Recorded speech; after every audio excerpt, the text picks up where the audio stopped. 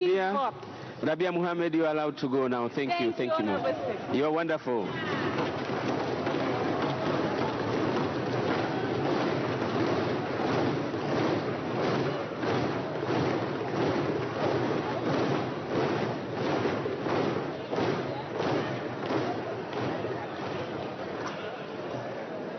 Mheshimiwa, hiyo ndio Zanzibar. Safari hii Zanzibar, kwa Dodoma tunasema mambo mswano. Katika wawili hawa tutalazimika kuchagua mmoja wao. Natamani tungeweza kuwachagua wote wawili. Kwa hiyo tukipata karatasi ile tutachagua mmojawapo, baadaye katibu atatufahamisha nini cha kufanya. Tunaendelea na kundi jingine. Namwomba Adam Omari Kimbisa.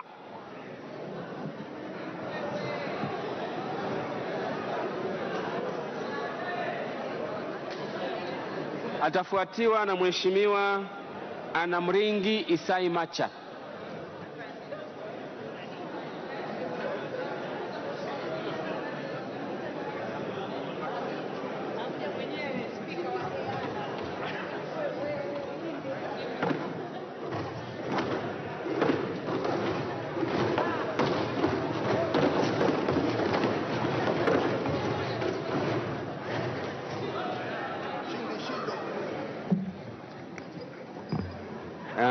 Adam Omar Kimbisa, you are welcome in this house. In front of you are members of parliament who are awaiting to hear from you as to why you are here. And after your presentation, there, may, there might be some three questions of which you have to answer. I'm now giving you the floor. Can you proceed? Right Honorable Speaker, Right Honorable Prime Minister, Right Honorable Leader of the Opposition, Honorable Members of Parliament, ladies and gentlemen, good evening. Right Honorable Speaker, my name is Adam Kimbisa. I hold an MBA in Finance and Economics. Right Honorable Speaker, the East African Community is nothing except the four pillars of integration. And these four pillars of integration, Honorable Speaker, we have already covered two. We are remaining with two. The two more sophisticated ones are the monetary unions and the political federation. Honorable Speaker, these two ones, I said they are more sophisticated, they are more complicated because, for example, by 2024, we need to have a central bank of East Africa. By 2024, we need to have the same currency in all the five partner states.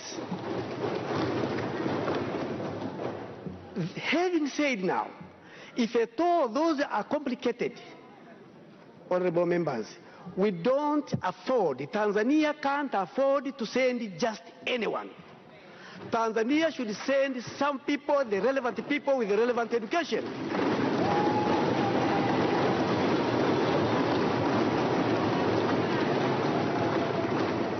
Right Honorable Speaker, we need people's experience.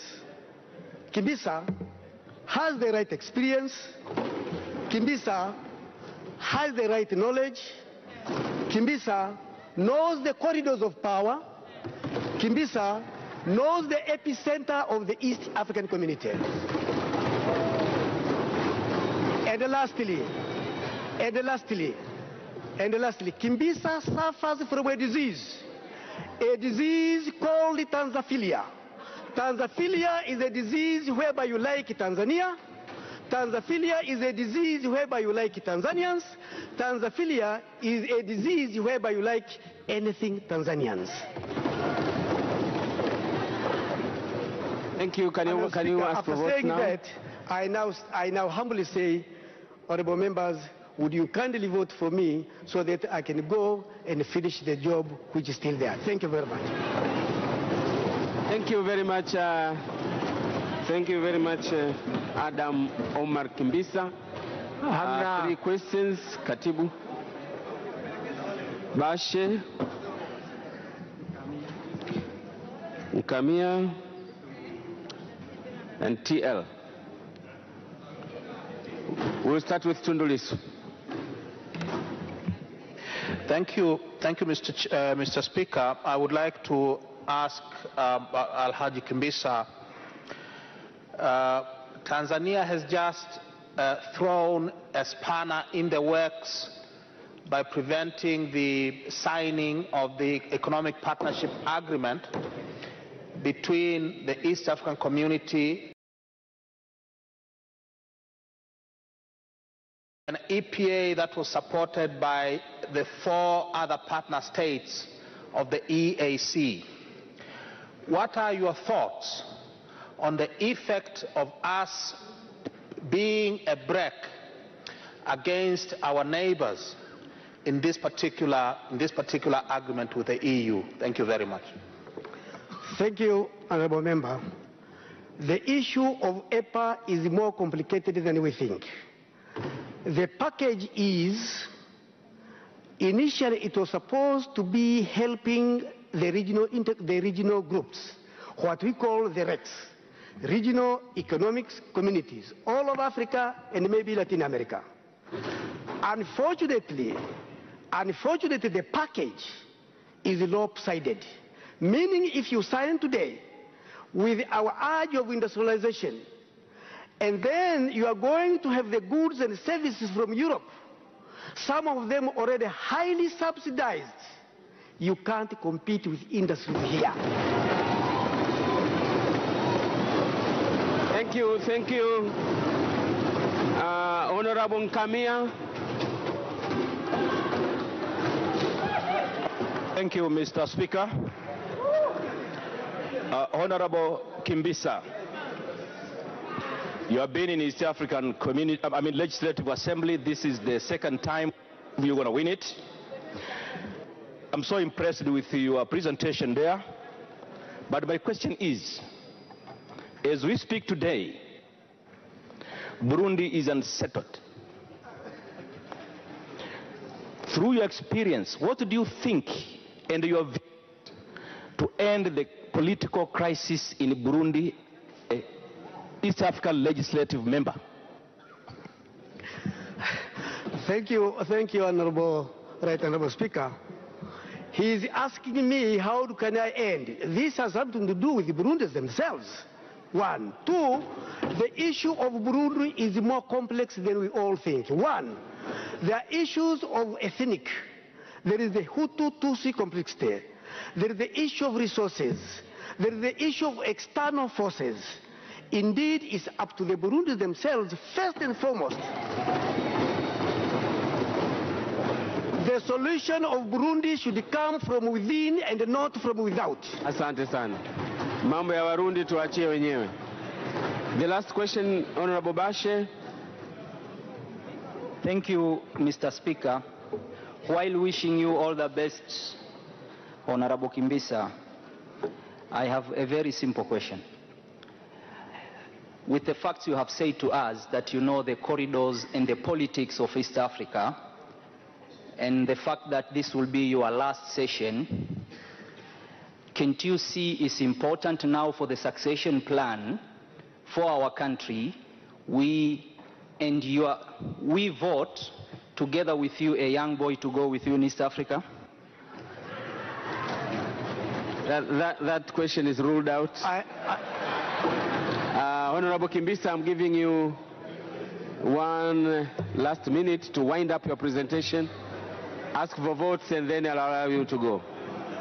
Ladies and gentlemen, honorable, right honorable speaker, the only thing I could say, please vote for me. If you vote for me, it's an investment.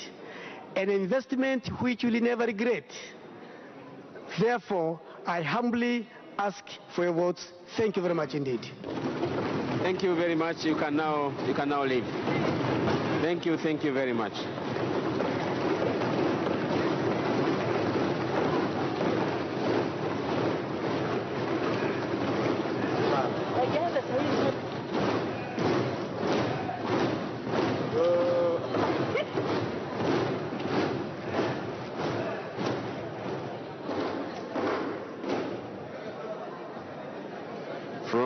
Clappings, it looks like he is a unifying candidate. Anayefuata ni Anamringi Isa Imacha. ajiandaye Charles Makongoro Nyerere. Anamringi Macha.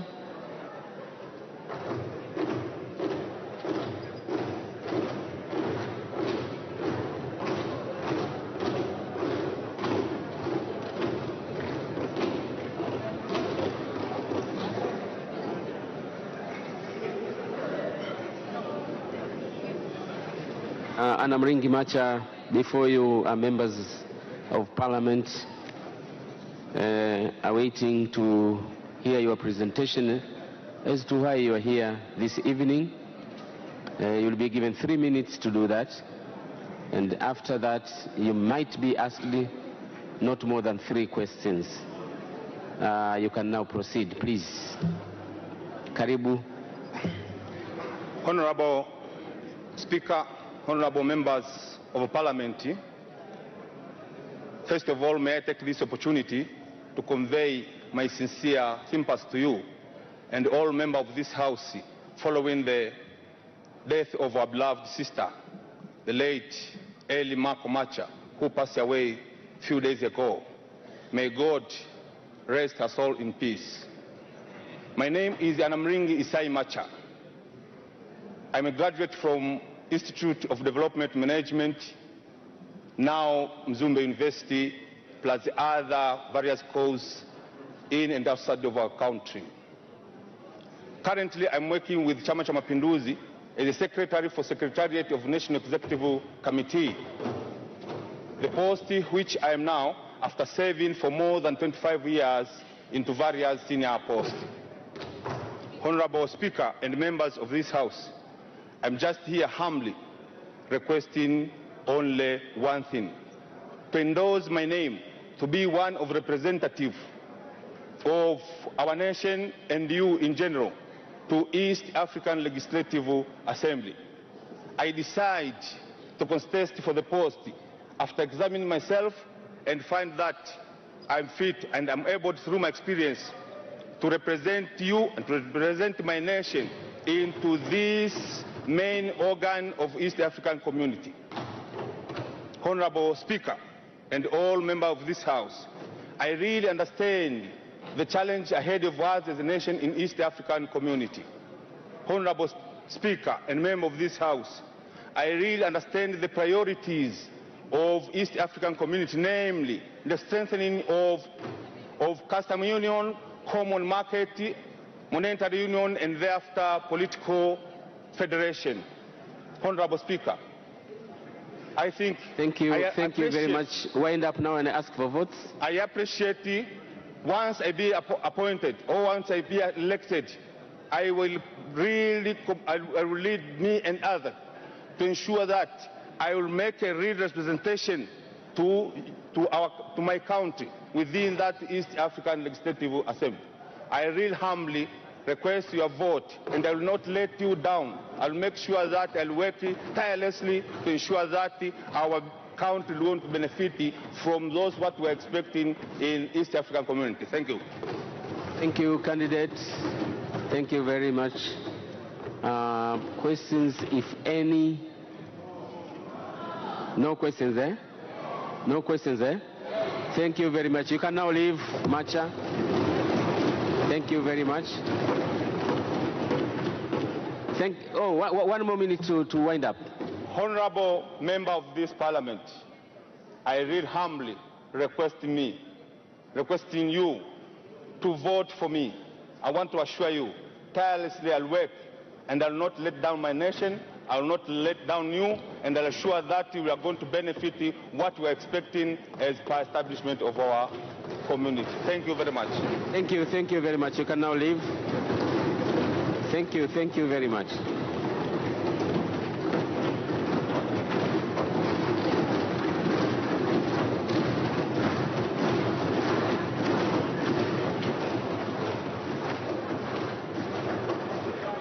Charles Makongoro Nyerere.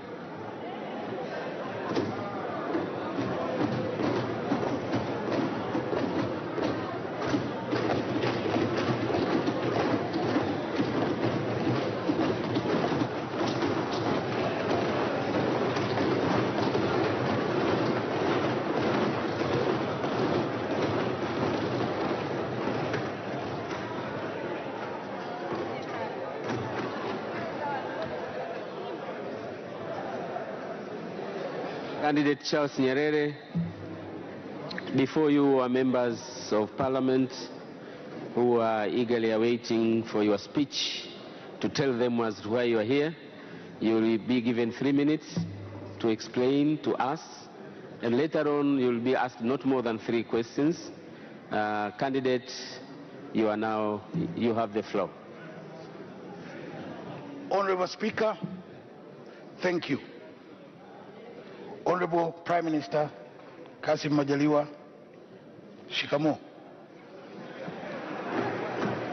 Honorable Leader of the Opposition, my brother-in-law, Freeman Kaili Mbowe, shikamo.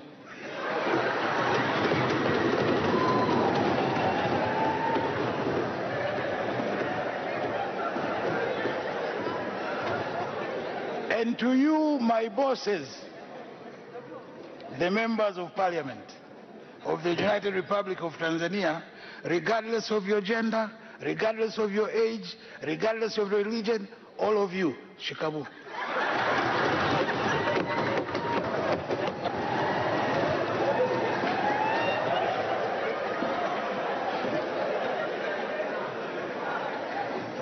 Honorable Speaker, five years ago, I was elected by this parliament, this very August House, to join Yala 3. Naturally,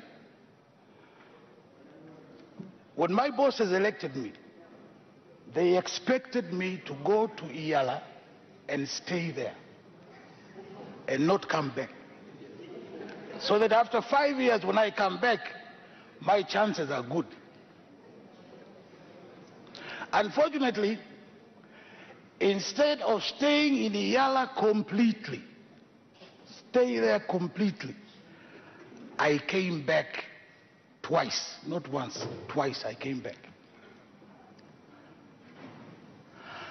Now, on coming back, I have weighed my options.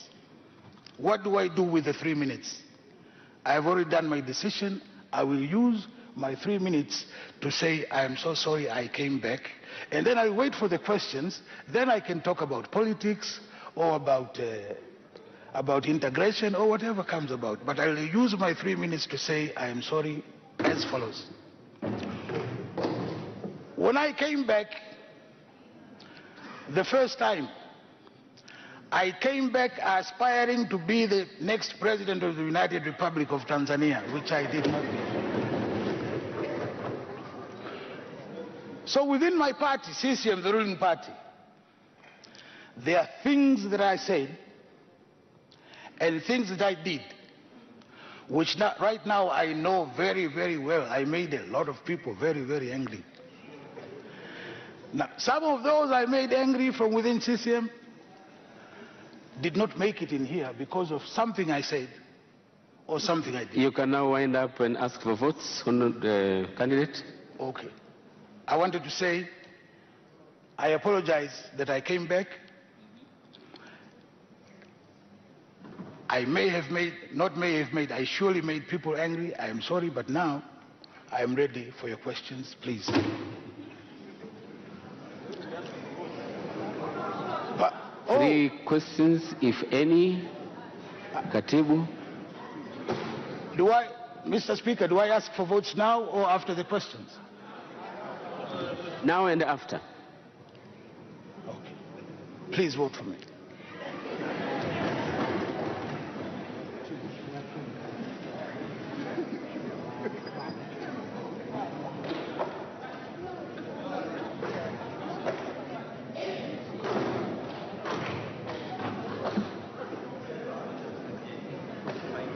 Josefa.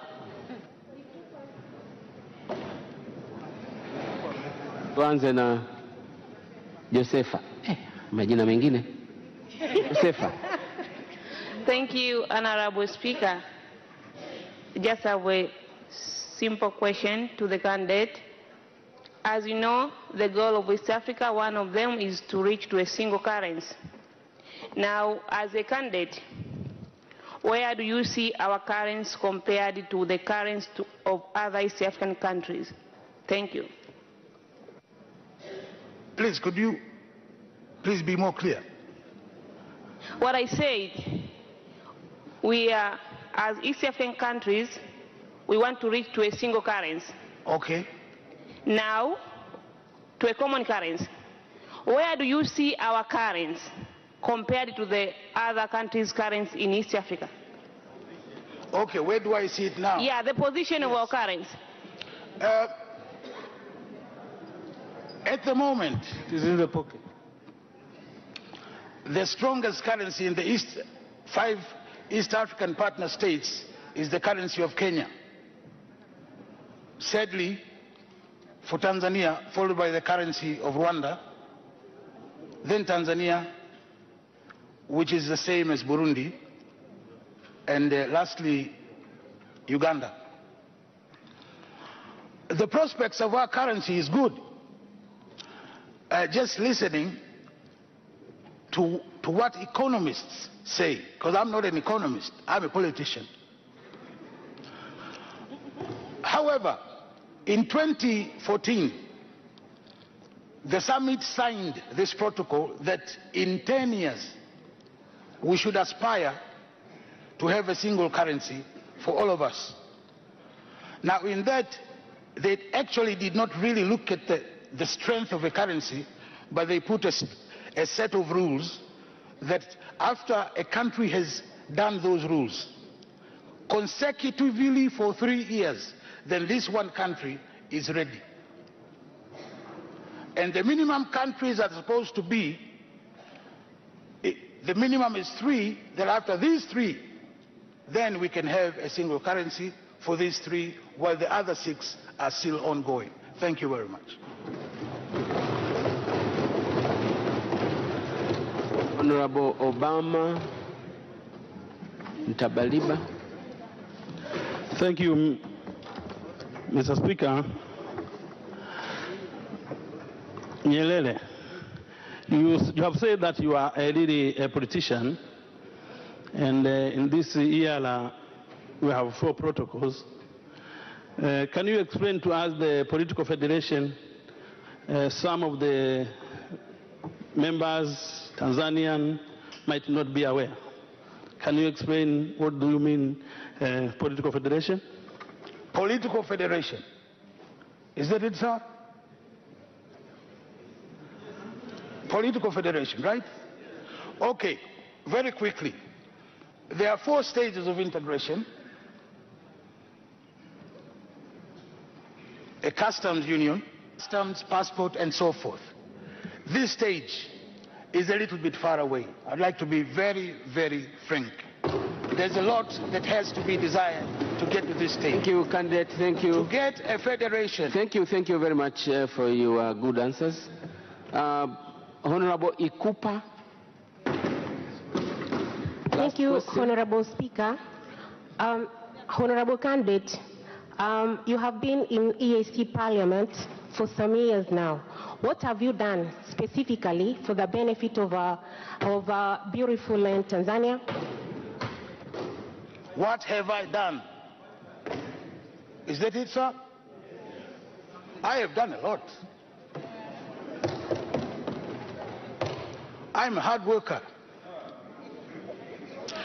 But let me, let me, if I'm allowed, let me answer this question by, by, by telling what my contribution was in, uh, in uh, making sure that the petroleum pipe coming in from Uganda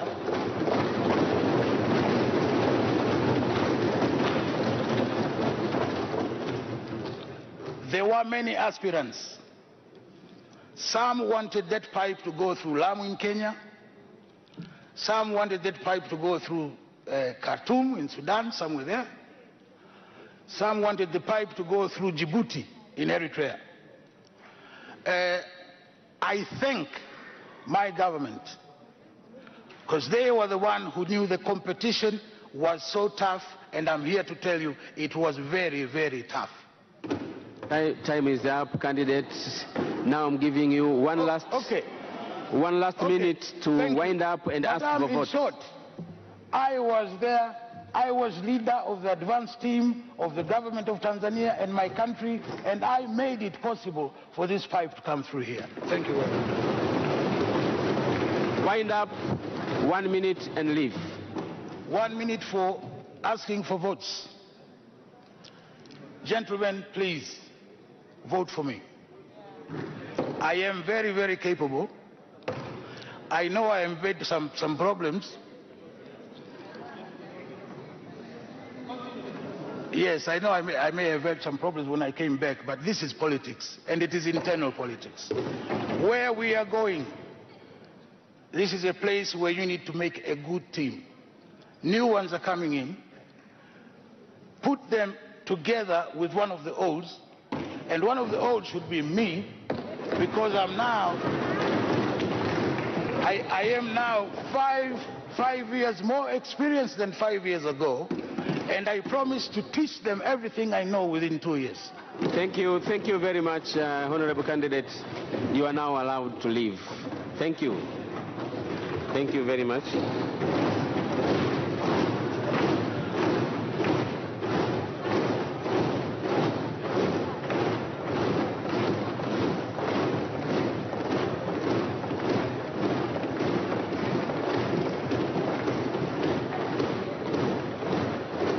Namwomba Ngwaru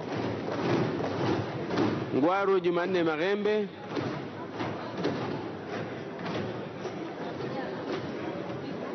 Profesa Magembe, naangalia kanuni zangu kama huna conflict of interest.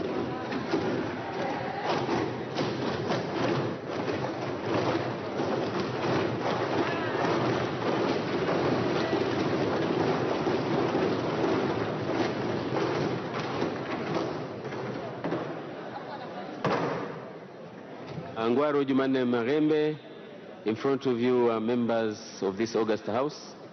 They are eagerly waiting to hear from you why you. are here. And you'll be given three minutes for that purpose. After that, you might be asked three questions. You now have the floor. You can go forward, please. Thank you. Uh, Honorable Speaker, Honorable Prime Minister, Honorable Leader of the Opposition, good evening. My name is Dr. Ngwara Megembe. Um, I would like to first start by offering my heartfelt condolences to, um, to members of the House for losing one of your own, Dr. Eli Macha. She was a lovely lady. Every time I used to call and ask her for votes, she was very kind to me. So, poleni sana.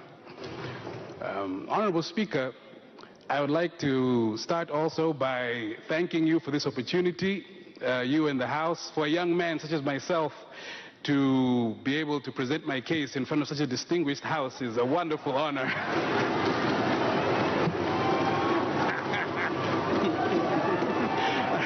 Thank you, thank you, thank you. I would like to talk about myself a little bit now. Uh, I hope I don't bore you. Um, I am a lawyer.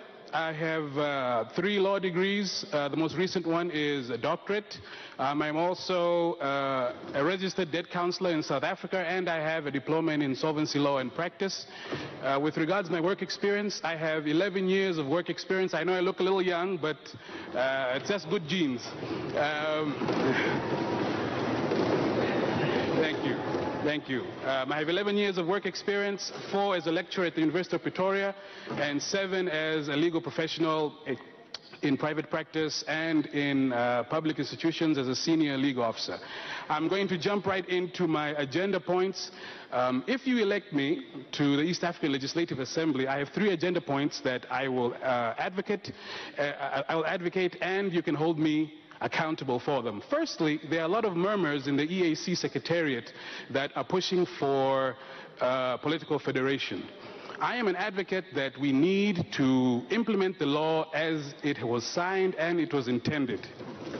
Uh, as intended. You can now um, ask for votes. Aongezewe. Kabisa, kabisa. No, no questions, isn't it?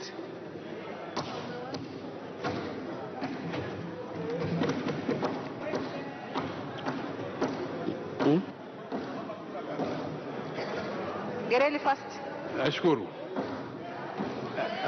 I see there were questions. Uh,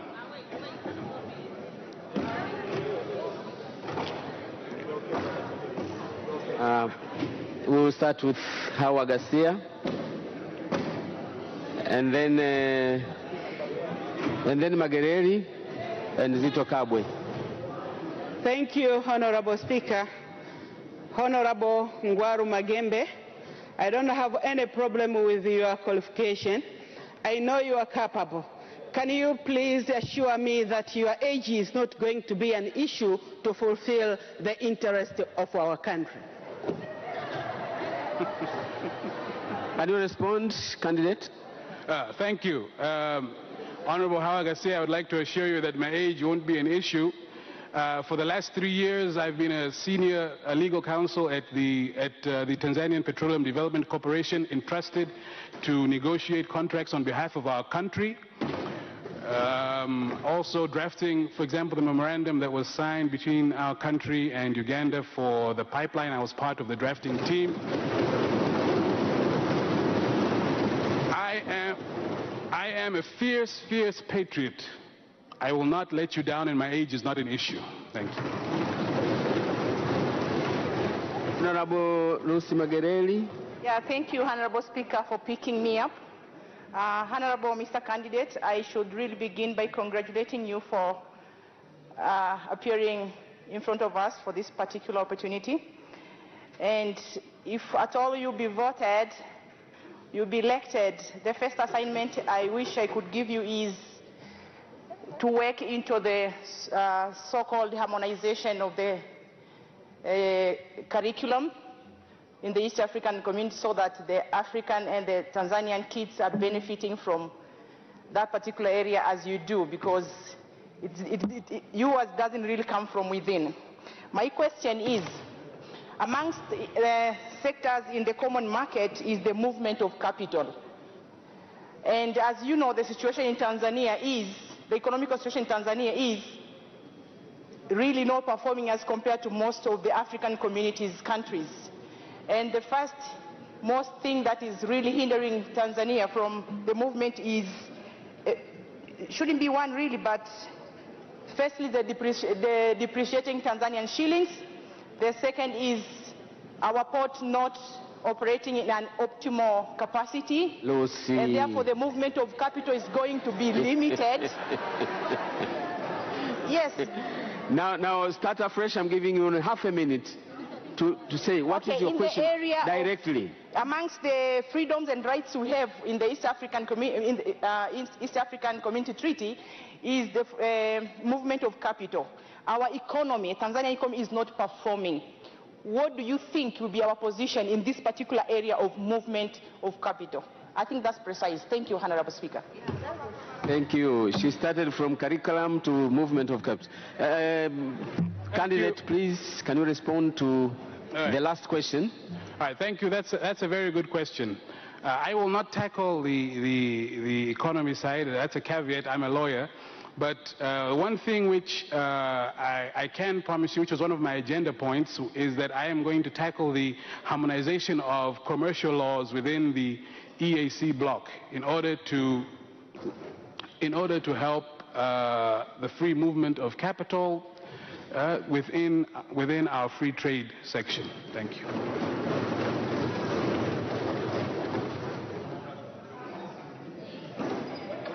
Uh, Honorable Zito Kabwe. Uh, Ngwaru, in the European Union, you have two, you had two forces, UK and Germany. Germany pulling in, believing in the uh, integration, and UK pulling out.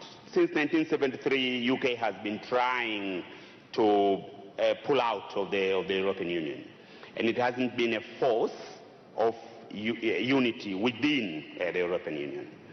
In Tanzania, we have two forces, Kenya and Tanzania. And we have been seen as a country pulling out, rather than providing leadership and making sure that the integration process is successful with our leadership, to the extent that we have, led, we have left leadership to Kenya, Rwanda, and, uh, and, Uganda forming their own cartel within the East African community. As a young person, well educated, uh, with a very good oratory. What role are you going to play? And how do you see Tanzania should play? Should it be a UK or a German within the East African community? Thank you. Response, candidate? That's a very tricky question, but a good question. um, I think uh, the role that Tanzania needs to play is the role of Germany. Okay, we are very, we have the biggest, well, now that Sudan has joined, but we are the most influential country within the we're the most influential country within the AC with respect to our population, you know, our resources, and of course our size, and of course our pedigree as one of the founding nations. We need to play the role of Germany. And as a young person who is learning from all of you that uh, solidarity is what is important, that is what I will bring to the EAC.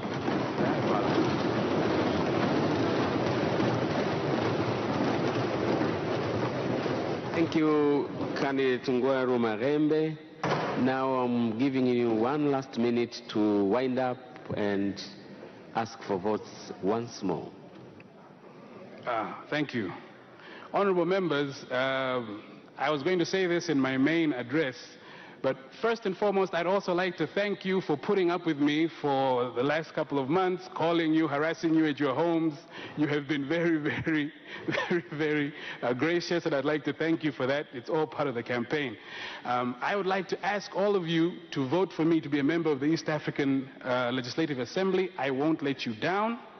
And I also, while going around uh, um, campaigning, I noticed that a lot of the uh, members who were in the old house really wanted more collaboration and more feedback from the members in the East African Legislative Assembly. I put it down as a campaign pledge, and you can hold me accountable for it. I will be, I will give more feedback, and I will be more accountable. Thank you, and I ask for all your votes.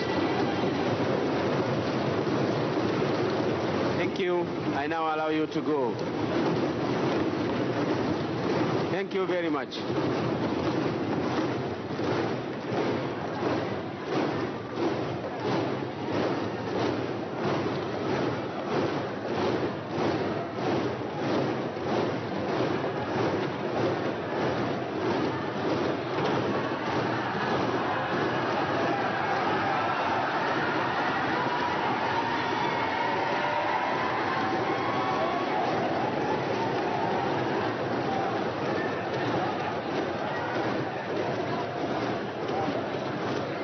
Waheshimiwa, tunaendelea, tunaendelea waheshimiwa wabunge, tunaendelea. Hilo kundi ni la Tanzania Bara wanaume, ambapo utapaswa baadaye kuchagua wawili, kuweka tiki katika wawili kati ya wanne, na hilo kundi ni wakumbushe la Mheshimiwa eh, ndugu Kimbisa, ndugu Macha, ndugu Nyerere na ndugu Marembe. Sasa naomba tuendelee. Namwomba Mheshimiwa Ezekiel Wenje.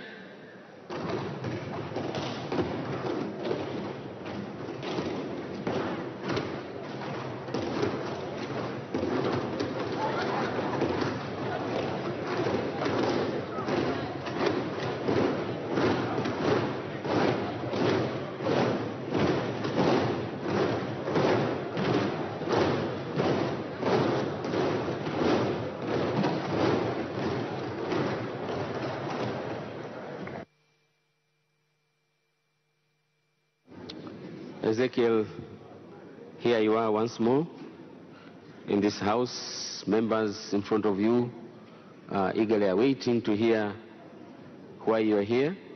You will be given three minutes to explain yourself and introduce yourself. And after the three minutes, you might be asked three questions, of which you might be requested to answer them. Uh, you can now proceed and, and address the members. Thank you, Mr. Speaker, sir. The Right Honorable Prime Minister of the United Republic of Tanzania, Kassim Majaliwa, the leader of opposition and the leader of my party, Honorable Freeman Mbowe, ministers present, honorable members of this House, ladies and gentlemen. Mr. Speaker, sir, before I proceed, allow me to take this opportunity to extend my sincere condolences to yourself and this honorable House for the loss of one of your members, Dr. Eli Macha. Honorable Speaker, my names are Ezekiel Debogo Wenje, born 38 years ago in a small village called Shirati, which I'm proud of.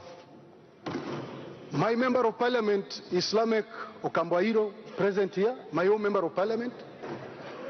Mr. Speaker, sir, I stand here today as a proud son of Africa who believe that Africa and its people are one in diversity despite the colonial boundaries.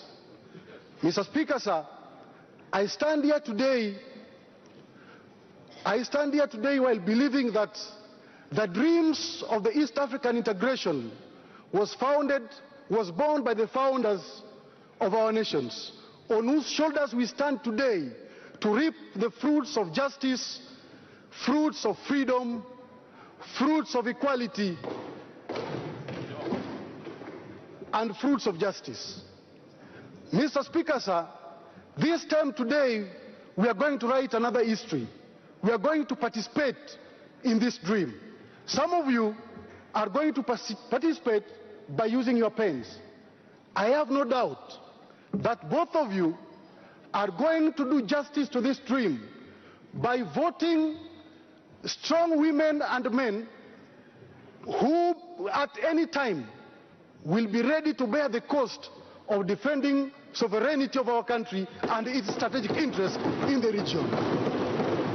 Mr. Speaker, sir, I stand here today to be elected not only to, not to represent my political party, but to represent up- our country, because this country now. is bigger than me. Wind up now. Mr. Speaker, sir, I humbly stand here fully believing that once we cross the boundaries of this country, given to fly flag of our country high, we must do it with all our hearts, irrespective of our political differences. I'm ready to do that job, Mr. Speaker, sir. Questions, if any? Uh, so, uh, who, who is asking a question here? Mapunda, eh? na mwingine? Sixtus peke yake?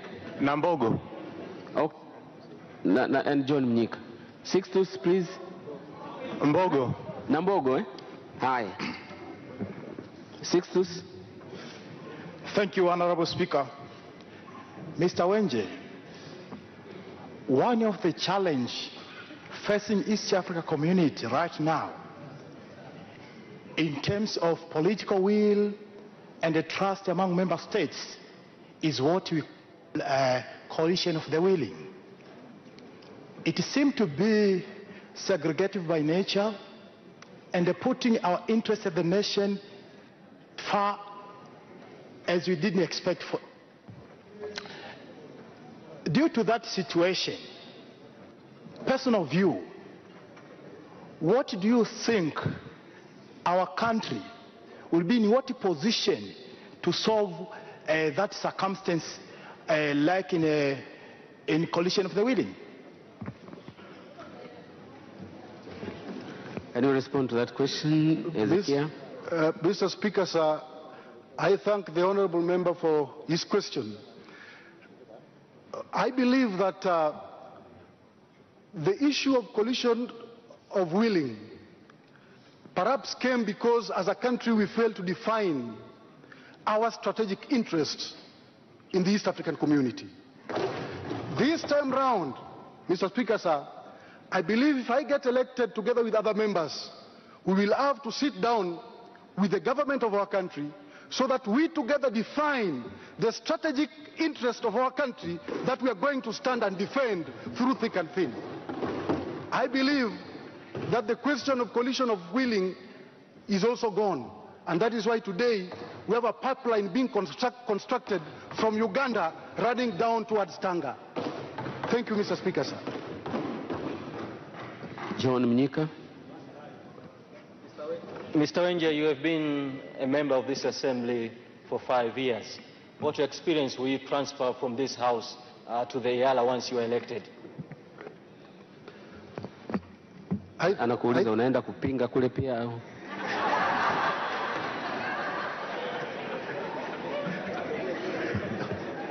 I, I thank you, uh, Mr. Speaker, sir. I thank uh, the Honorable for, for his question. Uh, Mr. Speaker, sir, it is true that I have served, I am one of the privileged young men in our country who got the privilege to serve this Honorable House. It is true that I have been here and my ability to stand for important issues for our country I think that record is very clear and there is no doubt about that. So that ability of standing and defending serious issues for the country, I will transfer that ability to the best of my knowledge to go out there and stand for the interests and sovereignty and economic gains and interests of this nation. Last question, Honorable Mbogo. Thank you, Honorable Speaker. I would like to ask, to ask a question to the contester. We know had the, we had the first East Africa community which collapsed in 1977. And uh, among the reasons led to that situation was the personal interest and the human behavior due to the one of the member states, the executive. Now, can, how can you assure us your personal interest and behavior will not lead us back to the situation which happened in 1977? Response, candidate. Honorable uh, Speaker, if I got uh, the honorable member very well, he's asking if uh, there is, there, if, if he's asking if there could be any possibility of another collapse of uh, the East African community. Uh, let me just simply put it this way, that uh, the former East African community, among other issues of trade imbalances and economic imbalances that were purported to be one of the reasons for the collapse of the former EAC, but I believe that the former East African community collapsed because of lack of political goodwill. And, uh, and uh, if you look at the way things are unfolding today, this, the, the new East African community has a serious political goodwill behind it. And I can assure this House that I don't foresee, I don't foresee any collapse of this current East African community. Thank you, Mr. Speaker. Uh, you have answered all the three questions. Now I'm giving you one last minute to use it in winding up your, your presentation. Mr. Speaker, sir, once again, let me thank you and your Honorable House for giving me this opportunity to come before you and seek your votes. I have been in this House before. I served with many of you. You know my capacity and ability. Please trust me. I will fly high the flag of our nation with a lot of pride. I humbly request your votes with lots of humility. Thank you. Thank you much, Mr. Candidate. You can now leave. We thank you.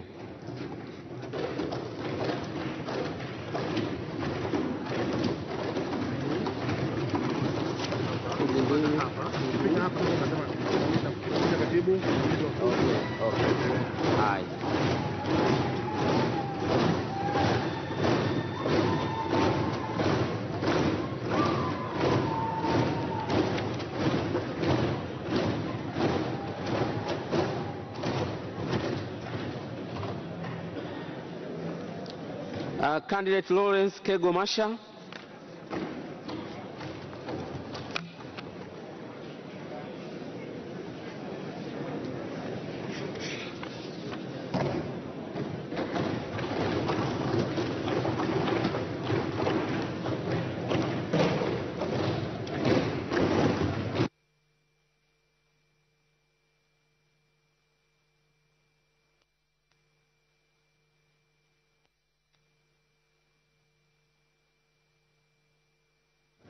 Uh, Mr. Candidate Lawrence Masha, before you are members of this August House. They are eagerly waiting to hear from you a presentation as to why you're here. You will have to introduce yourself and you'll be given three minutes to do that. After that, you may be asked not more than three questions. You can now proceed. Honor, Honorable Speaker, Honorable Prime Minister, Honorable Leader of the Opposition, Ministers, Members of Parliament.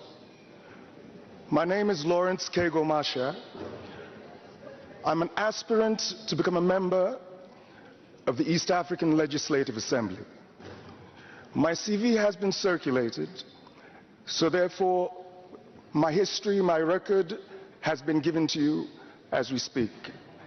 However, I stand before you respectfully and humbly to ask you for your vote to become a member of the East African Legislative Assembly. Mr. Speaker, as a practicing attorney with a master's in international and comparative law, if given the opportunity to represent our beloved country in the East African Legislative Assembly, I will use my experience and my skills to the best of my ability to ensure that legislation which is passed is passed in the best interest of the United Republic of Tanzania. Mr. Speaker, as a former Minister for Home Affairs, I will also ensure that the security interests of our nation will continuously and be vigorously protected as best as I can and to the best of my ability. Mr. Speaker, I am a member of Chadema, but first and foremost, I am a patriotic Tanzanian. I am requesting your permission and the permission of my fellow colleagues here in this August House to once again be able to serve my nation proudly by working in the East African Legislative Assembly. May I please have your votes?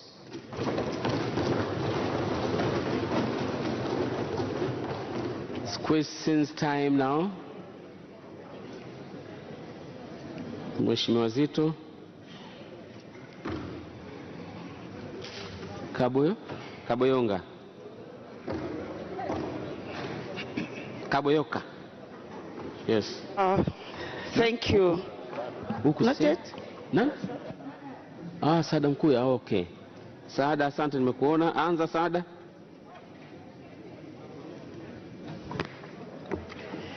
Uh, Thank you, Honorable Speaker. Uh, Honorable Masha, um, we heard that you have been this experience of, you know, security, being a deputy minister as well as minister of internal affairs. Uh, security is a main challenge in East Africa, given that there is a delay of signing a peace accord in Sudan, will definitely affect the security of the bloc. How are you going to use your experience to address this security issue if given a chance to represent Tanzanians in the EALA?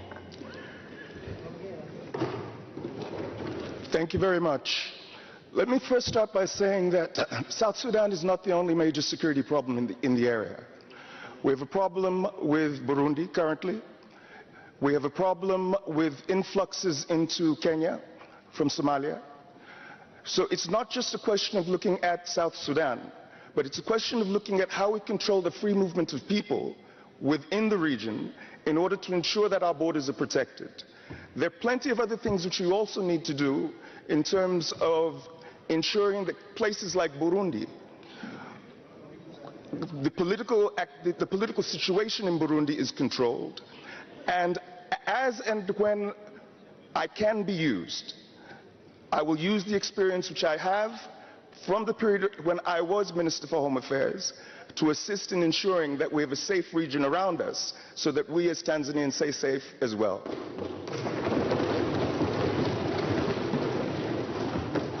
Honorable Kaboyoka. Uh, thank you, Honorable Speaker. Uh, may I ask Lawrence Masha, how do you rate yourself being in the East Africa community, where will you put our country? At what level do you expect to take our country from the present level to whatever level you're expecting to take it? Thank you. Thank you for the question. First, let me start by saying this, that many people mistakenly believe that Kenya is the largest economy in East Africa. Although they are currently, Tanzania is potentially the largest economy in the region. It's a question of us knowing how to use the potential which we have properly in order to take advantage of the economic, the common market, the customs union, etc., and teach our people the advantages of being part of the East African community so that we can benefit and make the money and uh, development which we have. I will work with my colleagues, I will work with the government to do everything that I can to ensure that we get the benefit of being a member of the EAC. Honorable Zito.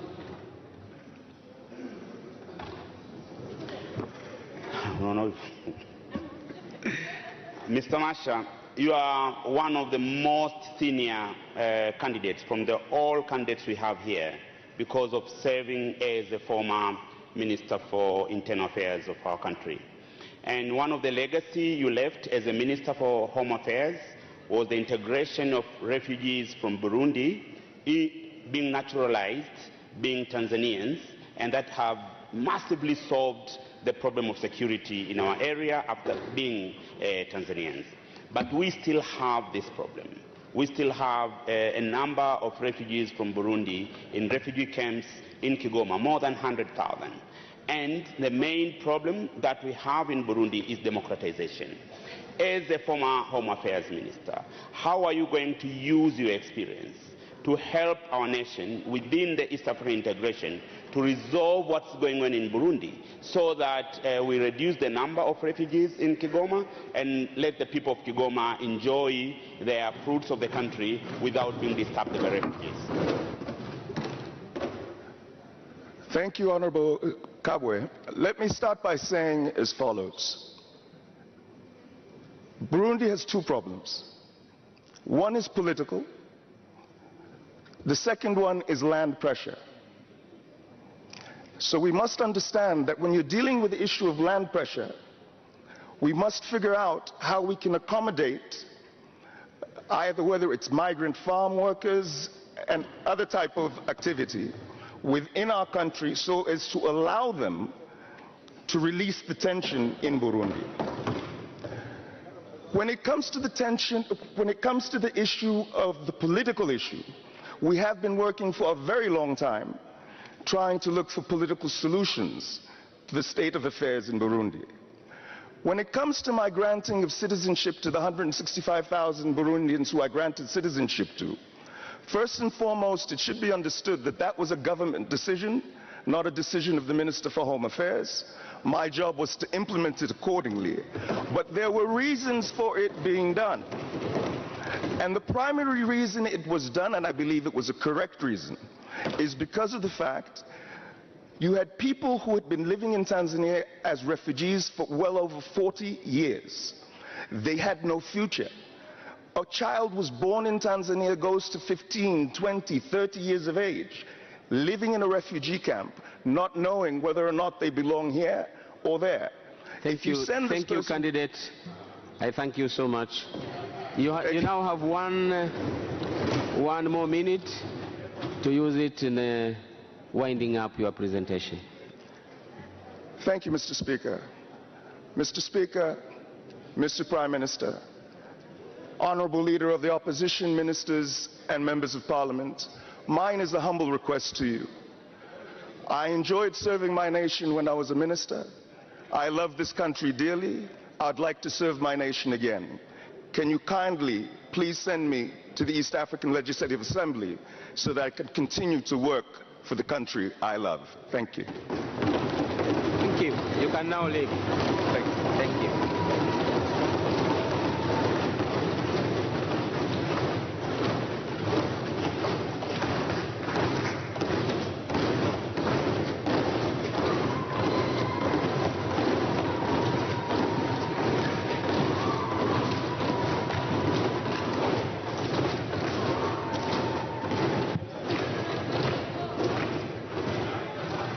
Waheshimiwa waheshimiwa wabunge, hao ndio wagombea wetu. Tutakubaliana kwamba kwa wale ambao wamekuwepo miaka ya nyuma, kwa kweli kiwango cha wagombea wetu kwa nafasi ya bunge la Afrika Mashariki kiwango kimepanda sana, na hii, na hii ni dalili njema, dalili njema. Uh, naomba kwanza mniruhusu nitumie mamlaka nilionayo kuongeza muda hadi zoezi hili muhimu litakapoisha, lakini niseme tu katibu atatuongoza kwenye mambo mengine yote yanayohusu utaratibu kama msimamizi wa uchaguzi na nitaomba sasa Sergeant Tams apige tena kengele ili tupate idadi halisi ya watu walioko ndani humu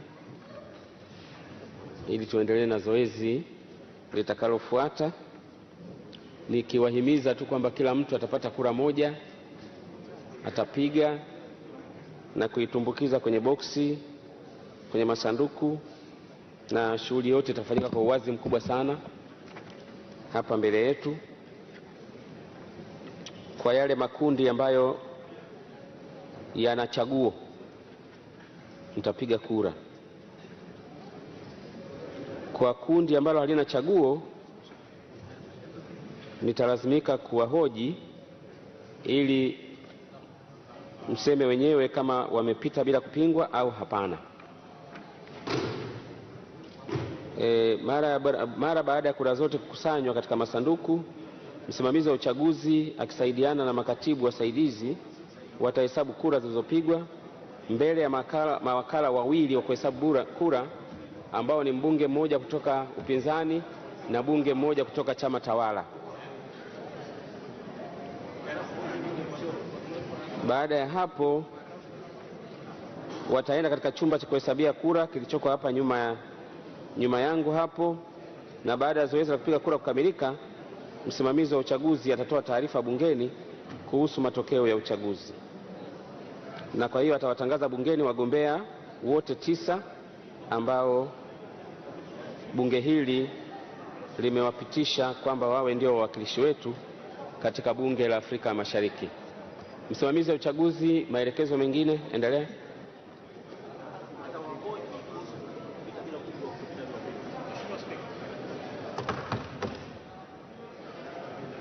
Msimamizi wa uchaguzi, endelea. Mwongozo wako, Hapa nafasi, ngoja kidogo amalize. mwongozo wako kabla ya, kabla ya zoezi la upigaji kura. Mheshimiwa Spika, Mheshimiwa Spika, na, naomba ni niendelee na taratibu nyingine kama ulivyoelekeza.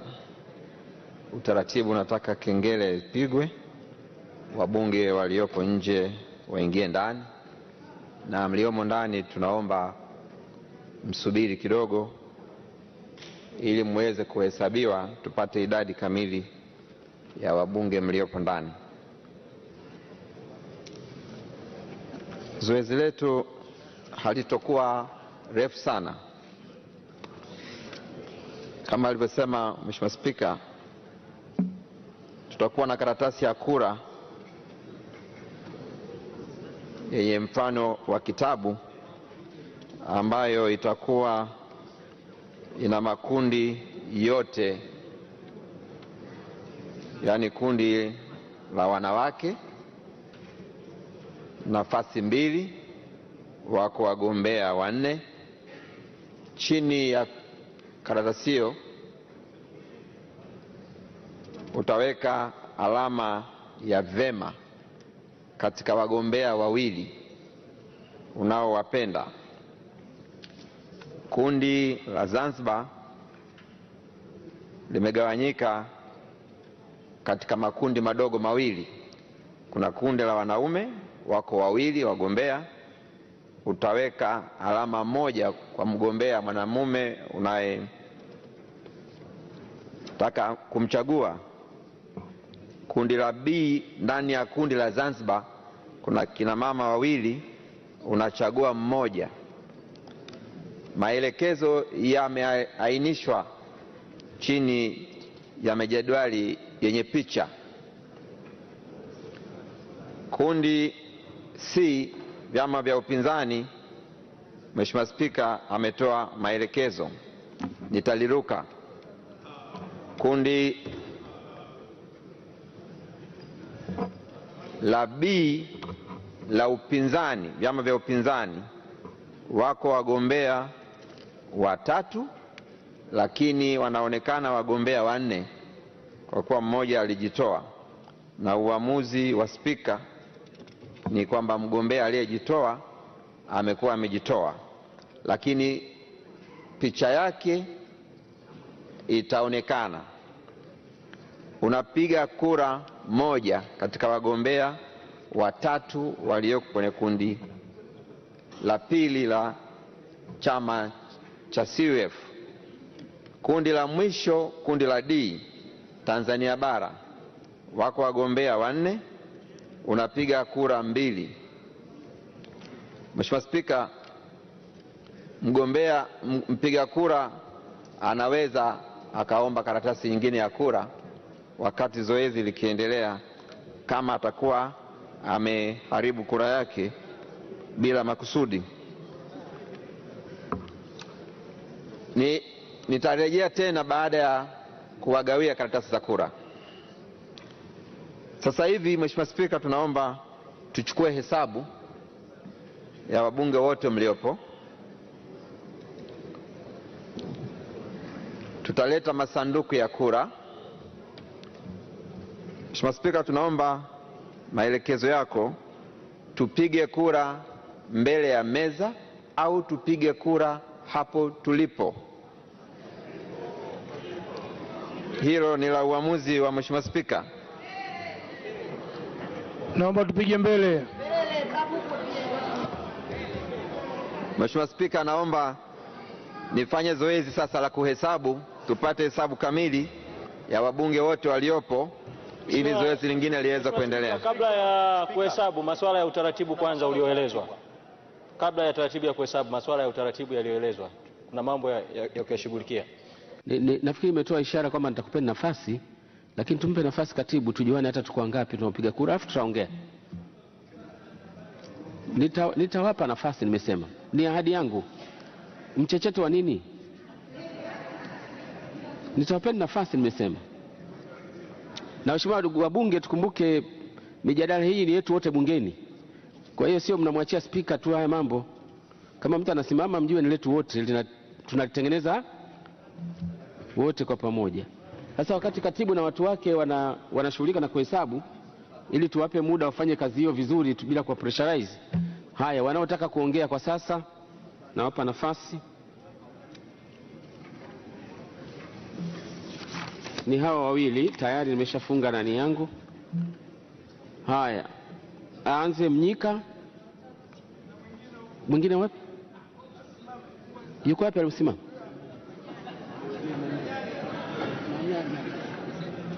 Mheshimiwa Manyanya yuko wapi? Nilimuona jamani, mtani wangu huyo.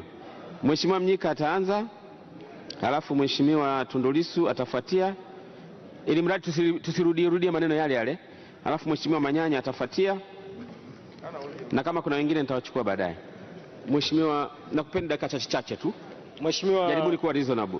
Mheshimiwa Spika, kwa sababu umeeleza kwamba lengo ni kusaidiana mpaka kufikia utaratibu mwafaka, ningependa kukikumbusha kiti chako juu ya kanuni ya tisa moja kwenye nyongeza ya tatu ya kanuni ambayo naomba niisome.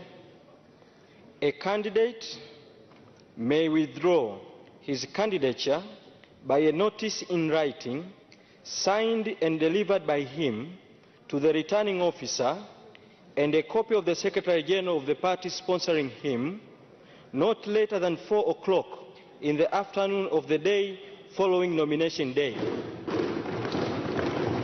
Thereafter, no withdrawals shall be accepted. Tafsiri rahisi, Mheshimiwa Spika, ya kifungu hiki ni kwamba utaratibu umewekwa kama mgombea anataka kujitoa, lazima aandike notice kwa msimamizi, na hiyo notice aitoe nakala kwa katibu wake wa chama kilichomdhamini saa kumi kabla ya muda wa kumaliza, kumaliza uteuzi, na kwamba baada ya kipindi hicho baada ya kipindi hicho hakuna mgombea yoyote anayeruhusiwa kujitoa. Sasa Mheshimiwa Spika, katika maelezo yako umeeleza kwamba katika kundi la wagombea wa CUF kuna wagombea watatu badala ya wagombea wanne kwa sababu mgombea mmoja amejitoa hapa mbele. Hivi, hivi Mnyika, anayekwambia kabla ya saa kumi huyo candidate hakuwa ameandika huko na hapa kaja kufanya formally? Candidate. Unajua yako mambo mengine Mheshimiwa Spika, atakuwepo kwenye ballot box kwenye kwenye karatasi kupiga kura atakuwepo. Kama unampenda sana utampigia na kura yake itahesabiwa, hilo halina shida. Kama ni hilo, naomba tu, tuokoe muda. Kinachotakiwa kuingia in record ni kwamba kafu ina wagombea wanne. Kwa hiyo maana yake uchaguzi wa kafu ni batili. Kwa hiyo kwa sababu kanuni itaka wagombea watatu, uchaguzi wa kundi la kafu ni batili. Hiyo achana nayo, kwa sababu hilo ni jambo la katibu. Kama ni batili, yeye ndio msimamizi wa uchaguzi. Wewe kwa namna yoyote ile huna mamlaka ya kusema mtu yoyote ni batili, kwa sababu wewe ni mpiga kura tu. Wewe kazi yako ni kupiga kura. Wapi mliwahi kuona mpiga kura anasema huyu batili? Mliwahi kuona wapi? Nyinyi mmegombea? Tunaendelea na tunaendelea, Mheshimiwa Tundu Lissu.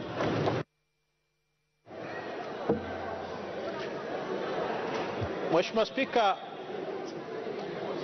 Mheshimiwa Spika, Mheshimiwa Spika, mimi naomba naomba nijielekeze kwenye kanuni ya kumi na moja tatu nne tano na sita za nyongeza ya tatu zinazohusu namna ya upigaji kura katika uchaguzi huu. Mheshimiwa Spika, huo utaratibu unaousema kwamba wapiga wa, wa, wagombea ambao hawajapingwa wata, wa, wata, watapitishwa kwa ndio au hapana, huo utaratibu haupo kwenye kanuni zetu za uchaguzi wa wabunge wa East Africa. Unataka kuvuruga uchaguzi tu. Sasa Mheshimiwa, twende kwenye kanuni. Kanuni ya kumi na moja tatu ya nyongeza ya tatu inasema the ballot box the ballot paper shall contain the names of all candidates arranged alphabetically in the following groups. Group A, women candidates. Group B, Zanzibar candidates. Group C, opposition parties candidates. Group D, mainland candidates. Ballot paper inatakiwa kwa mujibu wa kanuni hizi iwe na majina ya wagombea wote, sio wengine wapitishwe kwa ndio hapana, wengine wapigiwe kwa hapana. Kanuni inasema wagombea wote wawe kwenye ballot paper. Nikuhakikishie bado ngoja wagombea wote. Kwa hiyo hilo hilo hilo Ngoja hilo nimalize. achana nalo. Kwa sababu nimalize, sio niachane nalo. Subiri bwana, unavuruga utaratibu. ambao una sababu. Unavuruga utaratibu. Ballot paper iliyoko hapa ina wagombea wote alphabetically. Kwa hiyo nakwambia hilo unalosema tunapoteza muda kwa sababu limetekelezwa humu, limo. Naomba uendelee kusikiliza. Endelea na mengine kama unayo. Ngoja niendelee. Tunachanganya Watanzania bure tu. Hapana, kwa sababu wewe umeshaiona ballot paper? Mheshimiwa Mheshimiwa Ballot paper umeshaiona Mheshimiwa wewe? Spika. Kuna ambaye ameona ballot paper hapa? Mheshimiwa Spika, wewe si umezungumza? Sasa nakufahamisha kwamba ballot paper kwa hiyo kanuni imekava, kwa hiyo usiwe na wasiwasi kuhusu hilo. Endelea na mengine kama yapo. Sasa mheshimiwa, kanuni ya nne, kanuni ndogo ya nne ya kumi na moja inasema a voter shall be required to cast a specified number of votes to be announced by the speaker in each of the groups. Lazima magrupu yote yapigiwe kura. Tano, on receiving a ballot paper each voter shall secretly record his votes by putting a mark against the names of the nine candidates he wishes to vote for. Yote hii inaonyesha kwamba lazima wagombea wote wapigiwe kura, lazima E, Sasa Mheshimiwa Spika, nazungumza haya kwa sababu ya tangazo lako. Wewe unasema, umesema, umetoa maelekezo kwamba tutaruka wagombea wa upinzani halafu hao tuwapitisha kwa ndio au hapana. Kwa utaratibu upi jamani, waheshimiwa wabunge wa CCM? Kwa utaratibu upi wa kanuni hizi? Kwa utaratibu upi? Hii- Tutaoneana hivi Taarifa, mpaka lini jamani? Na, na tano, Mheshimiwa Spika. Tumpe taarifa. Ya sita, each voter shall be required to cast as many votes as there are vacancies. Otherwise, his whole ballot paper will be regarded as spoiled. Usipopiga wagombea tisa kwa mujibu wa kanuni ya, ya kumi na moja sita, kura yako imeharibika. Sasa maelekezo yako Mheshimiwa Spika yataharibu kura za watu wote hapa. Kwa nini jamani tufike huku? Kama umesha present basi nifungue. kwa nini tufike huku? Nadhani umeshaeleweka. Ndio nasema, nakuomba, nakuomba tafadhali Mheshimiwa Spika. Nasema umeshaeleweka kama ni hilo. Na- nataka nimalizie sasa Mheshimiwa Spika. Mheshimiwa Spika, Mheshimiwa Spika, hili bunge na heshima yake inakutegemea wewe. Tenda haki kwa mujibu wa kanuni hizi, utaheshimika. Mheshimiwa Mheshimiwa Manyanya ulikuwa umeomba kusema.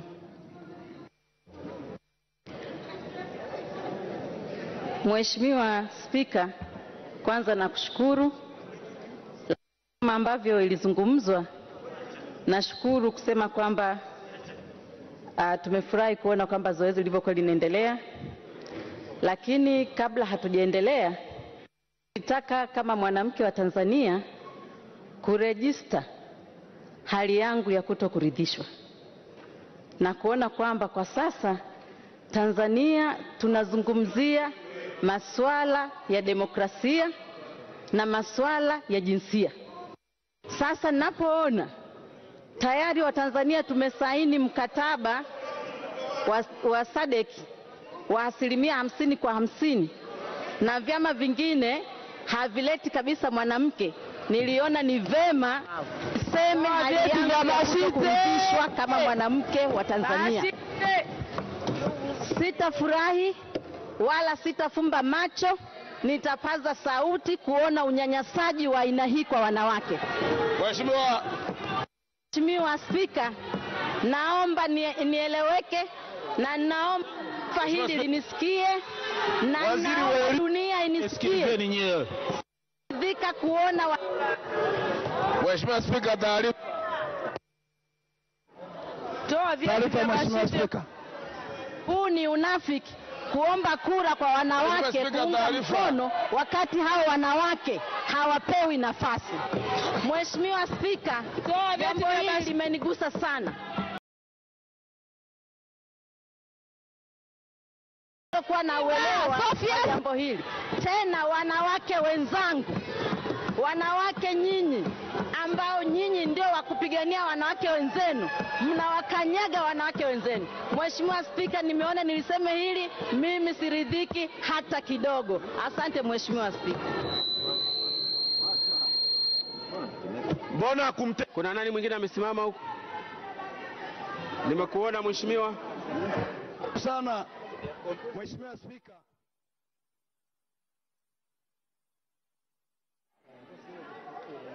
Mheshimiwa mna, mnataka kuleta vitu ambavyo si vya msingi kwa Watanzania wanao. Hapa tunachagua wabunge East Africa, sio wa Chadema wala CCM. Sasa mnisikilize vizuri, msipige makofi. Kama tunachagua wabunge wa East Africa wote wamejieleza, hofu yenu nini? Kama watu wako wawili, kwa nini tusipige makofi? Mnapiga makofi ya nini? Msikilize kwanza, nasema hivi Mheshimiwa Spika, watu wote wamejieleza hapa, na sisi tunakuheshimu Spika kwa mujibu wa kanuni zetu. Kama umeamua lolote kama spika, hatuna sababu ya kukubishia. Wameleta wawili, mnajuaje kama tutakataa au tutakubali? Wamejieleza, mwache tupige kura, tusirefushe maneno ya kanuni. Kanuni, Mheshimiwa Spika, sasa hivi ni saa tano. Mmewaleta, acheni tupige kura na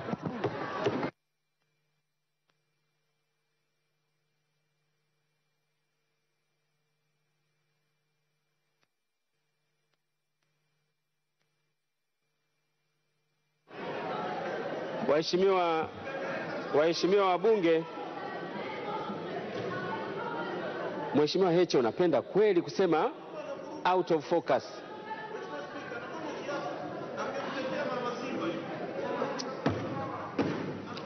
Hebu hebu ngoja, hujapewa nafasi ya kusema, kwa hiyo tafadhali, lazima tu control jaziba zetu. Waheshimiwa wabunge, ni mara nyingi sana ambapo tumeletewa idadi ya wagombea ambao ni fixed number hapa bungeni. Kwa mfano, wanaotusaidia hapa ndio kura yenyewe, la sivyo mngeleta wengi. Mlizuiwa nini kuleta wengi ili wachaguliwe? Eh? Kwa kuleta fixed number, maanake ni kwamba mna, mna, lazima nyumba hii ifanye uchaguzi wa aina moja au nyingine, na uchaguzi ambao ndio standard practice ambayo inafanyika katika Commonwealth yote kwa majina fixed. Napaswa kuliuliza bunge hili, nyinyi ndio mtanipa jibu, sio mimi, kwamba hawa wamepita kwa utaratibu huo au sivyo. Ndio taratibu zetu. Kwa hiyo ufundi wa kufanya hivyo kufanya hivyo wala haupo, ndugu zangu. Lakini kwa vile muda umekaa vibaya, mimi nashauri sasa karatasi za kura tuzigawe mara tu baada ya kipindi cha maswali cha kesho asubuhi, ili tuendelee na zoezi la kupiga kura na kuendelea. Sawa. Imepita hiyo. Imepita. Mheshimiwa, tumalize. Kesho asubuhi. Tumalize leo mpaka usiku. Mnakubali tumalize? Hilali zege, hilali zege. Asante. Zege hilali. Mimi niko tayari, liishelewe. Ndio. Liishelewe. Ndio. Asanteni sana, huo ndio utaratibu. Leo leo leo leo leo hii tuwachinje.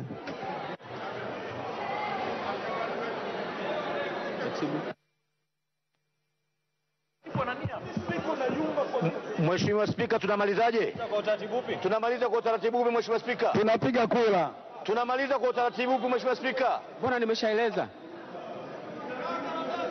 Nimeshaeleza na msimamizi wa uchaguzi atafafanua zaidi, tumsikilize. Spika, moyo ulisema leo ni Kiingereza tu, tumeacha hiyo ka-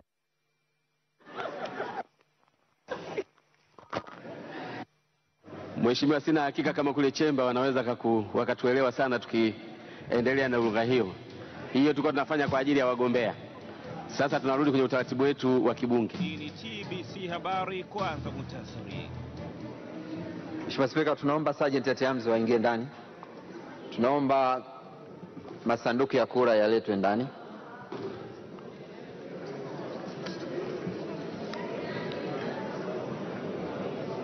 Naomba mnaoambiwa masanduku yaingie, mnafanya chapuchapu eh, wale wote walioandaliwa mnakuwa na miguu miepesi kidogo. Muda umeenda.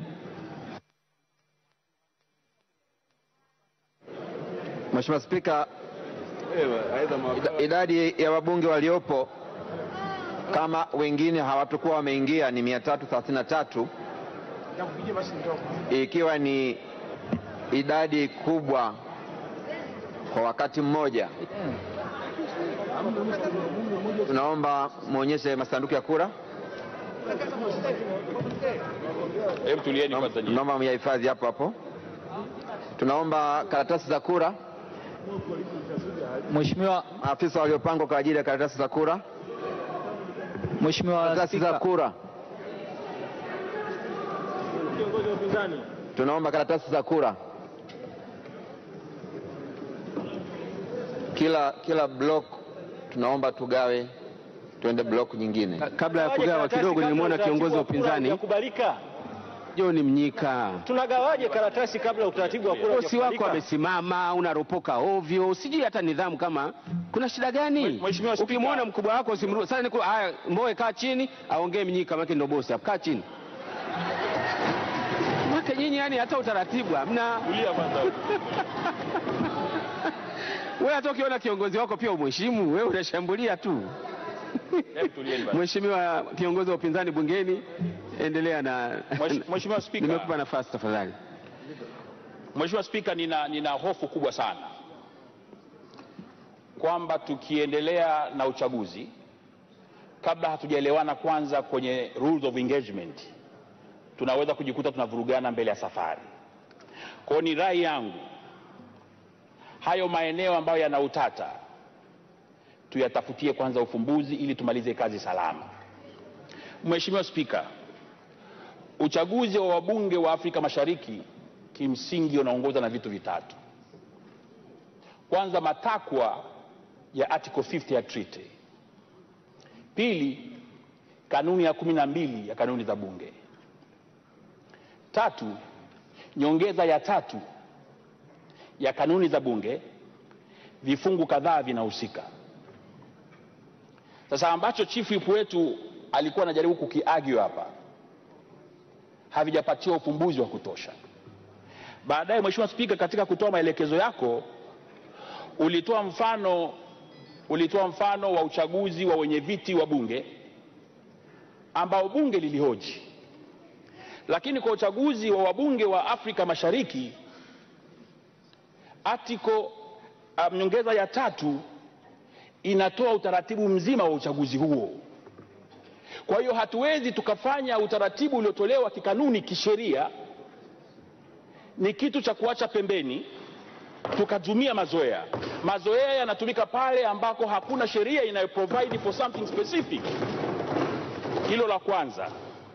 Lakini Mheshimiwa Spika, mwaka jana tulichagua wawakilishi wa bunge hili kwenye vyombo mbalimbali wale ambao walikuwa Chama cha Mapinduzi kileta wagombea wake, hawakuwa na mtu wa kupinga, wakapita bila kupingwa.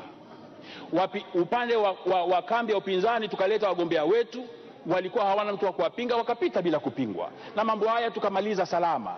Sasa leo utaratibu wa kuhoji wakati kuna sheria ziko very specific na zina stipulate process nzima ya uchaguzi, mbona tunabadilisha sheria katikati ya mchezo? Kwa hiyo ndio nilikuwa naomba Mheshimiwa Spika, ili kuhakikisha kwamba tunapata amani ya kutosha katika bunge hili na kazi hii tuimalize salama.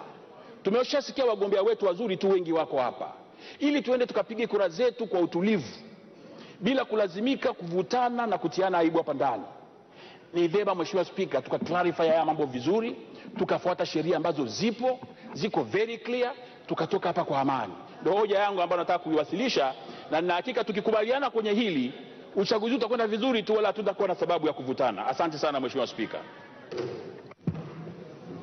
Wakati mnachagua wabunge wa mabunge haya mengine ambayo mheshimiwa kiongozi wa upinzani kwa heshima kubwa ameyarifaa hapa, kwa kweli mimi nilikuwa hospitali, kwa hiyo siwezi kukumbuka exactly mlichokifanya, lakini utaratibu ni kwamba japo sikuwepo, hao mliwapitisha siku kwa bunge hili. Sheria inayosimamia uchaguzi wa wabunge wa Afrika Mashariki iko very specific. Kura ni za siri, haitoi provision ya kupiga kura za wazi. Sheria ipo na imesema. Ndugu zangu, ndugu zangu waheshimiwa wabunge, ningeshauri tuwe tunasoma sheria kabla ya kuanza kubishana humu ndani, tuwe tunasoma na hizi kanuni, tuelewe kanuni zinaelekeza vipi kwa, kwa mambo ambayo tunatumia utamaduni na maelekezo ya spika ni pale maeneo ambayo hayana maelekezo sahihi ya kisheria na kikanuni. Sasa hili jambo liko wazi sana, na sijui wenzetu wa upande wa pili mna hofu ya nini? Mheshimiwa Spika, kwa kuhoji ni kura ya wazi na sio kura ya siri. Kwa hiyo unachopendekeza kiongozi wa upinzani, kwa hawa wagombea wako tunawachaguaje? Bunge hili linawachagua kwa utaratibu gani? Wa, wagombea ambao wako kwenye, kwenye, kwenye ballot paper na ambao hawana mpinzani, tafsiri yake ni kwamba watakuwa ni wagombea waliopita bila kupingwa. Nipe, nipe, kwa sababu na, naomba, naomba kiongozi wa upinzani nipe kanuni inayosema hivyo kwamba kwamba huyo anapita bila kupingwa. Kanuni ipi? Lete lete chukua kuna moja hiyo. Ngojeni, ngojeni. Vyeti, vyeti, acha maneno. Mheshimiwa, utaratibu umeandikwa kwenye katiba, kwenye kanuni. Lete ile kanuni zitu nani, Lisu. Mheshimiwa, Kuhusu utaratibu, kuhusu utaratibu, Mheshimiwa Spika, Mheshimiwa Mbowe, wakati nakupa na- muda utafute tafute hapo, hebu tusikilize kuhusu utaratibu. nataka kusema wakati anatusomea hiyo kanuni pia aangalie ni kwa nini pia chama cha Chadema chama cha upinzani akileta wanawake. We zero wewe, kaa kimya wewe. nazingatia kanuni pia kwa la jenda. Kwa mwenyekiti, haijawahi kutokea nakwenda kupitisha viongozi bila kuhojiwa. Sasa mwenye kiongozi wa kambi ya upinzani anaogopa nini? Sasa tupo utaratibu unaotaka kusema, lakini atuambie mbona pia wanawake kuhusu taratibu. Mheshimiwa Spika, Mheshimiwa kiongozi wa niko upinzani, tayari na, na kwa faida na, naomba Mheshimiwa Spika, kwa faida ya wabunge kadhaa ambao wanauliza hoja ya, ya, ya, ya jenda niwape ufafanuzi ili nifunge mjadala huo. Waheshimiwa wabunge, Treaty ya Afrika Mashariki inahitaji wabunge tisa na masharti ni kwamba anasema katika hao tisa angalau theluthi moja wawe ni either gender.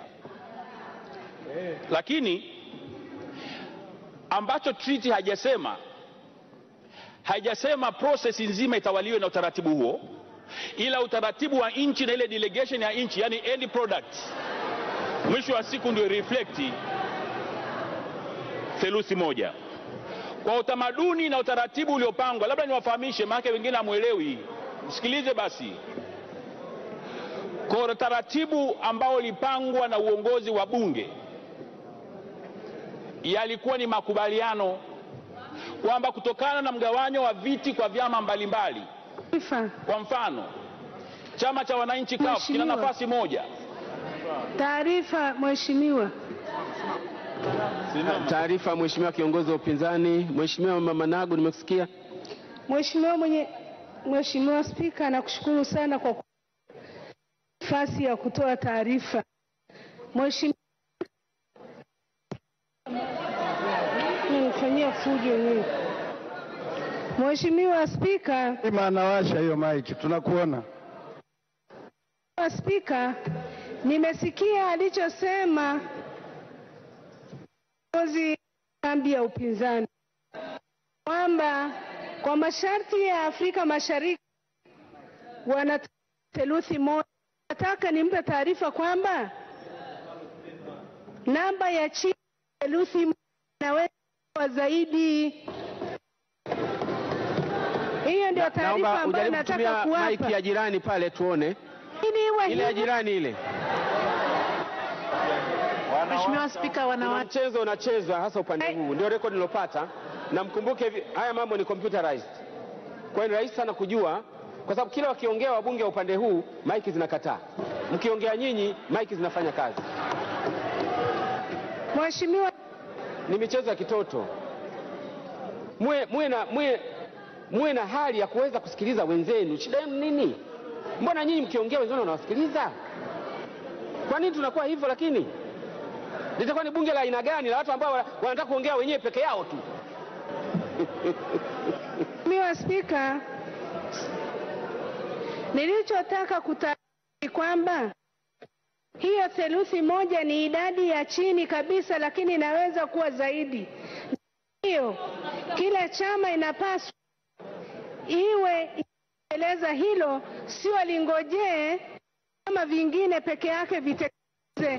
Kwa hivyo kwa kweli na Chadema taarifa. kuwa nawajibika ta taarifa. yenda zote mbili. Taarifa. Kuhusu taratibu. Mheshimiwa Ah, kidogo tu. Na, kabla ya kiongozi wa upinzani hujaendelea, nasikia sauti ya Halima Mdee anapinga wanawake wa Chadema wasigombee. Haya, nakupa nafasi. Mheshimiwa Mwenyekiti, hi- Mheshimiwa Spika, hizi ndo tunaita cheap politics bila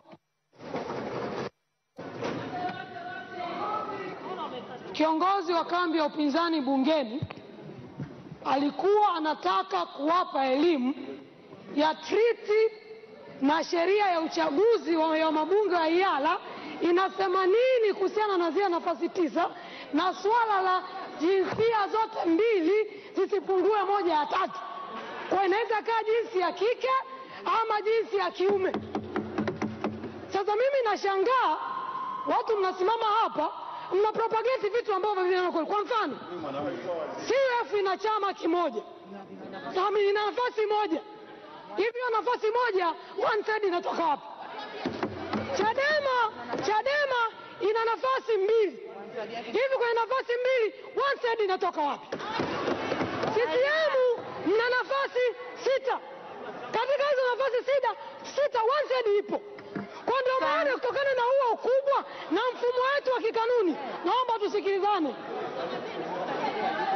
Sikiliza, tunawapa shule tatizo, msomi triti na sheria ya uchaguzi wa Afrika Mashariki inasema elected members. Katika, tunaangalia elected members, hatuangalii wagombea. Kwa tunatakiwa kama nchi tuangalie baada ya uchaguzi Asante sana Mheshimiwa Halima, asante sana, muda wako muda wako ume, umeisha. na naelimisha wanarukaruka tu. Ah, unaoelimisha walikuwa nakuuliza tu katika wagombea wako wale wanaume wawili, mwanamke nani pale? Nachosema ni hivi, Mheshimiwa mwanasheria mkuu wa serikali. Spika. subiri nimalize basi. Waniambia, ukiniambia one side. ya- Tayari tayari tayari, Mheshimiwa Halima. Mheshimiwa mwanasheria mkuu, endelea. Mheshimiwa Spika, bunge utakumbuka asubuhi msimamizi wa uchaguzi asubuhi alitusomea maelezo marefu hapa ndani ya bunge hili tukufu, na akatueleza kuhusiana na baadhi ya vyama vya siasa ambacho amekisitiza ni sharti la, ni sharti la kisheria Watu wa IT na watumishi wa bunge, tigeni jicho, mniambie anayefanya ukorofi huu ni nani? Kwa sababu hiyo sasa, kwa sababu msimamizi wa uchaguzi, sababu msimamizi wa uchaguzi wajibu wake ni kutoa mwongozo wa kisheria, ni yeye hachagui na hawalazimishi wabunge. Kwa maana sababu hilo swala anahoji sana. Mheshimiwa, nakuomba nakuomba uje mbele hapa, maiki zinasumbua sana leo.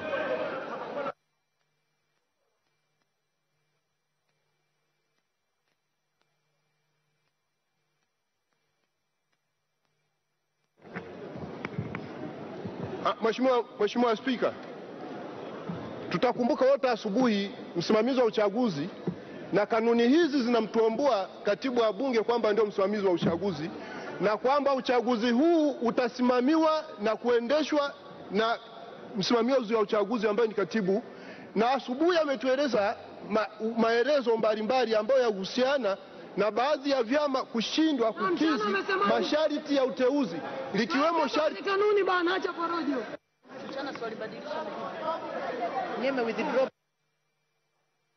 kura zinapigwa na wabunge, na yeye kama msimamizi wa uchaguzi hataki kulielekeza bunge lifanye kitu ambacho anaona ni uvunjifu wa sheria.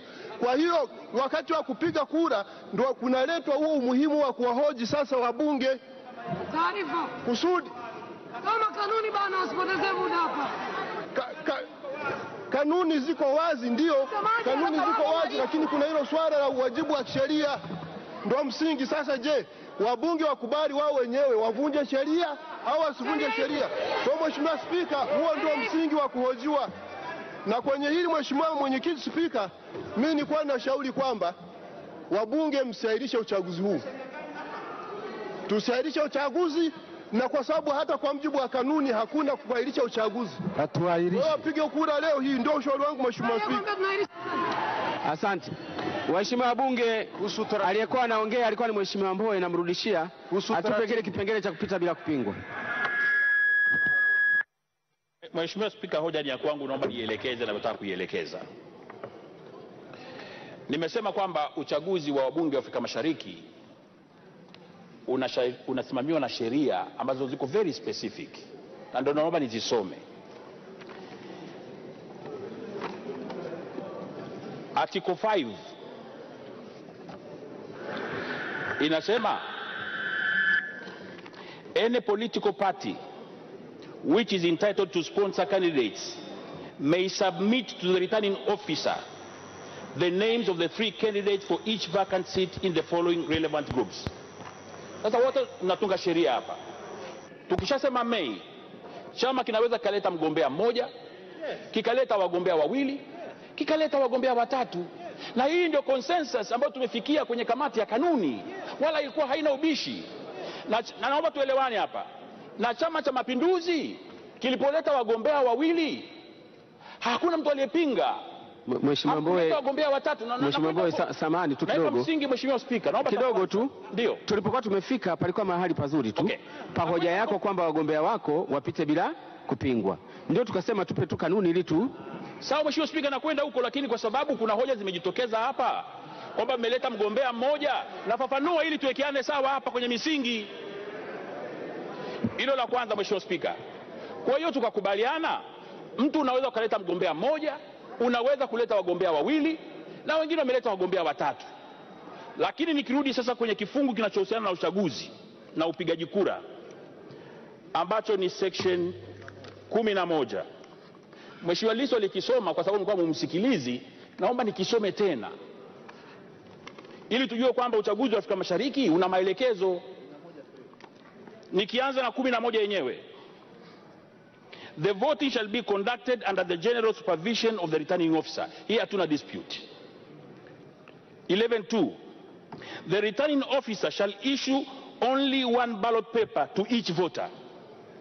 Bahati mbaya ambayo tunayo sasa hivi, Mheshimiwa Spika, hata hiyo ballot paper hatujai kuonyesha sampo yake, hatujui.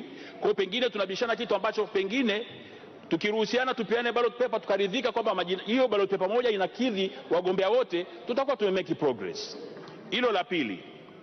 Three, the ballot paper shall contain the names of all candidates arranged alphabetically in the following groups. Group A, women candidates. Group B, Zanzibar candidates.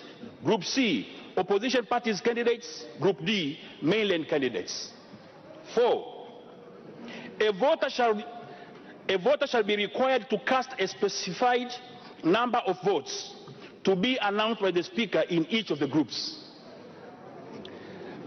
Five, on receiving a ballot paper, each voter shall secretly record his votes by putting a mark against the names of the nine candidates he wishes to vote for. Nine candidates. Sasa ballot paper iko pale, ina wagombea wote, na nikisoma kifungu cha sita, na msikilize vizuri, kifungu cha sita, each vote, each voter shall be required to cast as many votes as there are vacancies. Otherwise, his whole ballot paper will be regarded as spoiled. Hapa ndio Mheshimiwa Spika anapokuja kwenye hoja yangu ya msingi. Ballot paper ipo, inatakiwa majina tisa. Ukipigia wagombea nane, ballot paper imeharibika, na sheria inasema hivyo. Kwa hiyo sheria haijasema mahali popote pa kuhojiana. Inakuja ballot paper, ina majina ya wagombea wote, lazima uchague watu tisa kutoka makundi yote. Taarifa Mheshimiwa Spika. Kidogo tu Mheshimiwa, ili, ili, ili amalize, lakini nachotaka nita- nitaipokea moja kwa moja, usio na wasiwasi. Nachotaka umalizie tu kwa kutuambia sasa, katika kuchagua hawa candidates wako, wabunge wangu hawa watachaguaje, kama sawa au si sawa? Sasa nafasi iko hapo, unatakiwa upige kura tisa, pigia kura hapo. Taarifa Spika. Taarifa, taarifa. Kwa maana kwa maana ya kura ya ndio na hapana, au kwa maana gani? Yani kuwa wazi. Taarifa Spika. Maanake ulisema ulisema wagombea wako wanapita bila kupingwa, na wewe mwenyewe unaanza kujipinga tena kwa kusema kwamba lazima mtu apige kura tisa. Hasa walishapita bila kupingwa, unapigaje kura tisa tena? Mheshimiwa, katika general practice za uchaguzi, na wewe mwenyewe spika unajua Taarifa Spika. mwenyewe mwenyewe spika unajua kwamba katika general practice za uchaguzi katika nchi yetu popote zilipo, mgombea anapokuwa hana mpinzani anapita bila kupingwa. Lakini tunachosema kwenye sheria hizi lazima mtiki pale kwamba anapita. Hey. Mheshimiwa Dkt. Kiwengala, nimekuona taarifa. Taarifa Mheshimiwa. Mheshimiwa. Taratibu. Mheshimiwa Spika. Nimemsikiliza. Alafu atafuatiwa na Mheshimiwa Simba Chawene. Kigwangala kwanza. Mimi mimi Mheshimiwa pata. Mheshimiwa Mheshimiwa Spika, Spika, nakushukuru kwa nafasi hii. Yuko, yuko mtu karibu nampata sasa hivi anayecheza cheza na hizi mike. Nishapewa majina yake mara mbili tatu, nataka tu confirm, alafu basi tumwembarasi mbele ya nchi nzima kwamba amekataa kujiheshimu. Endelea Mheshimiwa Kigwangala. Mheshimiwa Spika, hizi kanuni zimeandikwa na mimi nimepata bahati ya kuwa hapa. Nasoma mle mle ambapo Mheshimiwa ananukuu. Kwa mfano, kwenye kanuni namba tano ambayo wana inasomeka kama ifuatavyo: A political party entitled sponsor candidates is submit to the names of Njoo njoo, tumia hii ya mbele hapo.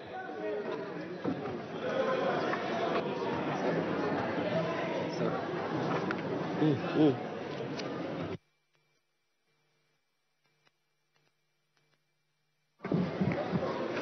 Mheshimiwa Mheshimiwa Spika, ukisoma kanuni ya tano ambayo Mheshimiwa Mbowe na hata Mheshimiwa Lissu ame, ameinukuu hapa inasomeka kama ifuatavyo: Any political party which is entitled to sponsor candidates may submit to the returning officer the names of three candidates for each vacant seat in the following relevant groups. The names of three candidates. Pigia mstari hapo. Majina ya wagombea watatu in each of the vacant seat in the following relevant groups. Subi, subirini basi. Nasoma tena, mbona sisi tunakuwa wastaarabu tunawasikiliza? Tujenge hoja kama tumeenda shule, sio kupiga kelele. Tukienda mbele, Mheshimiwa Spika, kanuni ya kumi na moja kanuni ya kumi na moja. Fasili ya tan, ya nne. Inasomeka a voter shall be required to cast a specified number of votes to be announced by the speaker in each of the groups. To be announced by the speaker napigia mstari hapo kwamba spika kwa kila kundi ambalo limewekwa hapa katika yale makundi manne.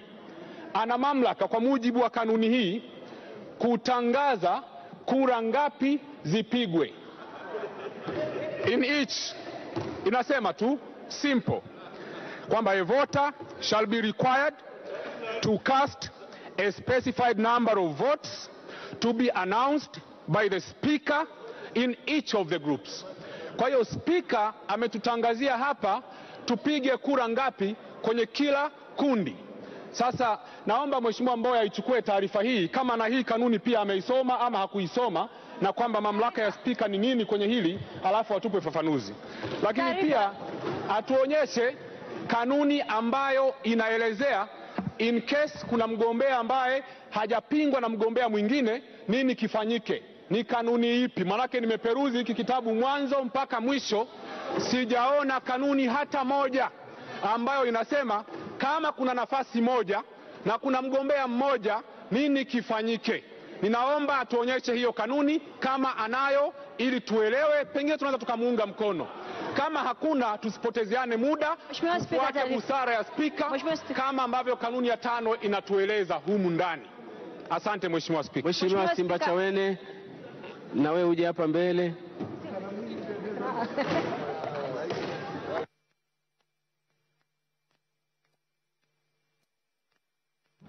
Mheshimiwa Spika, nimemsikiliza Mheshimiwa mboye kwa makini sana. Amejaribu kueleza, lakini mwanzo alikuwa hafiki kwenye conclusion.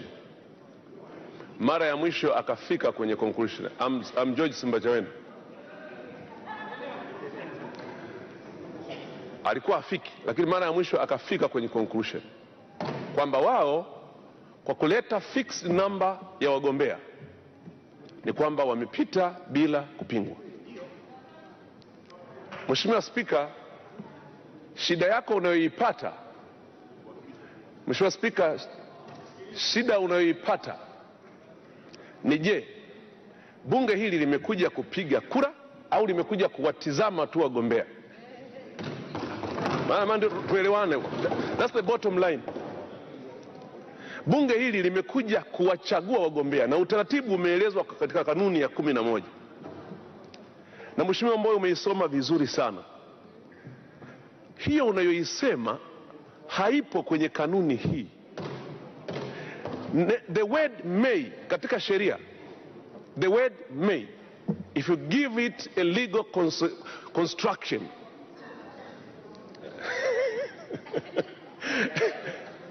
sio tu inakupa uhuru wa kuamua, bali huwa inatatua matatizo yanayoweza kujitokeza ili uweze kupanga utaratibu unaofiti mazingira ya wakati huo. Hatukitikisa, lakini kasome vitabu, nakwambia. Kwa hiyo neno Mei, Mheshimiwa Spika, linatujengea mazingira sasa ya kumaliza tatizo hili walioleta wenzetu, kwamba badala ya kutetea wagombea ili tuchague, wametuletea fixed number. Sasa hatuna option nyingine tulionayo hapa ni bunge lazima lipige kura kwenye hilo kundi. Kwenye makundi mengine, kwenye makundi mengine tunaweza tukapiga kura kwa sababu tuna choice. Kwenye kundi hili hatuna choice zaidi ya kutumia neno ndio na hapana. Kwa hiyo ni lazima tuhojiwe. Mheshimiwa Spika, kuhusu taratibu. Una option lazima tuhojiwe ili hilo kundi liwe Mheshimiwa limepigiwa Spika, kura. Usipohoji na wabunge wakasema ndio au hapana, maana yake kundi hilo halijapigiwa kura. Maana yake nini? Maana yake ni kwamba kura imepigwa huko, hapa hatupigi kura, na sisi tumekuja hapa kuwapigia kura wabunge wa IARA. Taarifa. Mheshimiwa Spika, kuna mbunge amesimama muda mrefu sana Kuhusu kule. taratibu. Ni mbunge wenu pia, hebu tumsikilize. Amesimama masaa mengi. Spika, na mimi unione baadaye. nafasi ndugu yangu. Kuhusu utaratibu, Spika. Lusinda.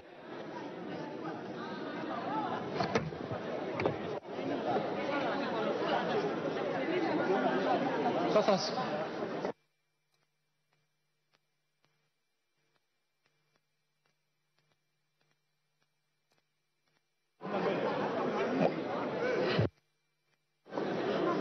Mheshimiwa Spika,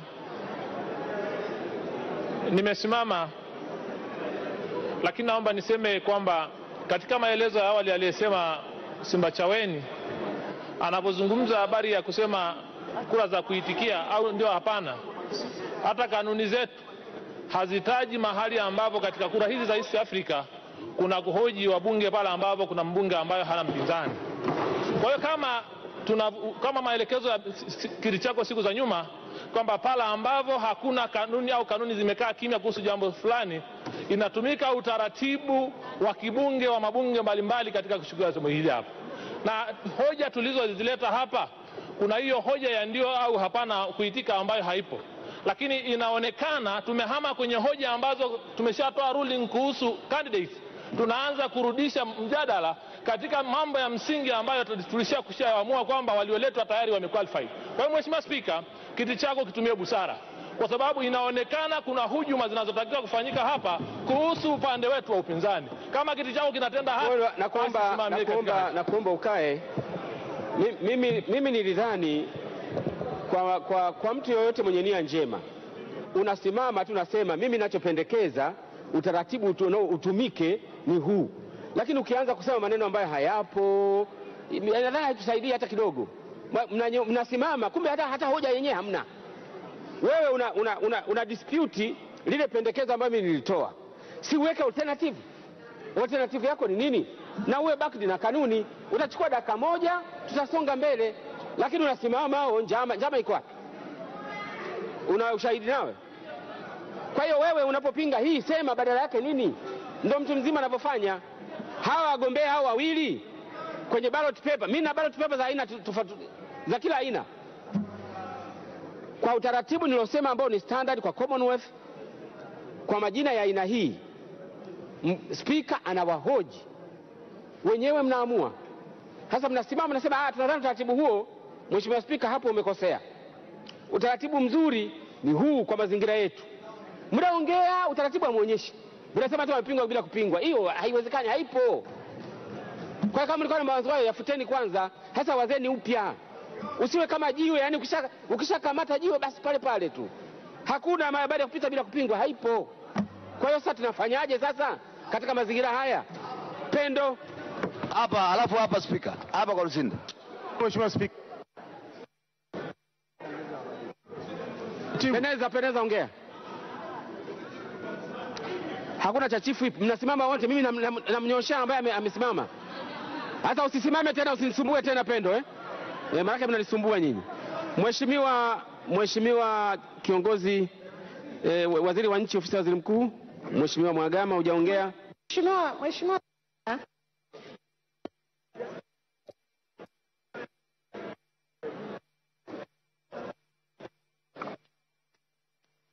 tunakubaliana wote wapigiwe kura.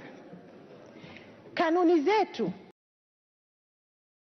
ya, inampa mamlaka returning officer. Kwa, kwa, kwa hatua hiyo Mheshimiwa Waziri, kwa kuwa wote wanapigiwa kura, neno kupita bila kupingwa halipo. Halipo. Tunaendelea Na nadhani hilo wote tumekubaliana kwamba hakuna atakayepita bila kupingwa, kwa sababu ukiangalia East African Treaty na kanuni tulizonazo, na nashukuru sana hata kiongozi wa kambi ya upinzani bungeni ametusaidia hilo, kwamba ni lazima wagombea wapigiwe kura. Kwa hiyo hilo wote tunakubaliana. Sasa Mheshimiwa Spika, ni lazima sasa hapa tutoke tuanze kuchukua utaratibu wa kuwapigia kura wagombea wetu. Mheshimiwa Spika, kama tunaona kwamba hizi procedure zote tulizojiandaa mpaka hapa zimetufikisha mahali hatuwezi kwenda mbele, mimi nilichokuwa nataka kushauri, hebu lengo letu sisi tupate wagombea wote tisa watakaowakilisha makundi makundi yote, lakini kama tunagundua kwamba kuna eneo ambalo linatupa shida, tuna eneo linatupa shida, Mheshimiwa Spika, kifungu cha kumi na saba kinakupa wewe mamlaka ya kutuongoza tunafanya nini. Kinatupa, kinakupa mamlaka ya kutuongoza wewe sisi tunafanya tunafanya nini. Sasa kama hivyo ndivyo, Mheshimiwa Spika, mimi sioni hapa kwa nini tunaendelea kubishana tu. Tupewe maelekezo kwanza, karatasi yetu ya kura inafananaje? Tukishajua karatasi yetu ya kura inafananaje, tufanye maamuzi hapa. Kwanza ni lazima tukubaliane, hakuna mgombea tutakayempitisha bila kupingwa. Ni lazima kila mgombea apigiwe kura. Sasa karatasi yetu sisi ya kura ituongoze hapa kitu cha kufanya, kiasi kwamba tutekeleze wajibu wetu wa kumpigia kila mgombea kura, na hatutaweza kupitisha mgombea hapa bila kupinga. Lakini kifungu cha tisini na ki, uh, kanuni yetu uh, ibara sabini na tisa moja Mheshimiwa Spika, inatoa pia mwongozo wa utaratibu ambao tunaweza kuutumia kupiga kura kwa namna ile ambayo wewe kwa kanuni ya kumi na moja ambayo inampa mamlaka returning officer wetu ana uwezo pia wa kutusaidia kujua tunafanya nini. Mimi Mheshimiwa Spika, nilikuwa natoa ushauri huo, tutoke tuendelee na kazi, tusiendelee kubishana hapa, tutabishana mpaka asubuhi na hatutaweza kumaliza. Returning officer.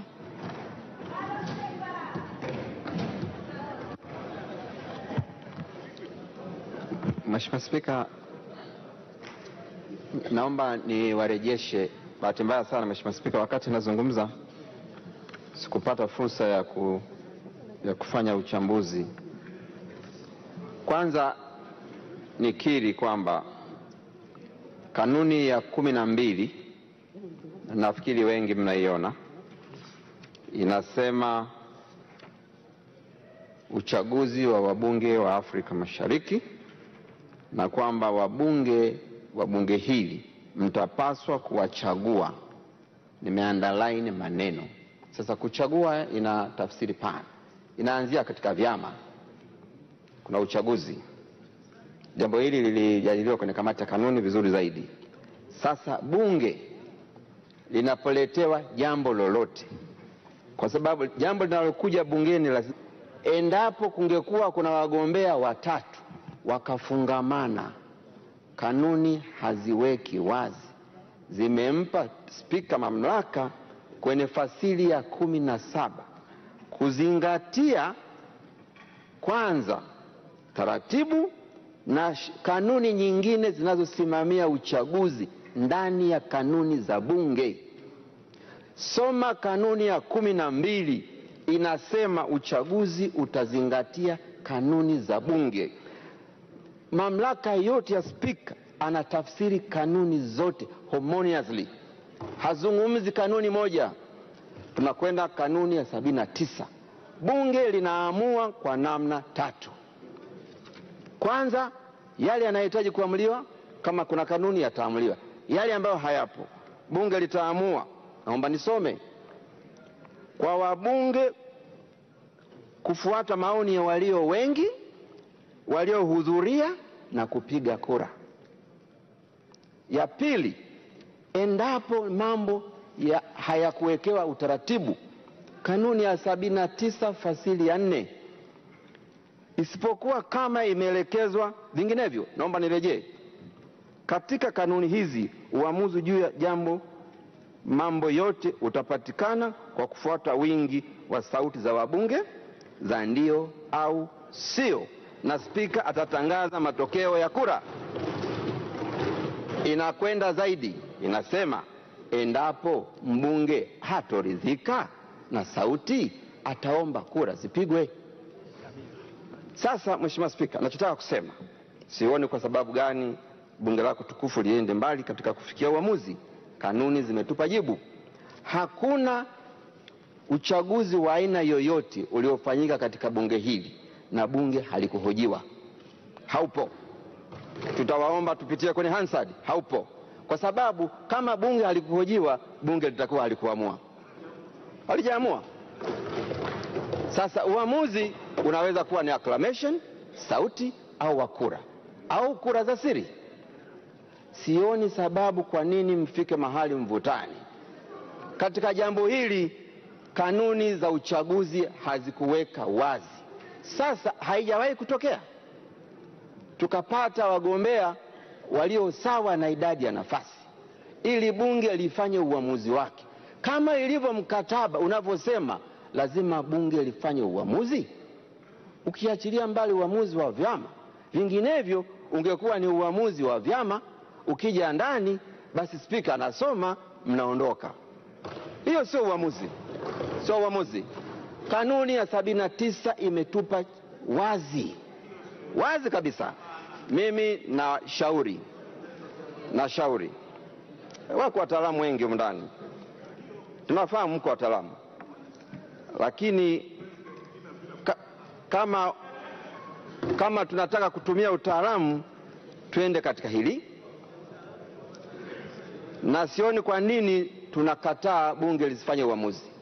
Uamuzi wa kura ni uamuzi mmojawapo, uamuzi wa sauti ni uamuzi mmojawapo. Basi Mheshimiwa Spika, mchague uamuzi gani mnaotaka kuuchukua. Sasa hata uamuzi wa wowote ameutaki, haina shida, haina shida, haina shida. Kwa hiyo ni uamuzi wa kura eh?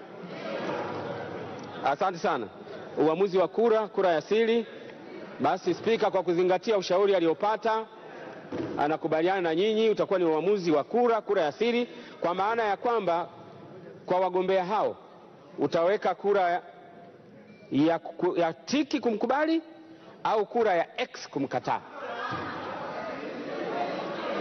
Nini maana ya kura sasa? Unaongea nini? Nini maana ya kura? Sasa kwa hatua hii, naomba returning officer, maofisa wako waje na kura zigawanywe. Sasa nimefunga mjadala, gawa kura.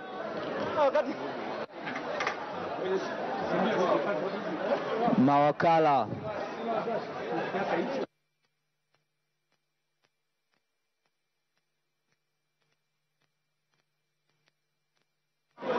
Na, naomba tu, naomba tugawe kura.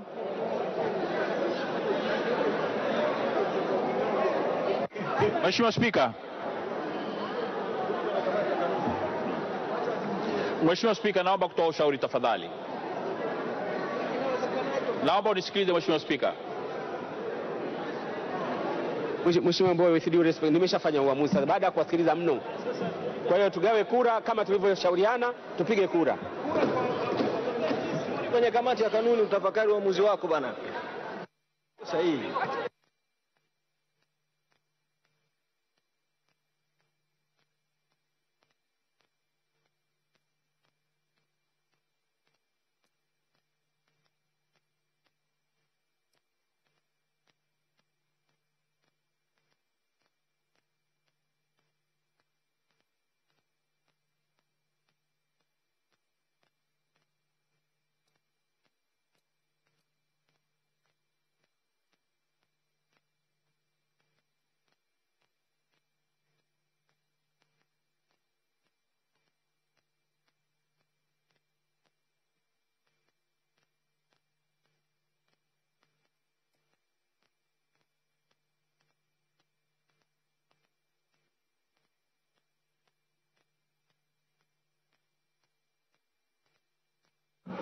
Waheshimiwa wabunge, naomba tusikilizane kidogo. Mkipokea karatasi za kura, naomba tu, niwape maelekezo.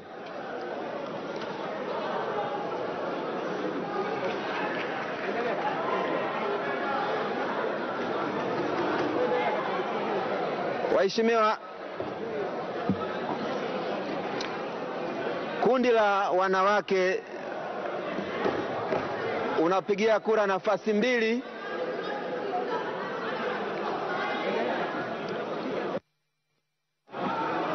unapigia kura nafasi mbili, wako wagombea wanne. Kundi la Zanzibar nafasi mbili. Kundi, kundi la kwanza A wanaume unapigia kura moja, na kundi B wanawake unapigia kura moja. Upande wa Zanzibar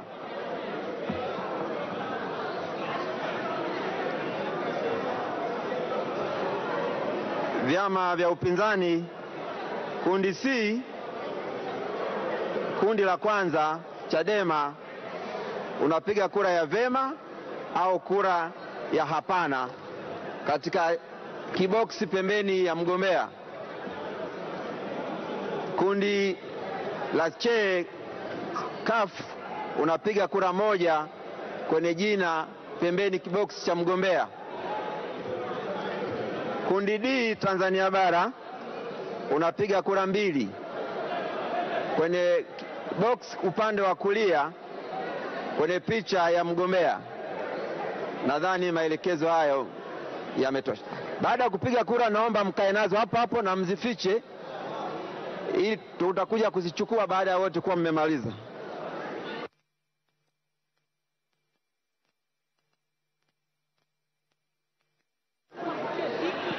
Hii inakuwa kura ya siri vipi, Mheshimiwa Spika? Tumekaa nazo huku Daktari anatoa maelezo uh, ya namna wabunge wa Bunge la Jamhuri ya Muungano wa Tanzania watakavyopiga kura. Nakupata, nakupata.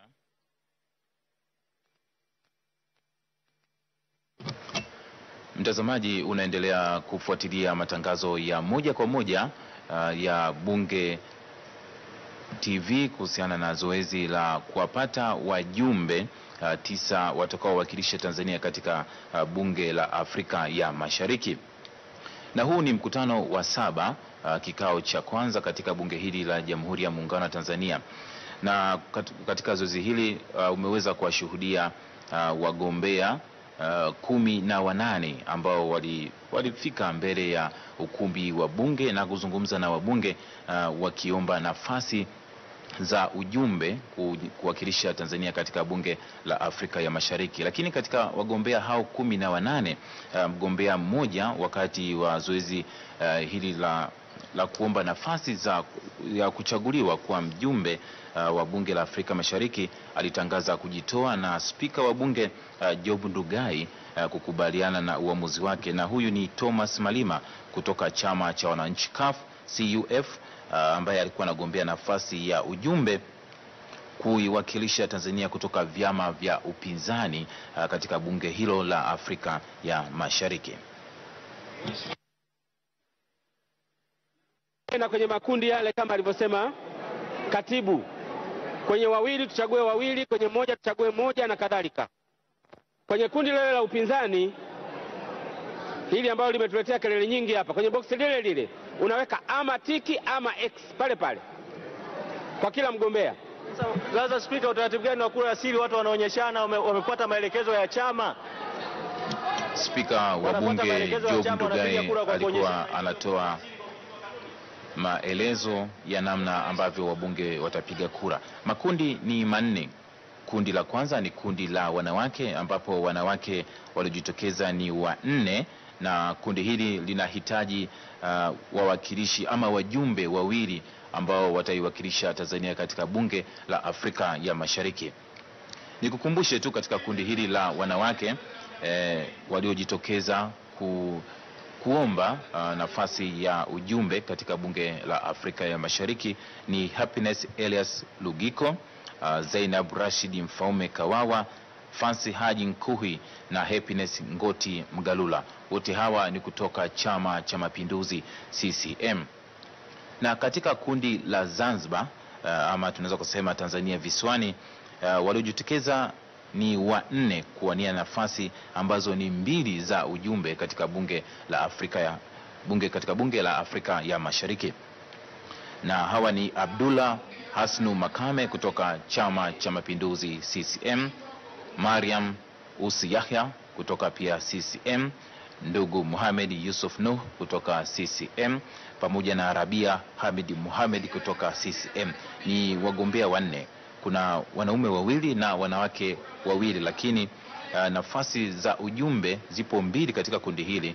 Nafasi ya mwanamke ni moja na nafasi ya mwanaume ni moja na katika kundi la tatu, kundi ambalo linawakilisha vyama vya upinzani uh, vyama viwili vime vimewasilisha wagombea ambao wamethibitishwa uh, kutoka chama cha demokrasia na maendeleo Chadema. Uh, kuna ndugu Ezekia Dibogo Wenje na ndugu Lawrence kegomasha na katika uh, kutoka katika uh, chama cha Chadema nafasi zinazohitajika za ujumbe ni mbili na wagombea ambao wamethibitishwa na ambao tayari walifika uh, kuomba kura kwa wabunge wa bunge hili la Jamhuri ya Muungano wa Tanzania walikuwa ni wawili ambao nimekutajia, Ezekiel Dibogo Wenje pamoja na Lawrence Kego Masha. Kundi la nne, kundi D, kundi linalowakilisha linalowakilisha Tanzania bara, nafasi za ujumbe pia ni mbili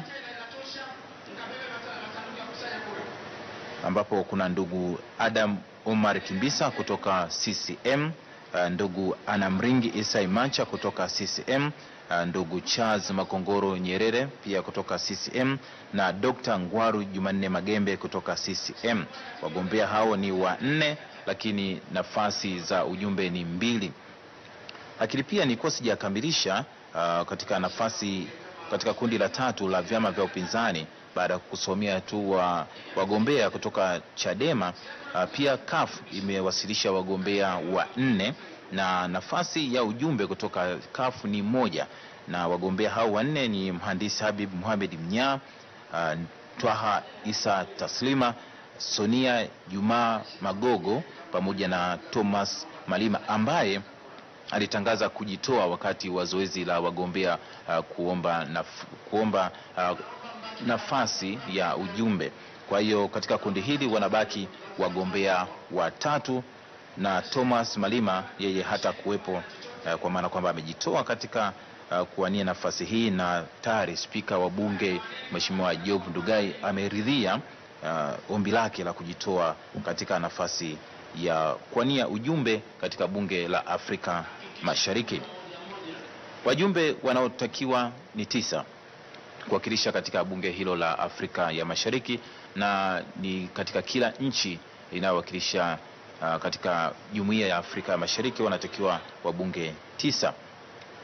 Na zoezi linaloendelea hivi sasa, mtazamaji wa Bunge Television, uh, ni wabunge uh, kupiga kura katika makundi hayo niliyokutajia, uh, na kwa mujibu wa spika wa bunge uh, Mheshimiwa Job Ndugai aliletewa idadi ya wabunge 333 ambao, ambao wanashiriki katika uh, zoezi hili la upigaji wa kura na pia ametolea ufafanuzi uh, Mheshimiwa Spika pamoja pia na msimamizi wa uchaguzi um, Dr. Thomas Kashirila ambaye pia ni katibu wa bunge kuhusiana na uh, kundi la vyama vya upinzani hususan katika chama cha demokrasia na maendeleo Chadema, ambapo wagombea waliojitokeza ni wawili na nafasi ni mbili, na mahojiano yaliyokuwa yanaendelea hivi punde kabla ya zoezi la upigaji kura ni namna gani ya kuweza kwa ya kuweza kuwapitisha uh, ama kuwakataa uh, wagombea hawa. Na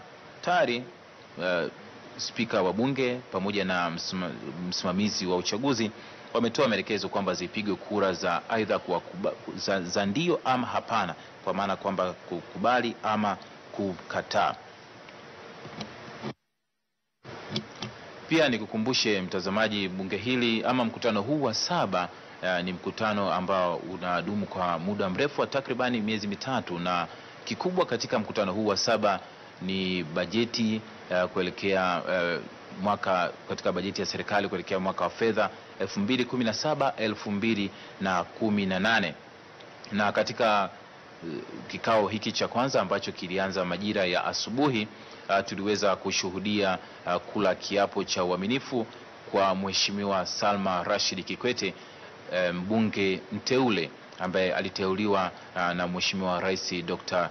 John Magufuli na pia uh, tuliweza kushuhudia ama kufahamu majibu kutoka katika wizara mbalimbali uh, yakijibiwa na mawaziri pamoja na naibu mawaziri kutoka ma, maswali kutoka kwa wabunge.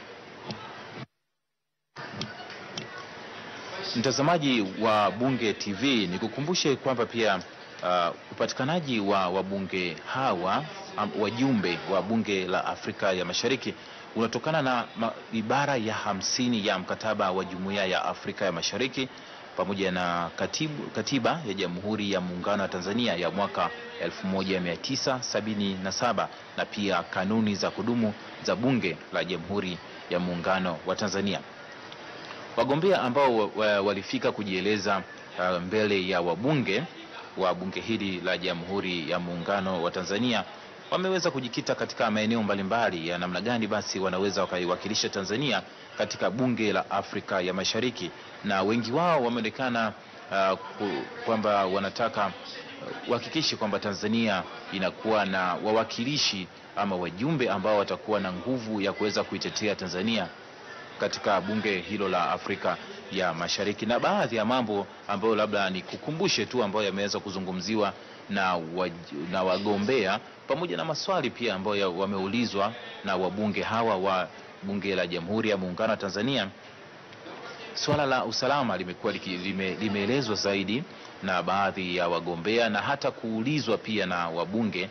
Uh, wabunge wameweza kuwauliza wagombea kwamba namna gani uh, wawakilishi ama wajumbe hawa wanaweza wakasaidia katika bunge la, katika bunge la Afrika Mashariki kuhakikisha kwamba amani inapatikana katika nchi ambazo zinaonekana zina, uh, zina dosari katika masuala ya kiusalama, na wameweza kujieleza namna gani ambavyo wanaweza wakashauri na wakataja baadhi ya nchi ikiwemo kama Burundi, uh, uwepo wa wakimbizi ambao wamekuwa waki, wakitoka katika nchi za Jumuiya ya Afrika Mashariki na kuingia nchini Tanzania uh, wakitafuta sehemu salama ya kuweza labda kuji uh, kupata makazi na kuweza kuendeleza shughuli zao.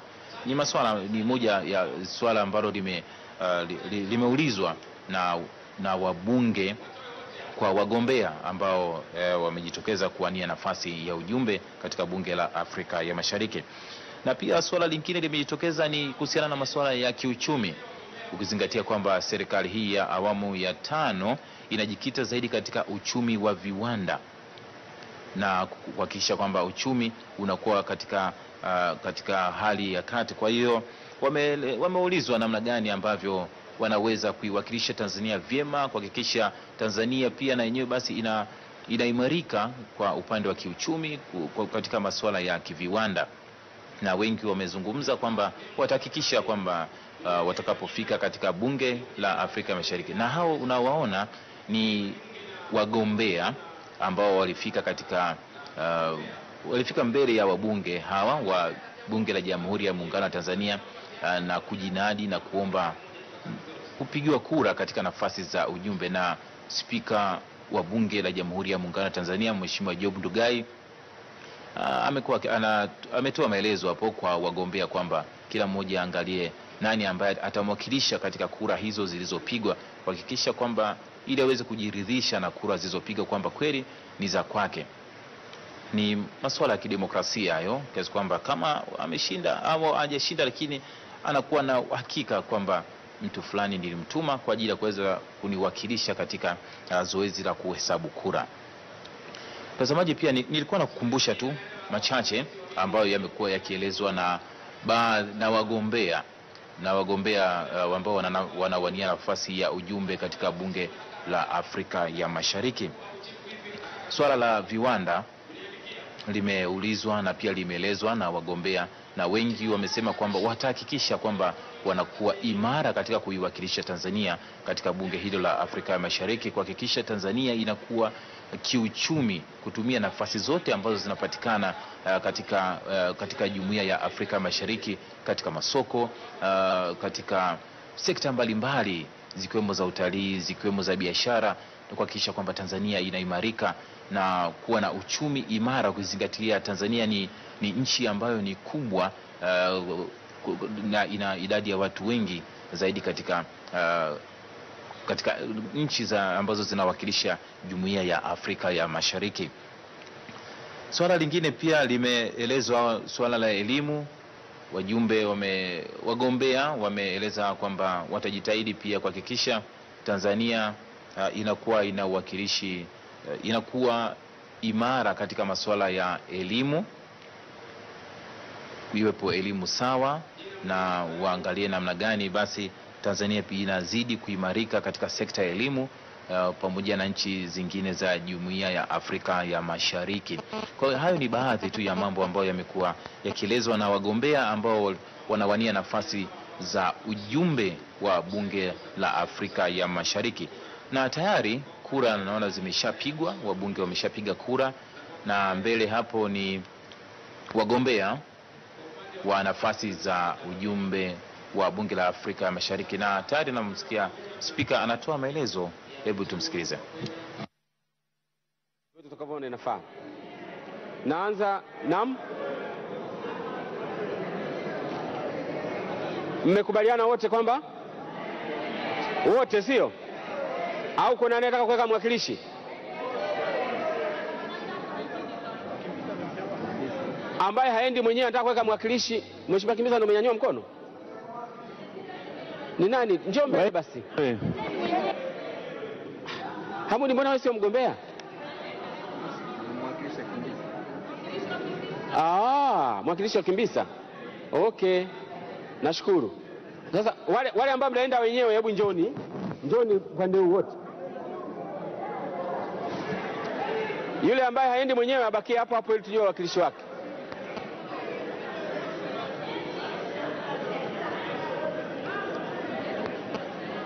Haya, nyie ambao mwende wenyewe, nipeni majina. Mheshimiwa Kibisa tayari, Mheshimiwa Wenje Lema, Mheshimiwa Masha Waitara. Haya, Waitara, Lema na Mheshimiwa Lisu, naomba mjiunge na timu hapo.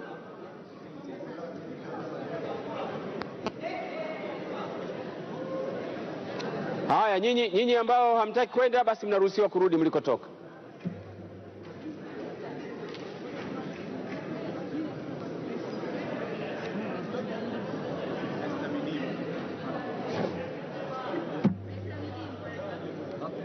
Kwani aende mwenyewe?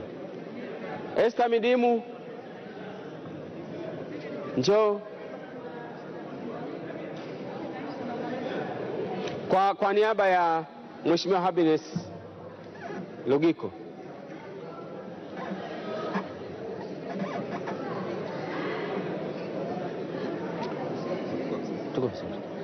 Nadhani sasa mnaweza mkafuatana na maboksi yenu mkaongozana naye wote kwa pamoja mkaenda kwenye chumba kilichoandaliwa. Mna, mnaenda hivi, asiongezeke asiyehusika. Jamani, nendeni na maboksi yenu.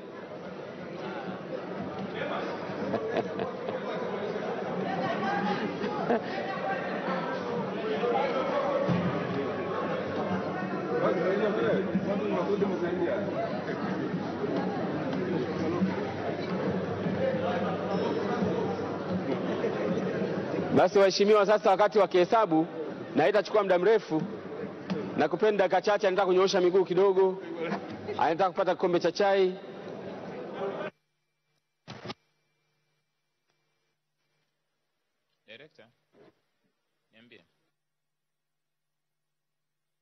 Na mimi mwenyewe niko hapa hapa, lakini anataka kunyoosha miguu, anataka kufanyaje? Nadhani tutumie kama dakika ishirini hivi, afu wote turudi hapa. Kwa hiyo tunasema baada ya muda.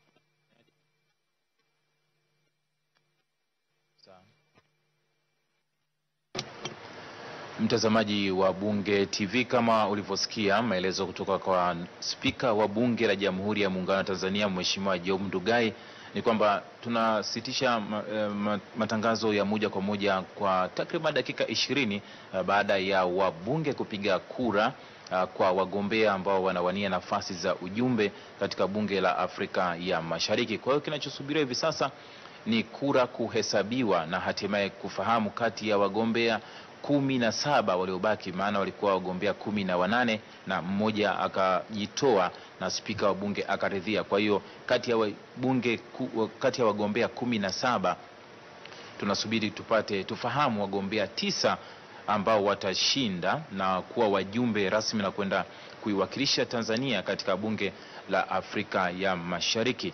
Basi hatuna la ziada kwa sasa. Uh, tutarejea baada ya zoezi la kuhesabu kura kukamilika na kufahamu ni akina nani ambao wamechaguliwa kuwa wajumbe. Mimi ni Edward Kondela kwa niaba ya wenzangu wote ninakutakia mapumziko mema kwa muda, na baadaye tutarejea kwa ajili ya kufahamu na- ni- akina nani ambao wamechaguliwa kuwa wajumbe katika bunge la Afrika ya Mashariki.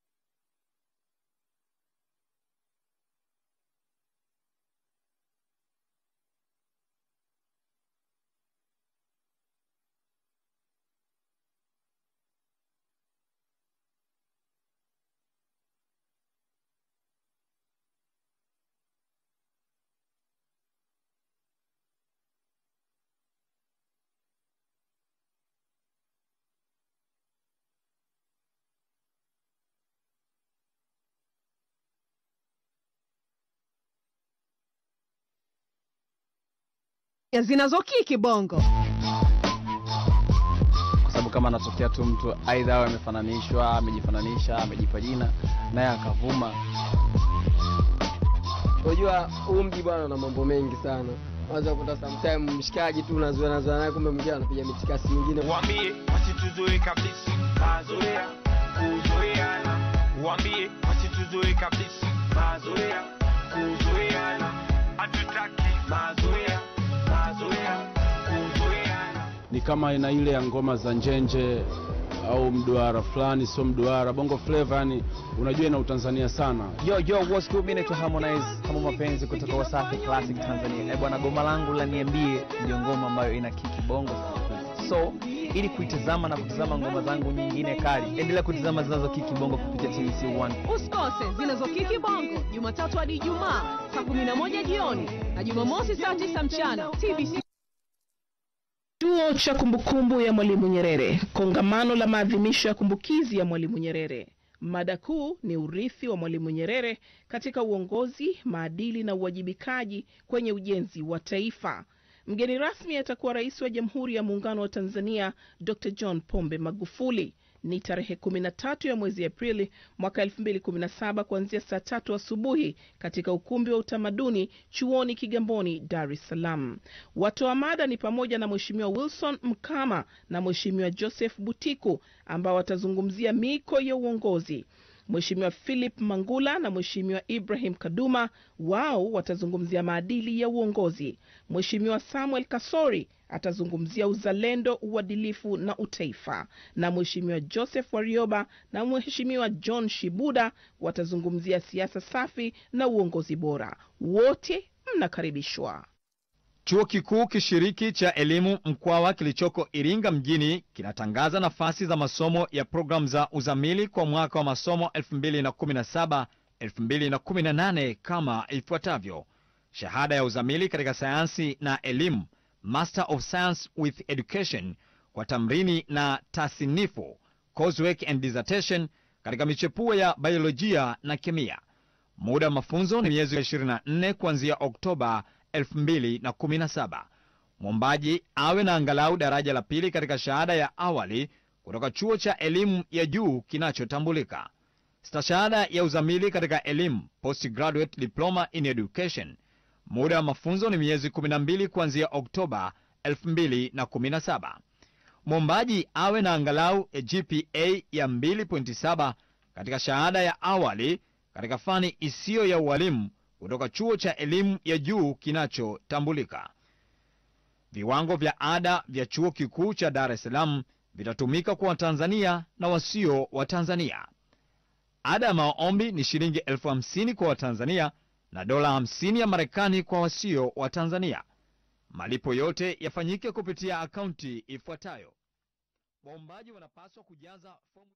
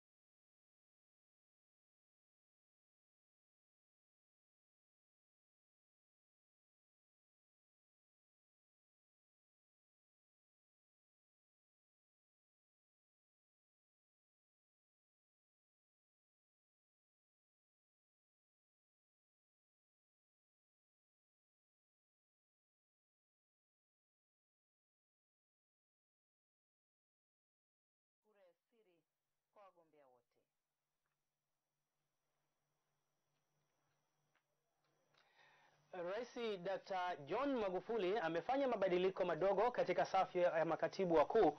Taarifa iliyotolewa na katibu mkuu kiongozi Balozi John Kijazi imeeleza kuwa Rais Magufuli amemteua Profesa Kitila Mkumbo kuwa katibu mkuu wa Wizara ya Maji na Umwagiliaji.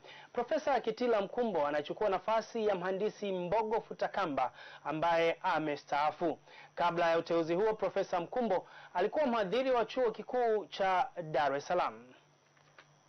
Rais Magufuli pia amemteua Dr. Leonard Akwilapo kuwa katibu mkuu Wizara ya Elimu, Sayansi na Teknolojia. Kabla ya uteuzi huo, Dr. Akwilapo alikuwa naibu katibu mkuu Wizara ya Elimu, Sayansi na Teknolojia. Kufuatia uteuzi huo, aliyekuwa katibu mkuu Wizara ya Elimu, Sayansi na Teknolojia Maimuna Tarish amehamishwa kuwa katibu mkuu ofisi ya Waziri Mkuu Bunge kuchukua nafasi iliyoachwa wazi na Musa Uledi ambaye uteuzi wake ulitenguliwa. Mwingine aliyeteuliwa na Rais Magufuli ni Dr. Ave Maria Semakafu kuwa naibu katibu mkuu Wizara ya Elimu, Sayansi na Teknolojia ambapo anajaza nafasi iliyoachwa wazi na Dr. Leonard Akwilapo. Kabla ya uteuzi huo, Dr. Ave Maria Semakafu alikuwa mhadhiri wa Chuo Kikuu cha Afya na Sayansi Shirikishi Muhimbili MUHAS. Wateule hao wanatarajiwa kuapishwa kesho Ikulu jijini Dar es Salaam. Kufuatia uteuzi huo, TBC imezungumza na Profesa Kitila Mkumbo kujua ni namna gani amepokea uteuzi huo. Uh, uteuzi huu wa Mheshimiwa Rais nimeupokea kwa heshima na unyenyekevu mkubwa eh, na kwamba nipo tayari kuitumikia nafasi hii eh, kwa bidii katika kuchangia kuhakikisha kwamba namsaidia Mheshimiwa Rais na Mheshimiwa Waziri wa Maji na Umwagiliaji e, katika kuhakikisha kwamba Watanzania wengi iwezekanavyo wanapata maji e, safi na salama. Ahadi yangu ni kwamba ni kuwa sehemu ya serikali ya awamu ya tano e, katika kujenga timu imara ambayo itafanya kazi kwa bidii na uadilifu uh, ili kuhakikisha kwamba tunafanya kazi hii ya kutatua changamoto uh, za Watanzania ikiwemo maji na swala hili la umwagiliaji katika nchi yetu. Katika hatua nyingine, kiongozi mkuu wa chama cha ACT Wazalendo Zito Kabwe amempongeza Rais Dr. John Magufuli kwa kumteua Profesa Mkumbo kuwa katibu mkuu wa Wizara ya Maji na Umwagiliaji huku akimwomba mteuli huyo kutomwangusha rais pamoja na Watanzania.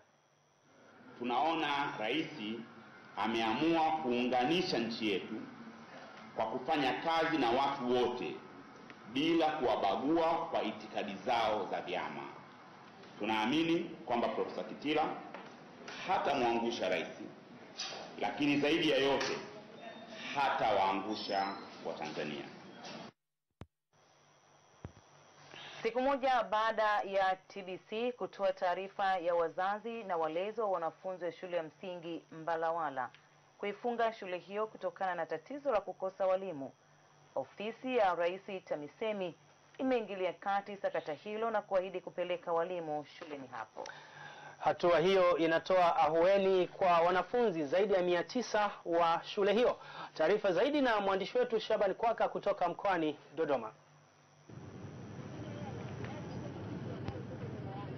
Majira ya saa sita mchana TBC inatinga katika viwanja vya shule ya msingi Mbalawala na kukuta viwanja vikiwa tulivu kabisa, huku madarasa nayo yakionekana kuwa tupu, muda ambao wanafunzi wangetakiwa kuwa madarasani, hali ambayo inathibitisha kuwa uamuzi wa wazazi kuifunga shule hiyo umetimia kwa asilimia mia moja.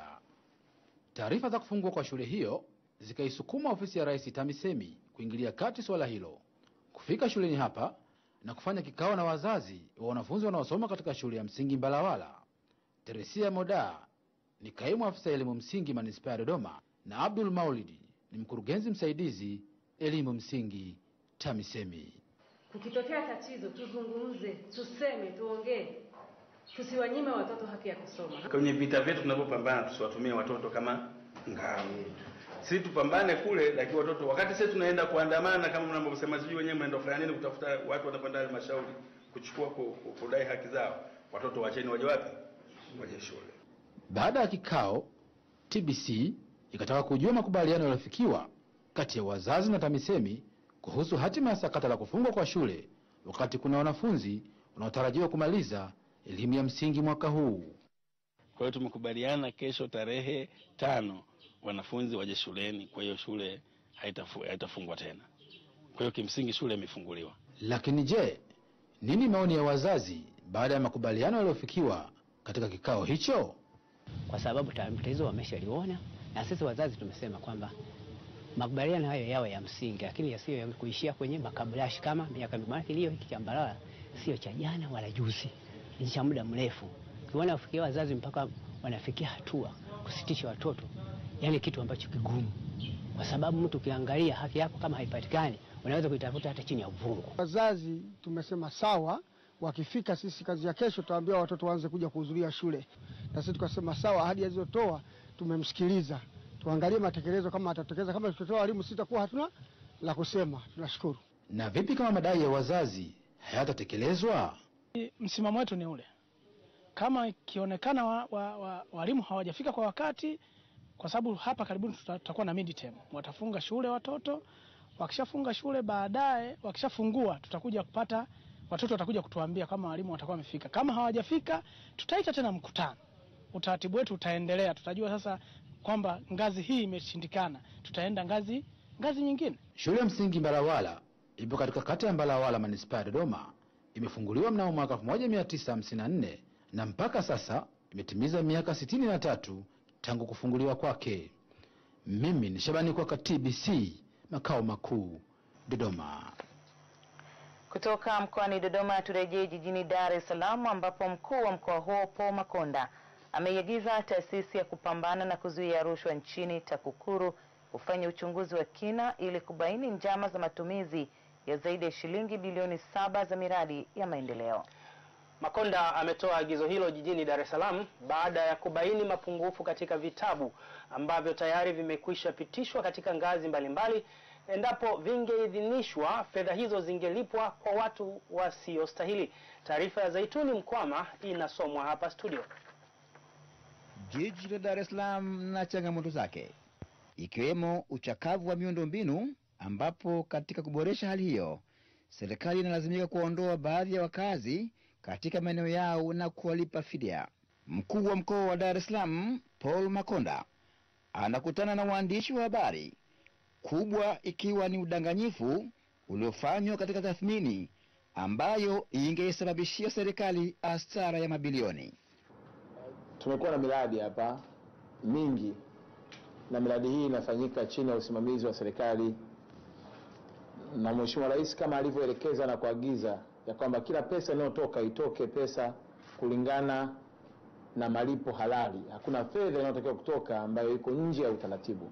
Katika uchunguzi wangu na timu yangu tukagundua vitabu vinane vimekiuka taratibu na masharti na watu hao hawastahili kulipwa na katika bilioni kumi tumebaini zaidi ya bilioni tano na milioni mia saba ni fedha hewa au wangelipwa watu wasiostahili kulipwa. Sambamba na hizo, kwa wilaya ya Kinondoni ni fedha zaidi ya bilioni sita na milioni mia sita lakini nako tumegundua zaidi ya bilioni moja na milioni mia nane nazo ni fedha ambazo zikwenda kulipwa kwa watu wasiostahili. Je, baada ya kugundua hali hii, mkuu huyo wa mkoa wa Dar es Salaam ana kauli gani? Ninaiagiza TAKUKURU na nimeshawaandikia barua, nimewapa wiki mbili, watu wote kuanzia mtendaji wa mtaa aliyehusika mpaka kwenye ofisi ya mthamini wa serikali mkuu ambao kuna mihuri imetumika, wote wachunguzwe na ndani ya wiki mbili wapelekwe mahakamani kwa ubadilifu wa fedha zaidi ya bilioni saba na milioni mia tano themanini na moja laki tatu arobaini na saba elfu. Lakini kabla ya vitabu hivi kumfikia mkuu wa mkoa, vilipita kwa viongozi katika ngazi mbalimbali, mbali, na hapa anatoa wito kwa viongozi hao. Timu yangu ya TAKUKURU itakapokamilisha itatueleza nani alifanya kwa makusudi na hatua za kisheria zitachukuliwa kuhakikisha hizi fedha zilizopaswa kuibiwa haziibiwi, lakini pia wanaotempa na michezo hiyo, hatua kali zinachukuliwa kuhakikisha kwamba hakuna tena mchezo wa namna hii ndani ya serikali ya mkoa wetu.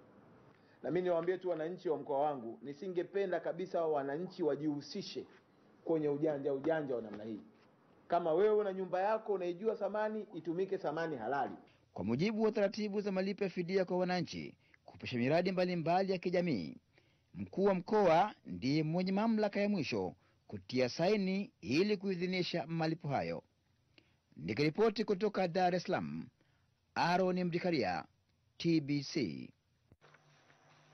Tanzania itaanza kunufaika na teknolojia rahisi ya kutibu maji, hatua ambayo itaiwezesha serikali kutimiza azma yake ya kusambaza maji safi na salama kwa wananchi. Akizungumza katika mkutano wa kwanza baina ya Korea Kusini na Tanzania kuhusu matumizi ya teknolojia rahisi ya kusafisha maji uliofanyika jijini Dar es Salaam, mkurugenzi wa huduma za maji kutoka Wizara ya Maji na Umwagiliaji Nadhifa Kemikimba amesema suala la kutibu maji ni muhimu na kwamba Tanzania iko tayari kushirikiana na Korea Kusini katika miradi ya kutibu maji. Dominic Mokiwa ana taarifa ifuatayo. Maji ni uhai na maji bila kuwa maji safi na salama ni kazi bure. Kumekuwa na juhudi za makusudi zinazofanywa na serikali kwa kushirikiana na wadau mbalimbali wa maji kuhakikisha kuwa maji safi na salama yanapatikana kwa ustawi wa jamii ya Tanzania. Jijini Dar es Salaam, wadau kutoka Tanzania na Korea Kusini wanakutana hapa kwa lengo la kuweka mikakati ya matumizi ya teknolojia rahisi ya kutibu maji. Mkurugenzi wa huduma za ubora wa maji kutoka Wizara ya Maji na Umwagiliaji, Nadhifa Kemikimba, anatumia mkutano huu kuelezea umuhimu wa teknolojia hiyo. Swala la maji safi na salama ni hitaji la msingi la kila mwananchi au la kila mwanadamu. Kwa hiyo zinapotokea teknolojia ambazo zinaweza kurahisisha kufanya maji yawe safi na salama, serikali inakuwa tayari kushirikiana na taasisi yoyote au nchi yoyote ambayo inataka kuleta hizo teknolojia. Kwa hiyo kwa Wakorea naweza nikasema hatujaanza, lakini tuko tayari kushirikiana nao kwa sababu swala la kutibu maji kwanza lina gharama kubwa, ambao kwa mfano nikiwapa kama hapa Dar es Salaam maji yanatoka Ruvu, mto ule kama mnavyoona maji yake ni machafu hivi, mvua zinanyesha ni tope. Kwa hiyo ili yaweze kufika kwa mwananchi yakiwa meupe kabisa, lazima yafanyiwe matibabu eh, ambayo yanafata taratibu nyingi sana, kuondoa tope, kuweka klorini mpaka yale maji yasilete madhara kwa mtumiaji. Kemikimba amesema azma ya serikali ni kuhakikisha kwamba ifikapo mwaka elfu mbili na ishirini asilimia sabini na mbili ya wananchi wa maeneo ya mjini wanakuwa wanapata maji safi na salama, wakati wale wa maeneo ya vijijini watakuwa ni asilimia kati ya hamsini na sitini na tano. Kwa upande wake balozi wa Korea Kusini hapa nchini Song Gwenyang amesema nchi yake imepata mafanikio katika nyanja ya kutibu maji, hivyo wako tayari kushirikiana na Tanzania, kwani ina vyanzo vingi vya maji ambavyo vikitumika vizuri vitasaidia kupunguza tatizo la upatikanaji wa maji safi na salama. Dominic Mokiwa, TBC. Tanzania itatekeleza azma yake ya kuwa na uchumi wa kati na viwanda bila kuathiri mazingira. Waziri wa Nchi, Ofisi ya Makamu wa Rais, Muungano na Mazingira, Januari Makamba amesema hayo katika mkutano wa mazingira uliohusisha wadau kutoka Benki ya Dunia na Mfuko wa Hifadhi ya Mazingira wa Korea Kusini na kubainisha kuwepo kwa mipango ya kudhibiti uchafuzi wa mazingira unaoweza kusababishwa na uzalishaji viwandani. dili kuhusu mikakati ya ukuaji wa uchumi uh, ambayo haiathiri uh, mazingira na uh, mkutano huu ni umekusanya wataalam, magwiji, uh, wasomi uh, na wakuu wa taasisi mbalimbali duniani zinazoshughulika na uh, masuala ya maendeleo lakini na hifadhi ya mazingira. Uh, na uh, jambo msingi ambalo tumelizungumza ni kwamba sisi Tanzania tunaenda katika uh, nchi ya viwanda, Tanzania ya viwanda, na uh, sisi katika ofisi ya makamu wa rais kama serikali tumejiandaa kwamba mkakati wa maendeleo ya viwanda uh, uende pamoja na hifadhi ya mazingira. Uh, tumeona mifano ya nchi nyingine uh, ambazo aina ya viwanda na aina ya uzalishaji mali imepelekea nchi kuwa na viwanda, lakini wakati huo kwa gharama kubwa ya uchafuzi wa mazingira uh, ikiwemo maji machafu yenye sumu yanayoingia kwenye mifumo ya mito na maji, lakini pia na moshi mkubwa unaoenda hewani na kusababisha uh, athari kubwa sana kwa afya uh, ya wananchi. Kwa sisi tunaamini kabisa kwamba uh, mkakati wetu wa viwanda unaweza kwenda uh, pamoja na, uh, na uh, udhibiti wa athari ya mazingira. Wakati huo huo, mwenyekiti wa baraza la uwekezaji kutoka Korea Kusini hapa nchini Kakono David amekutana na kufanya mazungumzo na makamu wa rais Samia Suluhu Hassan Ikulu jijini Dar es Salaam na kusema ujenzi wa viwanda utatoa fursa kubwa katika kukuza uchumi wa nchi na kutoa ajira nyingi kwa Watanzania. Samsung, Sewung na mengineyo kuja kuwekeza Tanzania, kwa sababu sera ya sasa ni sera ya viwanda. Kwa hiyo katika kutekeleza sera ya viwanda ni lazima Watanzania ambao tulipata nafasi ya kwenda nje tuweze kutangaza vivutio vilivyopo ndani ya nchi yetu ili kuweza kuwakomvisi wawekezaji waweze kuja kuwekeza Tanzania. Kwa upande wake makamu wa rais Samia Suluhu Hassan amesema amefurahishwa na ujio wa wawekezaji hao na amewahakikishia kuwa serikali ya awamu ya tano inaendelea kujenga mazingira bora ya uwekezaji.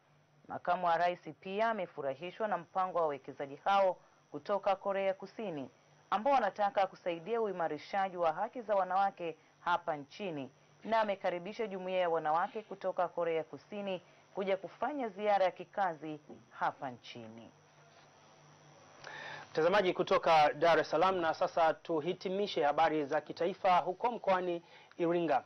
Ubovu wa barabara ya Ifupila hadi Ndabulo wilayani Mufindi umesababisha adha kubwa kwa wakazi wa eneo hilo na kukwamisha shughuli za uchumi. Wananchi wameiomba halmashauri ya wilaya ya Mufindi kuchukua hatua za haraka za kuirekebisha. Taarifa zaidi na Irene Mwakalinga kutoka Iringa. Kazi ya kusukuma gari iliyokwama kwenye matope ili kupisha magari mengine yapite ikiwa inaendelea, ingawa juhudi hizo hazikuzaa matunda. Hii ni barabara ya kutoka Ifupila kwenda Mdabulo ambayo inalalamikiwa na wananchi kwa kutopewa kipaumbele kwa matengenezo. Tulikuwa naomba tu kwamba wizara ya barabara ituangalie katika swala kama hilo, kwa sababu hii ni barabara ambayo inaingiza kipato kikubwa tofauti na barabara zingine. Lakini kwa upande wengine ukiwaambia, wanakwambia kwamba hizi ni barabara za vijijini, lakini sio barabara ya vijijini. Wanasema barabara ya mashambani. Huku si mashambani, huku ni sehemu ambao watu na wananchi wanapata vipato kwa kupitia barabara hii. Lakini ni asilimia kubwa barabara hawazijali kama hivi unavyoona. Gari limekwama, tunatoka kupakia mbao huku, tunashindwa kupita kutokana na hali ya, ya barabara jinsi ilivyo. Hapa hapa unapoona hapa kuna unafuu, lakini kuna huku bondeni ambako tunatoka hali ni mbaya sana. Diwani wa kata ya Mdabulo Erinei Nyeho anasema kuwa barabara hiyo ndiyo inayosafirisha magari makubwa ya kubeba mbao na nguzo na hivyo kuzidiwa uwezo. Mm, barabara ile inapiti, inapitisha mazao magari makubwa kwa sababu ya uwepo wa, wa, wa biashara kubwa ya, ya mbao pamoja na, na, na, na, na nguzo. Kwa hiyo magari yanayopita barabara ile ni magari ambayo hayaendani na, na, na, na levo ya barabara ile. Kama inavyojulikana, barabara ile, bado ni barabara ya halmashauri ambayo uwezo wake wa kutumia magari si zaidi ya tani kumi. Hata hivyo, anasema kutokana na kilio cha wananchi, basi safari hii halmashauri ya wilaya ya Mufindi imetenga kiasi cha shilingi milioni hamsini kwa ajili ya matengenezo ya barabara hiyo inayotegemewa na wananchi kwa uchumi wake. Mara nyingi tumepiga kelele serikalini na kama diwani tumefanikiwa kwa sehemu kwamba tumepata shilingi milioni hamsini na nne barabara ile imetengewa na imeshapata mkandarasi ambaye hivi sasa ameshaanza na hatua ya uzibuaji wa mifereji, lakini tayari ataanza kwa ajili ya kuishepu hivi karibuni, na barabara ile inaweza ikaanza kupitika mapema. Irene Mwakalinga, TBC, Iringa. Naam, mtazamaji, taarifa yake Irene Mwakalinga kutoka huko mkoani Iringa inatuhitimishia habari za kitaifa, lakini awali nilikuomba kwamba tuma ujumbe wako kupitia anwani yetu ya Facebook ya TBC Habari, nami nitasoma ujumbe wako hapa studio kama ambavyo umekwisha kufanya. Huyu wa kwanza anaitwa Isaya Sambo Mbe, Mpenda Amani kutoka area D uh, Dodoma, Tanzania, akizungumzia juu ya uteuzi wa katibu mkuu wizara ya maji, anasema kwa kumteua Profesa Mkumbo ni ujumbe tosha kwamba ni kweli maendeleo haya na chama, aendelee kuwateua zaidi ili kujenga uchumi wetu pamoja. Ni habari yake huyo Isaya Sambo mpenda amani kutoka area D Dodoma, Tanzania. Ndivyo anavyotoma ujumbe wake kuhusiana na uteuzi wa Profesa Kitila Mkumbo. Tukisalia katika habari hiyo hiyo, huyu anaitwa Beda Ephraim Mkindi anasema hongereni wote mlioteuliwa na Mheshimiwa Rais, chapeni kazi huku mkizingatia falsafa ya hapa kazi tu. Ni ujumbe kutoka kwa Beda Ephraim Mkindi, hakusema yeye anatokea wapi, lakini ujumbe kuhusiana na habari inayohusisha uh, uchunguzi wa TAKUKURU mkoani Dar es Salaam, anaitwa Makula Ann James kutoka Bariadi Simiu, anasema ni agizo zuri na lenye tija, lakini naiomba jamii kushirikiana na TAKUKURU uh, kwani rushwa bado ni tatizo kubwa nchini, ingawa rais wetu ametia nguvu kudhibiti rushwa na ufisadi na kwa pamoja tutafanikiwa. Lakini tukiwa bado katika habari hiyo hiyo, Henry Yotham kutoka The Green City Mbeya anasema ni agizo zuri la kuchunguza kutoka kwa mkuu wa mkoa Mheshimiwa Makonda kwenda TAKUKURU. Kikubwa utekelezaji, wakibainika wahusika, hatua kali za kisheria zichukuliwe dhidi ya hao wahusika. Na Zeno Mbele kutoka mkoani Mtwara, yeye anasema anatoka Tandaimba kule, anasema shule zipo nyingi ambazo hazina walimu kila wilaya, lakini tunaishukuru sana serikali kwa kujua majukumu yao ya kazi, ndivyo inavyotakiwa kuwajibika. Ni habari iliyohusiana na kukosekana kwa walimu kwa shule huko mkoani Dodoma. Nisome ujumbe wake. Leonard Ngalioma kutoka Morogoro Mahenge anasema tunashukuru TAMISEMI kwa kuwasaidia watu wa eneo hilo, maana elimu ni msingi bora wa maisha. Nahitimisha na Chesco wa Chesco, anatoka Kahe, Moshi, Kilimanjaro. Anasema kweli serikali ya JPM imedhamiria kuwasaidia wananchi wa hali ya chini. Wito kwa wataalamu wetu kuwa waadilifu. Ndivyo ujumbe ambavyo umetuma mtazamaji. Uh, ujumbe ni mwingi, lakini wakati ni ukuta, hatutaweza kusoma uh, wote. Grace, watu wameitikia wito kwelikweli kwa habari ambazo tumezisoma usiku huu. Kwa sasa basi, mtazamaji, tupate habari muhimu kwa usiku wa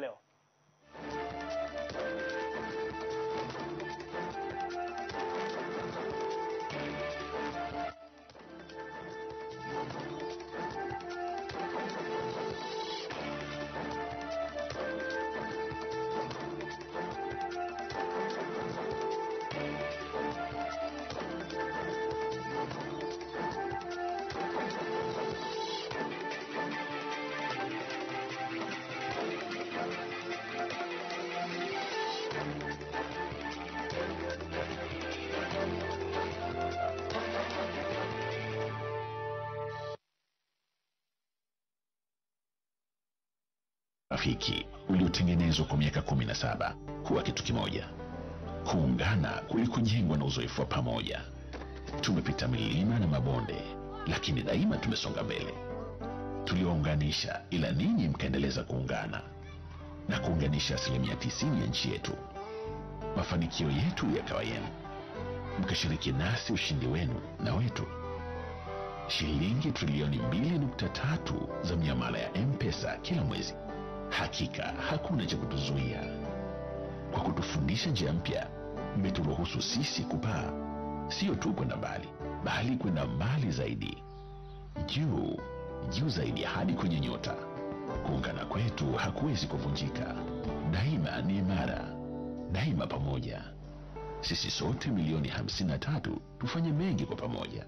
Nunua hisa za Vodacom leo. Vodacom, power to you. Morocco Square Dar es Salaam ni mradi wa kisasa wenye ukubwa wa mita za mraba laki moja na elfu kumi. Morocco Square ni kitovu kipya cha biashara cha jiji kilichopo umbali wa kilomita 4 mpaka saba kutoka katika maeneo yote muhimu ya jiji la Dar es Salaam na mji mpya wa Kawe. Miliki sasa ofisi katika majengo mawili ya biashara au kuwa mmiliki wa hoteli kubwa na ya kisasa yenye vyumba 81. Karibu pia ufanye biashara kama vile maduka, kumbi za sinema, migahawa, shughuli za kifedha kwa kupangisha ndani ya Morocco Square.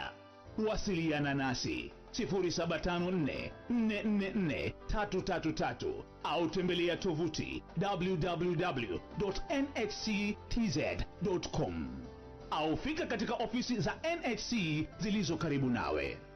NHC tunajenga taifa letu.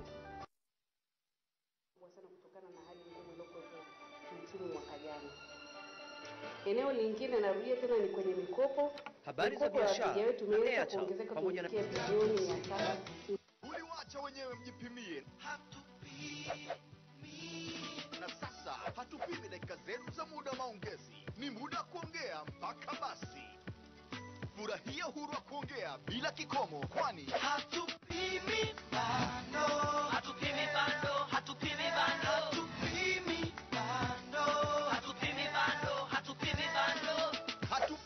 dakika unazotumia. Chaguo ni lako ukitaka kujiunga na kifurushi cha siku, wiki au mwezi. Airtel tunawaletea bando la hatupimi. Ongea mpaka basi, yani bila kikomo, ndani ya mtandao wa Airtel ukiwa na kifurushi cha hatupimi. Kujiunga kwa siku, wiki au mwezi, piga nyota 149 nyota 99 alama ya reli, kisha chagua mmoja. Mambo yote yapo huku. Hamia Airtel leo. Ah, kwa hali ya mgonjwa jinsi ilivyo itabidi alazwe. Sawa sawa. sijui itakuwaje. Ah, shemeji, hebu tuongee kidogo.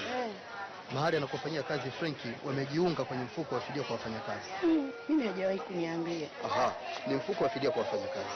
Kazi yake kubwa ni kulipa fidia stahiki pamoja na mafao mengine mm. pale mfanyakazi atakapoumia, kuugua ama kufariki kutokana na kazi. Kweli au shemeji? Ndiyo, mfuko wa fidia kwa wafanyakazi ni taasisi ya hifadhi ya jamii iliyoanzishwa kwa ajili ya kushughulikia masuala yote ya fidia kwa wafanyakazi pale ambapo mfanyakazi ataumia, ataugua ama kufariki kutokana na kazi. Mfuko utalipa fidia kwa ulemavu wa muda mfupi na wa kudumu, huduma ya matibabu pamoja na mafao mengine mengi. Uchangiaji katika mfuko ni kwa waajiri wote. Sekta binafsi atachangia asilimia moja na sekta ya umma atachangia asilimia sifuri nukta tano ya mshahara. Kuto kujisajili kuchelewesha au kuto kuwasilisha michango ndani ya muda ni kosa kisheria na adhabu kali zitatolewa. Na mtazamaji, kama ndo unajiunga nasi, hii ni taarifa ya habari, na sasa ni wasaa wa habari za biashara na uchumi, na mimi pamoja na Agnes Mbapo hapa tunakupisha Starling Ganzel ili uweze kuwapasha uh, watazamaji wetu kile ulichoandalia usiku wa leo. Karibu Ganzel. Katika habari za biashara tunaangalia namna kasi ya ukusanyaji wa kodi unaofanywa na mamlaka mapato nchini TRA na kufikia kiwango cha juu cha matrilioni ya fedha. Jumla ya shilingi trilioni kumi nukta nane saba za kodi zimekusanywa na mamlaka ya mapato nchini TRA kwa kipindi cha miezi tisa cha mwaka wa fedha 2016 2017 ikiwa ni sawa na ukuaji wa asilimia 9.99 ukilinganisha na kipindi kama hicho katika mwaka wa fedha wa 2015 2016. Mkurugenzi wa huduma za elimu kwa mlipa kodi wa TRA Richard Kayombo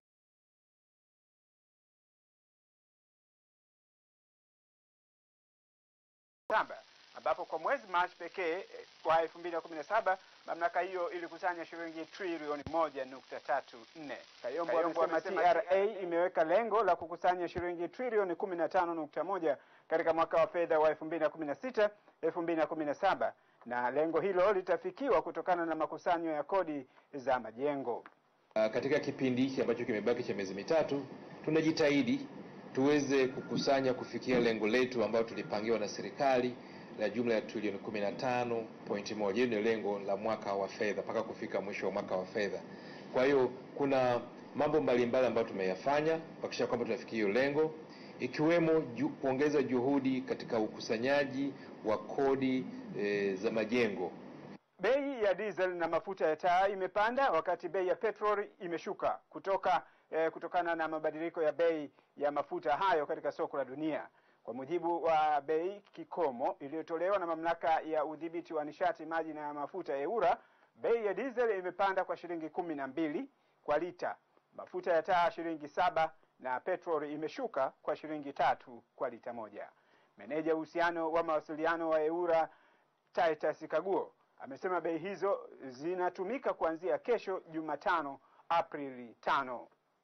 Kwa hiyo kwa Dar es Salaam sasa mafuta yatauzwa, lita moja ya petroli itauzwa shilingi elfu mbili na hamsini na saba ikiwa imeshuka kutoka elfu mbili na sitini. Mafuta ya diesel yatauzwa shilingi elfu moja mia tisa ishirini na tano ikawa imepanda kutoka elfu moja mia tisa kumi na tatu na mafuta ya taa yatauzwa shilingi elfu moja mia nane hamsini na nane ikiwa imepanda kutoka elfu moja mia nane hamsini na mbili.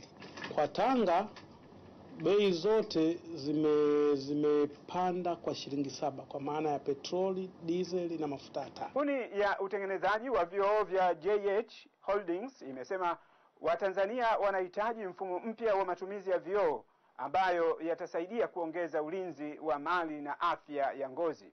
Akizungumza kwenye uzinduzi wa ofisi ya kampuni hiyo jijini Dar es Salaam, mwenyekiti wa kampuni hiyo Sang Taeli amesema Watanzania wanahitaji mfumo mpya wa matumizi ya vyoo vya majumbani na kwenye magari unaweza kuzuia athari za mionzi ya jua na kupata mwonekano mzuri. Nobody can predict uh, what's going to happen in the future, so we need to protect our the variable belonging as well as our life. So this safety film we can help and preserve our life more variable, more peaceful. Kampuni ya simu za mikononi ya Airtel kwa kushirikiana na Benki ya Maendeleo wamezindua huduma mpya iitwayo Timiza Vikoba kwa lengo la kuviwezesha vikundi vya jasiriamali kukopeshana kwa kutumia Airtel Money. Mkurugenzi wa mawasiliano wa Airtel Beatrice Singano amesema katika huduma hiyo kikundi cha vikoba cha kuanzia watu watano mpaka hamsini bila kujali umbali watakapokuwa na uwezo wa kukusanya michango na kukopa kwa kupata taarifa ya kila kinachoendelea kwenye kikundi husika kwa njia ya SMS. huduma ambayo italeta urahisi zaidi, kwamba sio lazima ambayo uko naye kwenye kikoba muwe naye sehemu moja, na wenyewe kama wanakikundi wanakuwa wamekubaliana ni kiasi gani watakuwa wanawekeza na kiasi gani wataweza kukopa, na riba kwa mwezi ni, shili, ni asilimia nne. Na vilevile vile uh, watu watakaoweza kukopa wanaweza kukopa na kurejesha ndani ya, si, ya, ya, ya wiki ya wiki nne nane au wiki kumi na mbili. Airtel walikuwa na huduma yao ya Timiza na wenyewe waka upgrade huduma ya Timiza ikaitwa Timiza Vikoba, na Maendeleo Bank tuka upgrade huduma ile ya mikopo ya vikundi ambayo tulikuwa tunawafuata huko waliko kuifanya iwe mikopo ya vikundi kwa njia ya simu. Na tuelekee mkoani na benki ya CRDB imeshauri wajasiriamali wa- na wafanya biashara wilayani Kahama mkoani Shinyanga kufanya utafiti kabla ya kuamua kuwekeza katika hisa kupitia makampuni mbalimbali ili kujiridhisha kama uwekezaji huo utalipa. Grayson Kakuru kutoka huko Kahama anatuarifu zaidi. Yalikuwa ni mafunzo maalumu ya baadhi ya wanahisa wa benki ya CRDB hapa wilayani Kahama mkoani Shinyanga, pamoja na baadhi ya wajasiriamali, mafunzo yenye lengo ya kuwapa mbinu mbalimbali namna ya kuwekeza katika soko la hisa, na kuna waliotaka ufahamu vipande na hisa ni tofauti sana, kwamba haziko katika, sababu sisi wanahisa tunaona tunapotazama hisa. Lakini licha ya kila aliyefika hapa kupata mbinu za kuwekeza kutoka kwa maafisa wa benki ya CRDB, lakini wakatakiwa kutofuata mkumbo. Watu wasije wakawekeza kwa kufuata mkumbo.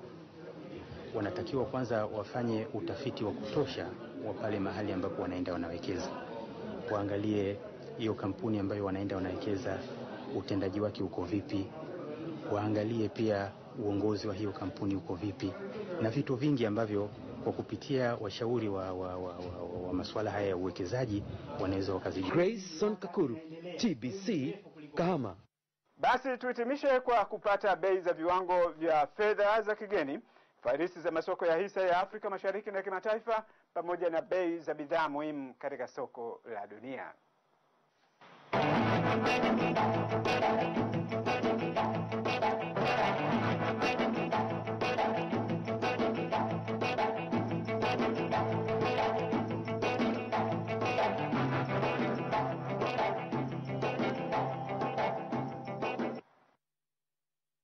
Kwa yote haya tuliokuletea, mimi sina la ziada na nakutakia usiku mwema mtazamaji wetu. Shukrani Stanley Ganza kwa habari hizo za biashara na uchumi. Mtazamaji, tutaendelea na taarifa ya habari hivi punde. Endelea kuwa nasi.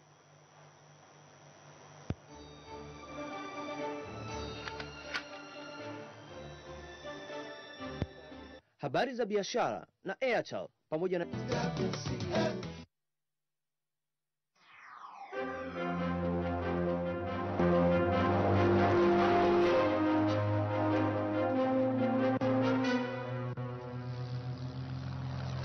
habari za kimataifa na Tigo Omo Fast Action mpya pamoja na NHIF.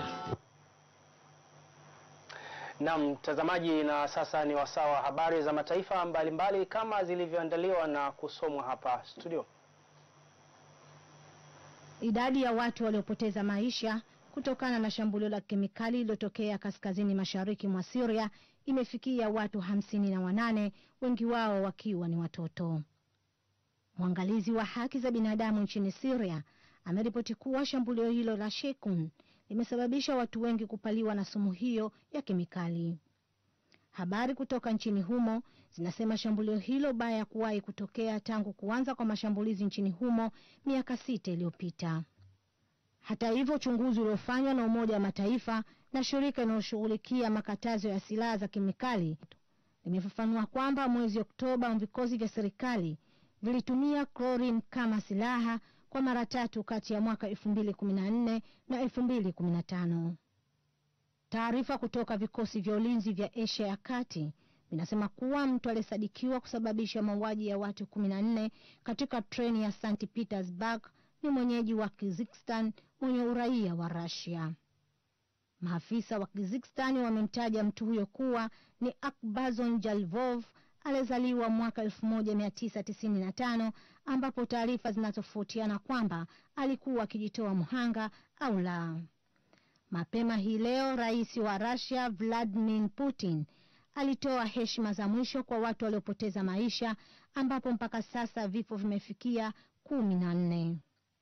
Na chama cha wafanyabiashara chenye nguvu nchini Afrika Kusini COSATU kimemtaka rais wa nchi hiyo Jacob Zuma kuachia madaraka. Rais Zuma amekuwa katika wakati mgumu tangu alipofanya mabadiliko kwenye baraza lake la mawaziri ikiwemo kumtoa aliyekuwa waziri wa fedha wa nchi hiyo Pravin Gordhan. COSATU kina jumla ya wanachama wafanyabiashara wapatao milioni moja na laki nane. Ni Dalin Saidi huyo na habari hizo za mataifa mbalimbali. Tukirejea, Evans Mhando atakuwa hapa kukuletea habari za michezo na burudani. Endelea kwa nasi.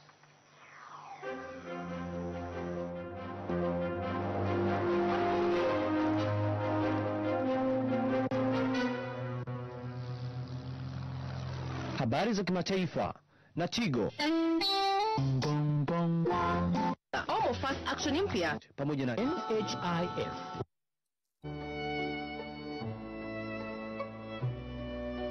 Napenda kuwatambulisha kwenu bwana na bibi Joti. Tafadhali bwana Joti, mbusu mke wako.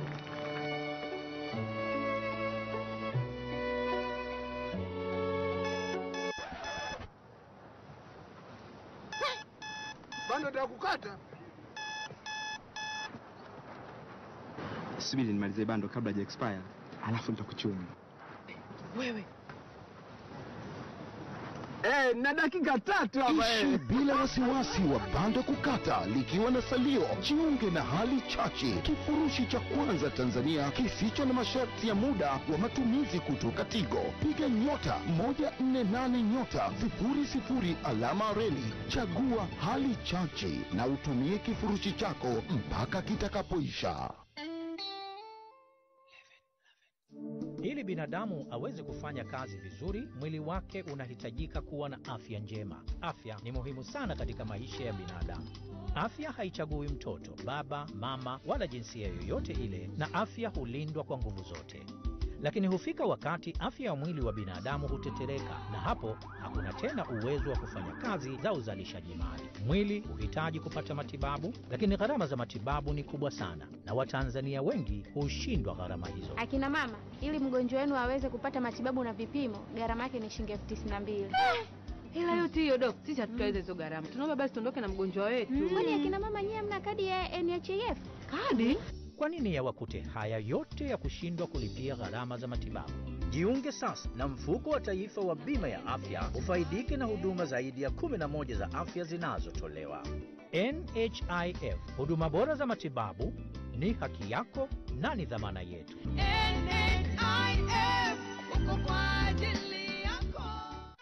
Mimi ni Lulu Michael, ni star wa filamu za kibongo. Hivi karibuni nitatoa movie yangu mpya na itakuwa kwenye red carpet. Sina wasiwasi, kwani najua kuwa nitakuwa huru na. Najiamini zaidi na freestyle, pedi za kike zinazoniweka mkavu zaidi. Sina hofu hata kwenye siku muhimu na nyeti kama hii. Yes, ni freestyle pekee uniweka huru na kujisikia freshi. Freestyle inapamba asilimia mia moja yenye kunyonya unyevu unyevu wote kabisa. Freestyle salama zaidi, laini, inakujali masaa 24 na imethibitishwa na TBS. Freestyle kwa ajili yangu.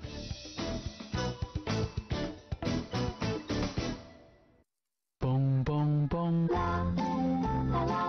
Wakati wote watoto hupenda kucheza mahali popote wanapopaona, lakini wakiwa na pompon hukamilisha hamu yao vizuri, kwa sababu huwapa urahisi wa kukimbia watakavyo. Ponpon huvutika kirahisi kiunoni na humkaa vizuri mtoto yoyote yule. Ponpon ni nyororo, kavu, hufyonza vizuri mkojo kuliko nyingine zote, na inampa mtoto raha mara mbili zaidi. Ponpon huleta matunzo bora kwa maisha ya baadaye.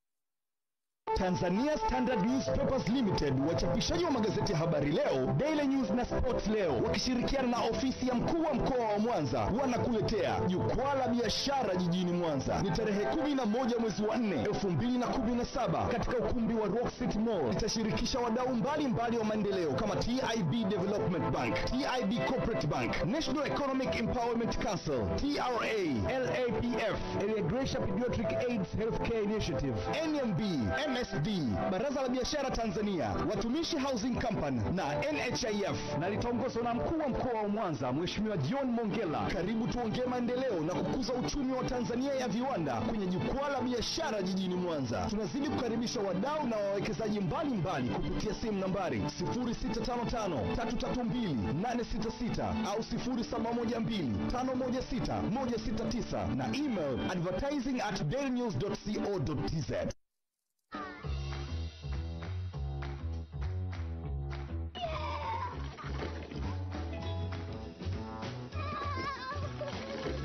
Mama anakipenda sana hicho kitambaa.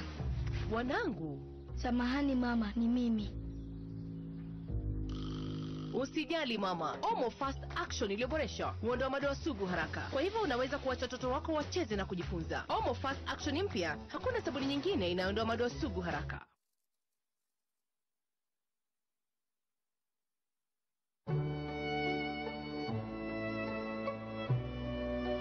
Napenda kuwatambulisha kwenu bwana na bibi Joti.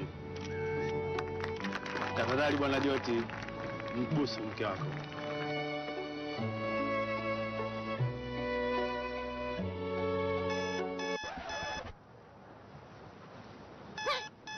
bando la kukata Subiri nimalize bando kabla haja expire, alafu nitakuchuma. wewe Eh, na dakika tatu hapa Ishi bila wasiwasi wa bando kukata likiwa na salio. Jiunge na hali chachi, kifurushi cha kwanza Tanzania kisicho na masharti ya muda wa matumizi kutoka Tigo. Piga nyota 148 nyota 00 alama reli, chagua hali chachi na utumie kifurushi chako mpaka kitakapoisha.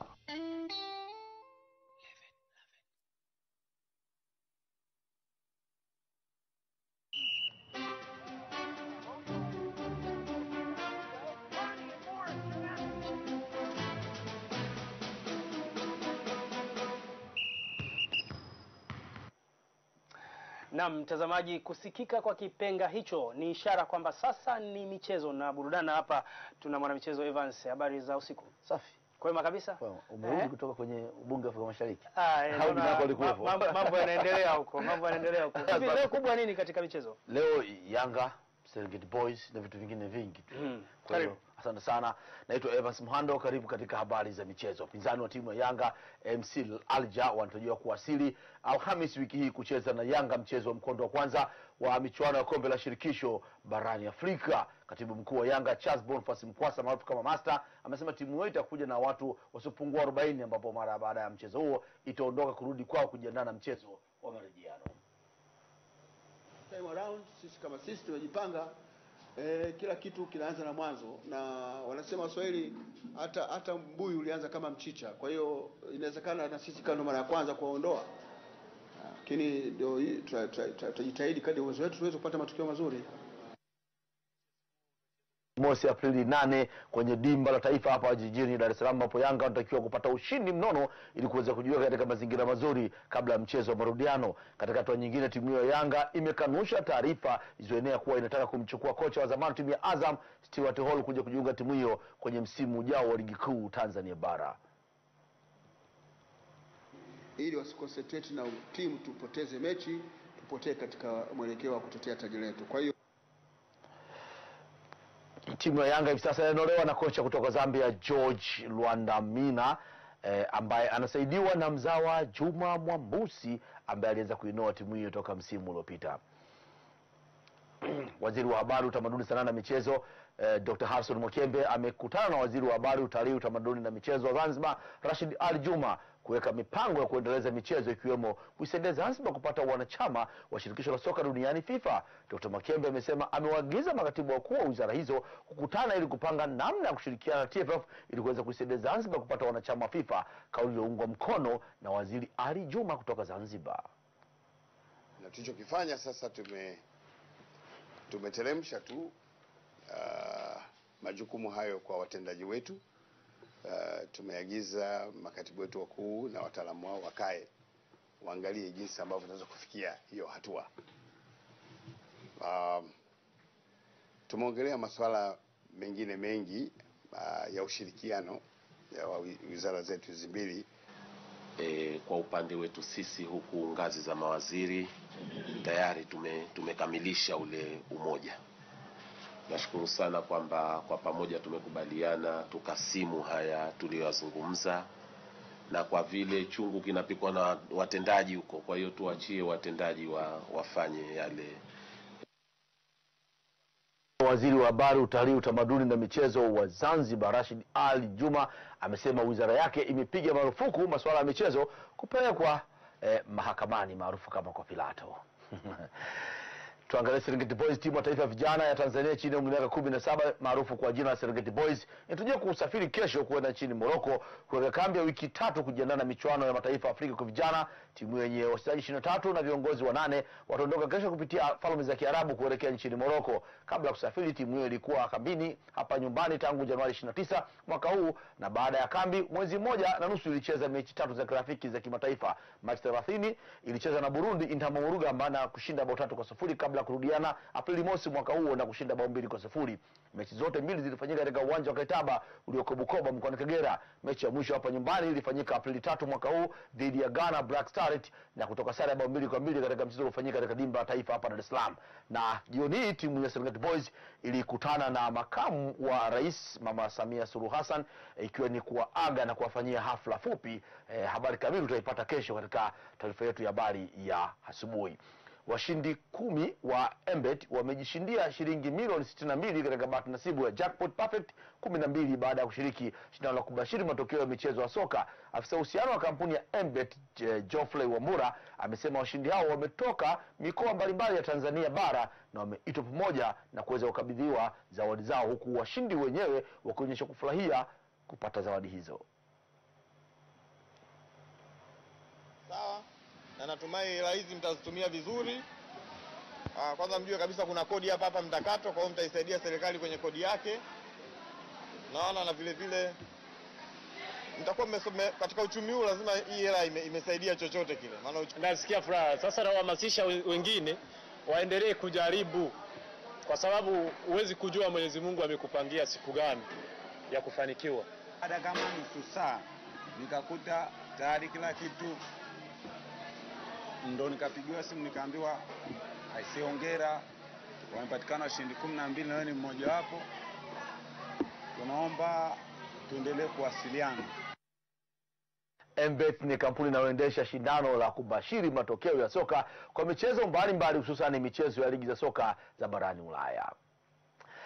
Shirikisho la soka duniani FIFA limetoa haki za kurusha matangazo ya michuano ya fainali za kombe la dunia zitakazofanyika nchini Russia mwaka 2018 kwa Star Times kwa nchi za kusini mwa jangwa la Sahara. Meneja wa masoko wa StarTimes Felix Awino amesema wanajitahidi kurusha matangazo bora ya fainali za kombe la dunia kwa wateja wao kwa kiwango cha juu, huku mkuu wa biashara wa FIFA Philip Lefroch akisema wanafuraha kufanya ushirikiano na StarTimes, kwani utasaidia kufikisha matangazo ya soka kwa mashabiki wengi wa soka barani Afrika. Nchi 42 kusini mwa jangwa kusini mwa jangwa la Sahara zitapata matangazo hayo kutoka StarTimes, huku pia wakihusika kuonyesha fainali mbalimbali za FIFA kama vile fainali za kombe la dunia la FIFA kwa vijana wenye umri chini ya miaka 17 na 20, fainali za kombe la dunia la soka la, la ufukweni, fainali za kombe la dunia fainali za kombe la shirikisho ambazo zitafanyika mwezi Juni mwaka huu, fainali za kombe la dunia kwa wanawake wenye umri chini ya miaka 17 na 20 za wa, mwaka 2018 na fainali zenyewe za kombe la dunia za FIFA zitakofanyika nchini Russia mwakani 2018 na Tanzania kwa bahati mbaya ilisha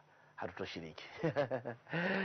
Chama cha soka nchini Ghana GFA kimemteua tena kwa mara ya nyingine James Kwesi Appiah maarufu kwa jina Kwesi Appiah kwa kocha timu ya taifa nchi hiyo Black Stars. Appiah anachukua nafasi ya Avram Grant aliyejiuzuru mara baada ya michuano ya mataifa ya Afrika e, na hii ni mara ya pili kuinoa timu ya taifa nchi hiyo ambayo awali ilipewa jukumu la kufundisha timu hiyo toka mwaka 2012 2014 tangu achana Black Stars baada ya kuboronga kwenye kombe la dunia mwaka 2014 nchini Brazil. Kwesi pia amekuwa akifundisha timu ya Al Khartoum nchini Sudan. Kibarua cha kwanza cha kocha huyo mzawa kitakuwa mwezi Juni mwaka huu kwenye mchezo wa kuwania kufuzu kwa michuano mataifa Afrika dhidi ya Ethiopia utakaochezwa nchini Ghana, ambapo wamepangwa kwenye kundi F pamoja na Sierra Leone na Kenya. Pia mtihani mwingine kwa Kwesi pia ni kufuzu kwa fainali za kombe la dunia. Ghana ya pili kwenye kundi F nyuma ya Misri yenye pointi e, sita, lakini kwenye kundi hilo pia kuna Uganda na Congo Brazzaville.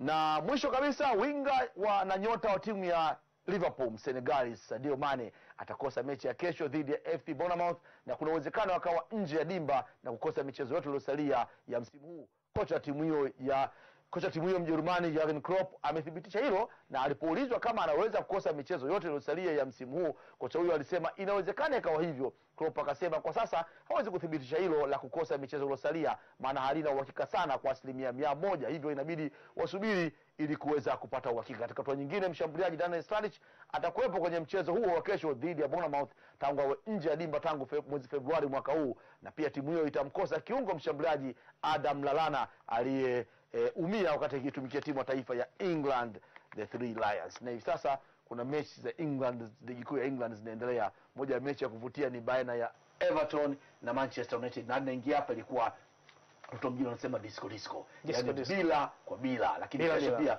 kuna mechi zingine lukuki na Ibla Kadabla Ibrahimovic leo yupo. Asante sana. Swaiba wako huyo. Naam.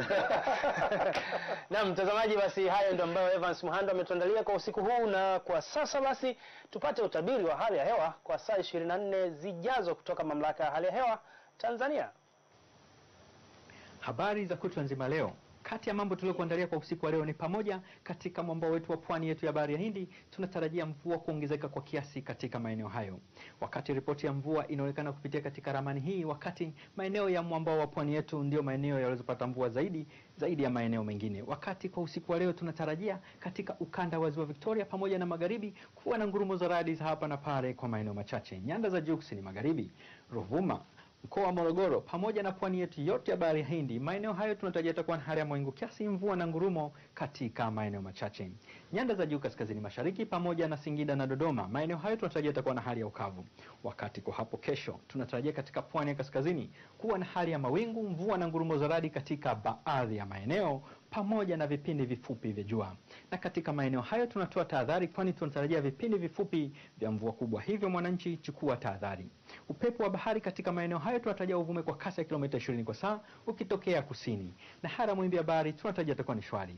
Hali ya mvua tunaitarajia katika maeneo ya nyanda za juu kaskazini mashariki, wakati ukanda wa ziwa Victoria. Mpenzi mtazamaji, tunatarajia maeneo hayo kuwa na ngurumo za radi za hapa na pale kwa maeneo machache pamoja na vipindi vya jua. Upepo wa ziwa tunatarajia uvume kwa kasi ya kilomita 20 kwa saa ukitokea kaskazini magharibi, na hali ya ziwa tunatarajia itakuwa ni shwari.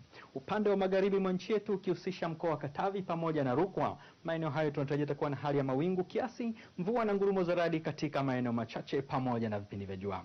Singida na Dodoma tunatarajia kutoka kuna hali ya mvua katika maeneo machache pamoja na vipindi vya jua, wakati kaskazini mwa mkoa wa Morogoro tunatarajia kutoka kuna hali ya mawingu kiasi, mvua na ngurumo za radi katika maeneo machache pamoja na vipindi vya jua. Mkoa wa Mbeya Njombe, Iringa pamoja na Ruvuma. Maeneo hayo tunatarajia itakuwa na hali ya mawingu kiasi, mvua na ngurumo za radi katika maeneo machache pamoja na vipindi vya jua. Wakati pwani ya kusini tunaitarajia iwe na hali ya mawingu, mvua na ngurumo za radi katika baadhi ya maeneo pamoja na vipindi vifupi vya jua, na tunatoa tahadhari katika maeneo hayo, kwani tunatarajia vipindi vifupi vya mvua kubwa, hivyo Mwananchi, chukua tahadhari. Upepo wa bahari katika pwani ya kusini tunatarajia uvume kwa kasi ya kilomita 30 kwa saa ukitokea kusini mashariki. Hali ya mawimbi ya bahari tunatarajia itakuwa ni makubwa kiasi. Mpenzi mtazamaji, tumalizie utabiri wetu kwa kuangalia viwango vya juu na vya chini vya joto kwa bara la Afrika. Kiwango cha juu kabisa tunatarajia nyuzi joto 42 katika mji wa Niamey. Kutoka mamlaka ya hewa tuna la ziada, tuungane tena kesho mida na nyakati kama hii. Asante na usiku mwema. Asante sana kutoka uh, mamlaka ya hali ya hewa E- Evans. Yeah, yeah. Ile mechi ya Manchester United na Everton, Everton inaongoza goli moja kwa sifuri imefungwa na Phil Jageka, lakini kuna mechi nyingine Watford West Bromwich Albion Watford wanaongoza bao moja kwa sifuri hmm. Leicester City na Sunderland bado bila kwa bila Burnley na Stoke City nao sifuri kwa sifuri mechi hivi sasa mechi ya Manchester dakika 24 mechi zingine zote dakika 38 39 Asante sana. Basi hayo ndiyo matokeo ya wakati huu, wakati ukiendelea kufuatilia michuano hiyo aa, kupitia runinga zako mbalimbali. Mtazamaji, ni tamati ya taarifa ya habari kwa sasa. Taarifa nyingine ya habari itakujia itakapotimu saa tano kamili usiku huu. Kwa niaba ya wote waliofanikisha kuwapo kwa taarifa hii ya habari, akiwapo msomaji msomaji mwenzangu Agnes Mbapu, Evans Mhando katika michezo, Ganzel Sauli katika biashara na uchumi, na wengine wote, mimi ni Elisha Elia nikutakia utazamaji mzuri wa vipindi vinavyoendelea. Asante sana na alamsik.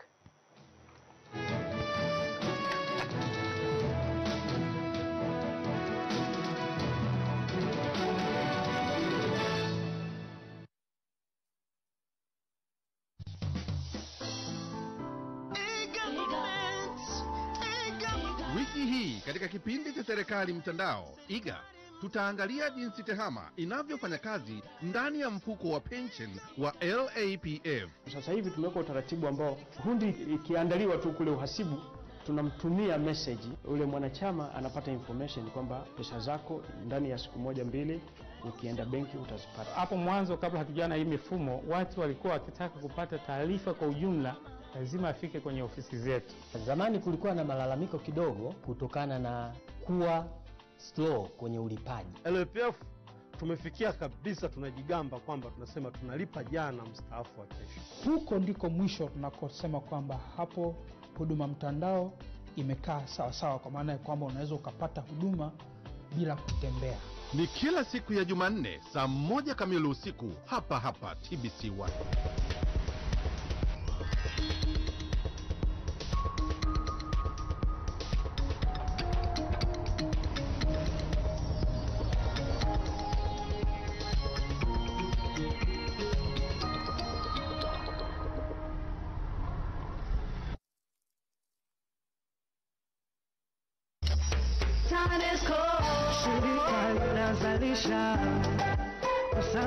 Kusafirisha, uzambeme umeme, uzalishaji utumia maji na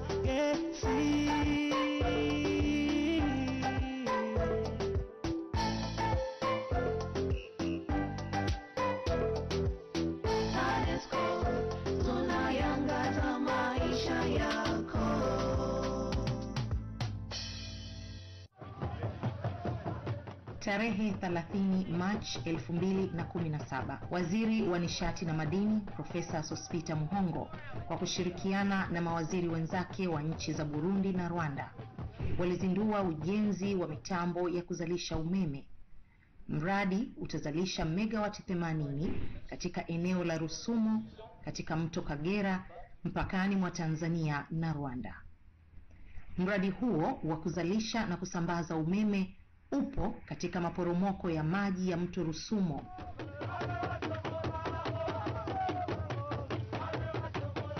na mradi utanufaisha nchi tatu za Rwanda, Burundi na Tanzania.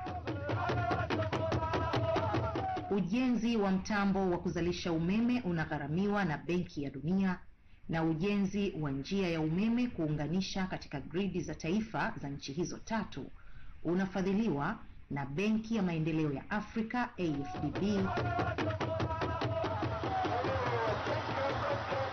Wawakilishi kutoka Benki ya Dunia na wajumbe wa bodi ya mradi wa umeme walishuhudia uzinduzi huo.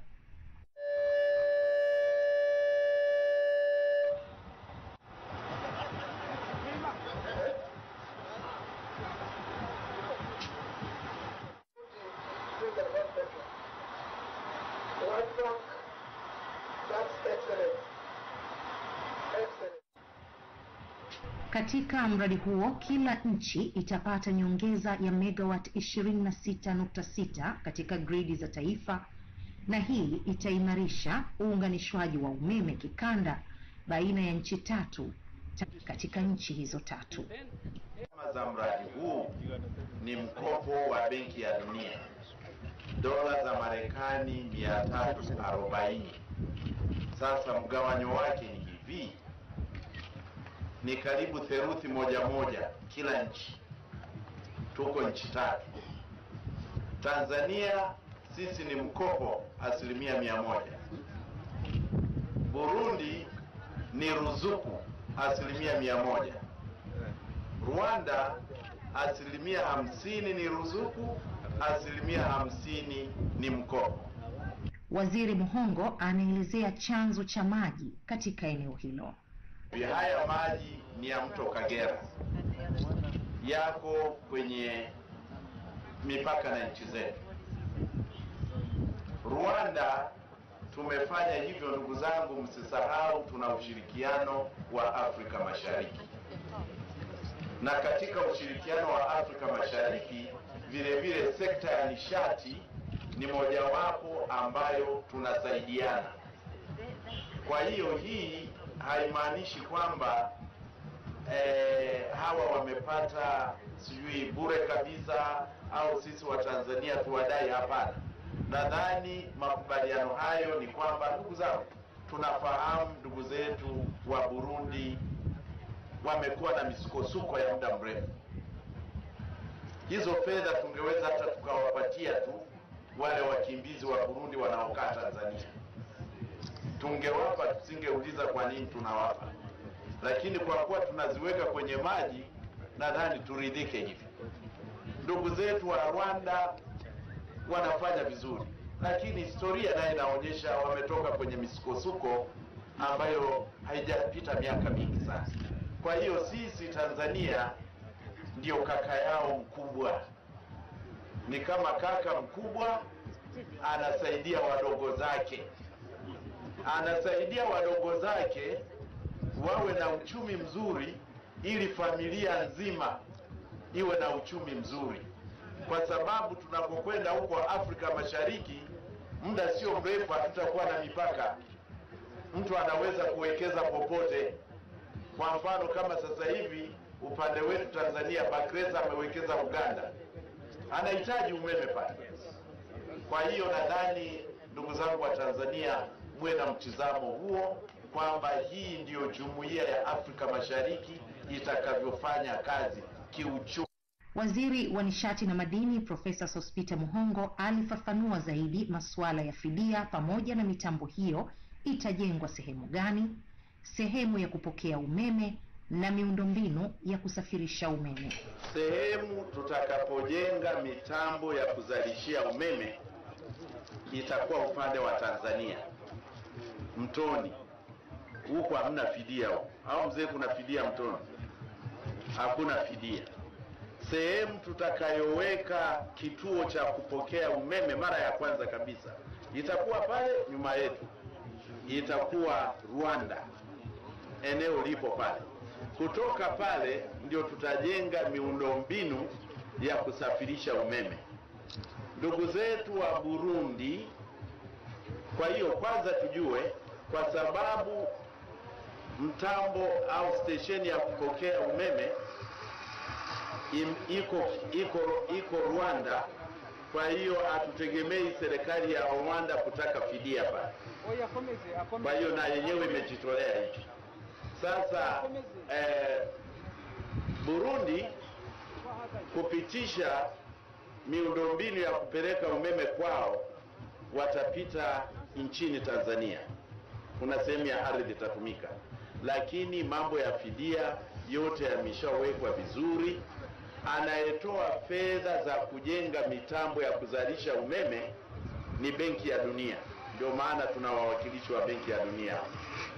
Anayetoa fedha za kusaidia kujenga miundombinu ya kusafirisha umeme ni Benki ya Maendeleo ya Afrika. Wanatupatia wanatupatia fedha za hiyo miundombinu. Sasa hii fidia, ndugu yangu, lazima tujikongoje. Ukitaka kila kitu upewe, basi utakuwa umechoka sana. Kila nchi itashughulikia ya kwake, lakini Tanzania yako vizuri, Rwanda yako vizuri, Burundi hakuna yako vizuri, kwa hiyo hamna matatizo ya fidia. Mawaziri wa nchi za Rwanda na Burundi walielezea umuhimu wa mradi huo pamoja na mwakilishi wa Benki ya Dunia. I want to congratulate the governments of Burundi, Rwanda, and of Tanzania for their collaborative efforts to bring this project to this point.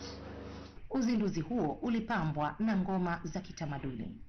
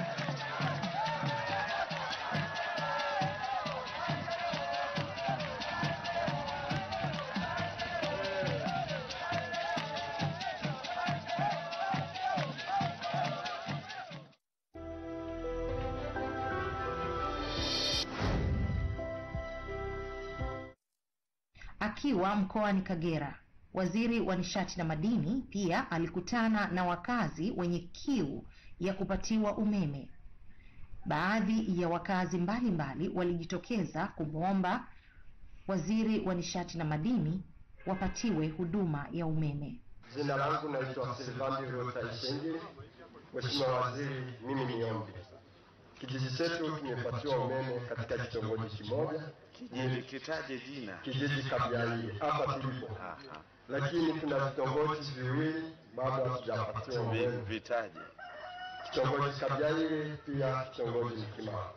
Haya, ombi Lakini la pia umeme. kuna taasisi ya dini Roman Catholic. Wengine Mimi naitwa Regina Mlokozi, ninatoka kijiji cha Kashekia. Kwenye kijiji cha Kashekia tumepatiwa umeme, lakini kaya zilizopata umeme ni kaya kumi na sita tu, na kijiji kizima kina kaya zaidi ya mia mbili sabini na mpango wa REA ulipita. Maswali yetu kwa diwani ya kuweza kujibiwa vizuri. Wahanga waliokatiwa mazao yao tena kwa kina kikubwa, ambao walipewa pole, wameachiwa laini kubwa tu, hawakupata laini ndogo ili kusudi wapate umeme. ombi, ombi. Kwa hiyo tunaomba kijiji Kashekia tufikiriwe. Sisi ni ombi. Naitwa Father Trazias Rutajama, paroko wa parokia Issues. Basi pale parokiani ni taasisi inajitegemea, lakini tumepeleka maombi yetu, mpaka sasa hivi hatujapata umeme. Basi kwa maadamu mmefika pale, kuna shule yetu ya sekretariati na na ki, kitaifa wamefanya vizuri, darasa mtihani wa darasa la nne wamekuwa wa tisa, lakini watoto bado wanasubira Bila umeme. bila umeme. Hapo hapo kuna taasisi ya Pataji pale wanalelea watoto yatima, na hapo hapo bado hatujapata umeme. Hapo hapo kuna shule ya serikali, shule ya msingi Rwankonjo, na hapo hapo bado hatujapata umeme. Basi hiyo parokia taasisi zake kuna ukumbi basi, na matarajio yetu kwamba tuwe na mashine kwa ajili ya mm, kusaga eh, kwa ajili ya watoto wetu waweze kupata chakula, tutakuwa tunatumia hiyo mashine basi na za mashine ya kupampu maji. Kwa hiyo hizo huduma tunazihitaji, lakini shida baba ni nishati. Basi ujio wako nafikiri utaleta hili kwetu. Asante sana. Mwingine Mimi ni Petro Mtarubuka Israeli, nazaliwa Nyarugongo.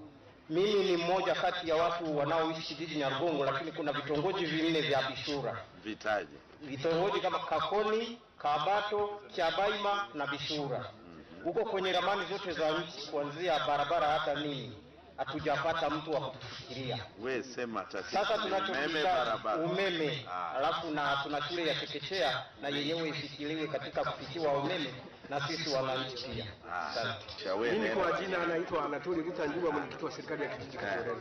Mheshimiwa, kwenye kijiji changu na vitongoji sita, lakini umeme Vitaje, vitaje. kuna Kilimilile, Kianja, Taratibu anaandika mtu. eh. kuna Kilimirire, Ehe. Kianja, Katorerwa, A, Kanyange B, Kyamgabo. Lakini kwenye vitongoji hivyo tumepewa nyumba kumi na tatu nyumba mia, mia mbili kama thelathini hazikupewa umeme. Kwa hiyo mheshimiwa, hapo hapo kuna sekondari ya serikali ya Rugoi imepewa haina umeme, imepewa nguzo na kufunga waya, basi haikuwashwa. Kwa hiyo mheshimiwa, ningekuomba angalau Sawa, nimeshakusikia. Mwingine shule yetu pamoja na mambo ambayo baba paroko ameyaeleza, na mimi nina uchungu na uchungu wa hali hii ya nishati umeme. Shule yetu sasa ina miaka kama sita shule ipi? Ameisema Nime- nimeongelea ni inaitwa English Medium Primary School. Si ndio uliyoisema? Eh, lakini sasa mimi ni mkuu wa shule hiyo sasa. Yeye ni kama jirani. Mimi ndiye mkuu wa shule hiyo. Kwa hiyo kwa vile nipo na mimi nijisemee mwenyewe. Shule yetu shule yetu tuna shida hiyo kubwa ya umeme. Na shule yetu imejitahidi katika giza hili, imekuwa ya kwanza kiwilaya wilaya ya Misenyi ndio imekuwa ya kwanza, imekuwa ya pili kimkoa. Sasa nyie ki- unaharibu ufadha. Ukisema hivyo, mm. kama nyie mnafanya vizuri, mnaweza kuendelea hivyo hivyo bila umeme, tuwachukue wale ambao wanashindwa sana, ndio tuwape umeme kwanza. Haya, asante, nimekupata waziri. Ukumbuke Waziri wa nishati na madini alitoa fursa kwa meneja mwandamizi wa TANESCO kanda ya Ziwa, mhandisi Amos Maganga kujibu maswali ya wakazi wa mkoa wa Kagera. Asante sana Mheshimiwa Waziri. Kwanza ndugu zangu wanakabiaile, kwa jina mimi naitwa mhandisi Amos Maganga. Mimi ni meneja wa TANESCO wa kanda ya Ziwa. Kanda ya Ziwa ina mikoa mitano, mmojawapo ni mkoa huu wa Kagera, mkoa wa Geita, mkoa wa Mwanza, mkoa wa Mara pamoja na mkoa wa Simiyu. Ndugu zangu, nimesikia e, karibu wananchi kumi na wawili mmejitokeza kutoa dukuduku lenu la umeme kwa Mheshimiwa Waziri. Niseme kwamba kwa kweli tumesikia, lakini napenda tu, najua Mheshimiwa Waziri ataliongelea, lakini ni kwamba tuna miradi ya umeme. Tumeanza na mradi wa umeme vijijini mwaka elfu mbili na kumi. Kwa kweli katika ile awamu ya kwanza ni mikoa michache sana na ni vijiji vichache sana ambavyo viliweza kupatiwa umeme, kwa sababu ya mambo yanaenda hatua kwa hatua. Lakini imekuja awamu ya pili. Awamu ya pili, ndugu zangu, na- naamini kwamba nyie ni mashahidi kwamba kwa kweli umepita katika mikoa yote na katika mkoa wa Kagera zaidi ya vijiji mia nne wameweza kupatiwa umeme katika awamu ya pili, na vijiji ambavyo vimebaki katika mkoa wa Kagera ni vichache sana, ni chini ya vijiji mia mbili ambavyo vijiji vyote hivi pamoja na, kata, na vitongoji vyake vyote vimeingizwa kwenye mradi kabambe wa umeme awamu ya tatu ambao niwaambie tu ndugu zangu kwamba mradi wenyewe tayari umeanza. Mmeshaona viongozi mbalimbali wa kitaifa wakiuzindua mradi huo, na huo mradi wa awamu ya tatu uko katika makundi makubwa matatu.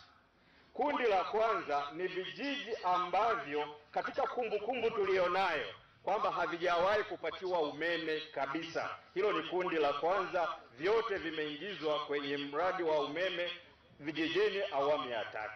Lakini vile vile kuna vijiji ambavyo vimepitiwa umeme kwenye awamu ya pili, lakini yawezekana vimeingia kwenye makao makuu tu ya kijiji na vitongoji vingine havikopatiwa. Huu mradi wa awamu ya tatu kundi la pili unaitwa densification. Maana yake ni kwamba kuimarisha kwenye maeneo ambayo yalipatiwa, lakini kuna mapungufu mengi. Kwa hiyo mengi mliyoyasema kwamba kijiji kimepata hiki hakijapata, hii awamu ya tatu kundi la pili ndiyo kazi yake kuja kufukia hayo mashimo yote. Katika awamu ya tatu hii vile vile kuna kundi ambalo kuna maeneo ambayo imekuwa ni vigumu kwa gridi ya taifa, yaani umeme mnaouona wa kutoka Iringa, kutoka wapi kuwafikia. Maeneo haya ni kama visiwa ambavyo viko ndani ya ziwa Victoria. Vile vile hiyo serikali imeangalia kwamba hao ni wananchi na wao watapatiwa umeme kwa njia mahususi ikiwemo kutumia umeme wa jua. Naye meneja wa mkoa wa Kagera mhandisi Francis Mazi anaelezea ushirikishwaji wa wananchi katika miradi ya kusambaza umeme. Kwenye huu mradi wa awamu ya tatu, wakati vijiji na vitongoji vinatambuliwa, serikali ilituelekeza na tulishirikiana na viongozi wa serikali kuanzia ngazi ya vijiji, madiwani, wakuu wa wilaya, na kabla ya kupeleka wizarani hiyo hiyo orodha ya vitongoji alivyoanzisha hapa iliridhiwa na uongozi wa serikali za mitaa na uongozi wa serikali kuu. Kwa hiyo jamani, kaeni mkao wa kulipa shilingi elfu ishirini na saba muunge mwaka huu. Asanteni. Waziri wa nishati na madini Profesa Sospita Muhongo akiwa ni mmoja wa wanasayansi wa miamba alitumia nafasi hiyo kutoa pole kwa wakazi wa mkoa wa Kagera kutokana na tetemeko lililotokea mkoani humo pamoja na kuelezea ripoti iliyoandaliwa kuhusu majanga ya mitetemo. Nimewapatia pole. Nilikuja huku, nadhani huku kwenu sikufika, lakini nilipita sehemu zingine. Ni kwamba wataalamu wetu wametoa ripoti mbili na ripoti kubwa ya mwisho wameikamilisha, na nimewaagiza waje mkoani tarehe kumi na tano mwezi wa nne mwaka huu saa nne asubuhi kwa mkuu wa mkoa pale.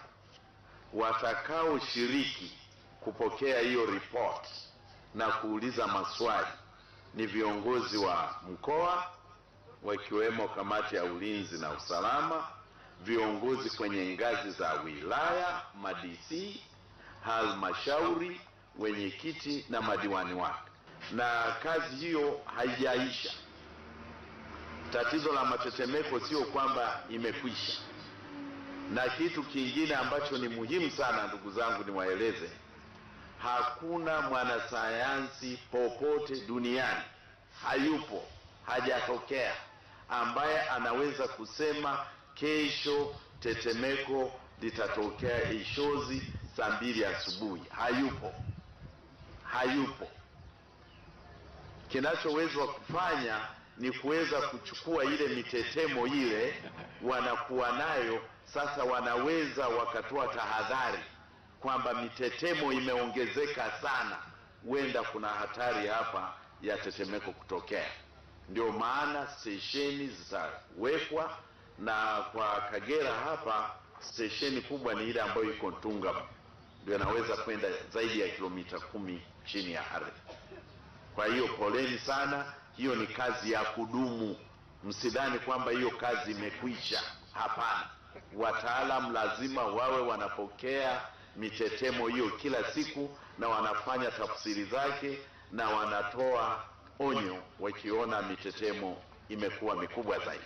Profesa Muhongo aliwaeleza wakazi wa Kagera kuwa hatua iliyofikiwa na shirika la umeme nchini TANESCO katika usambazaji wa umeme inaridhisha na kasi hiyo itaendelea ili kufikisha azma ya serikali ya kusambaza umeme nchi nzima. Lakini ndugu zangu, niwaeleze, wakati unatumia umeme, umeme ukiwa unapita kwenye nyaya, haupo umeme wa jua, umeme wa upepo, umeme wa gesi, umeme wa mafuta. Umeme ni umeme.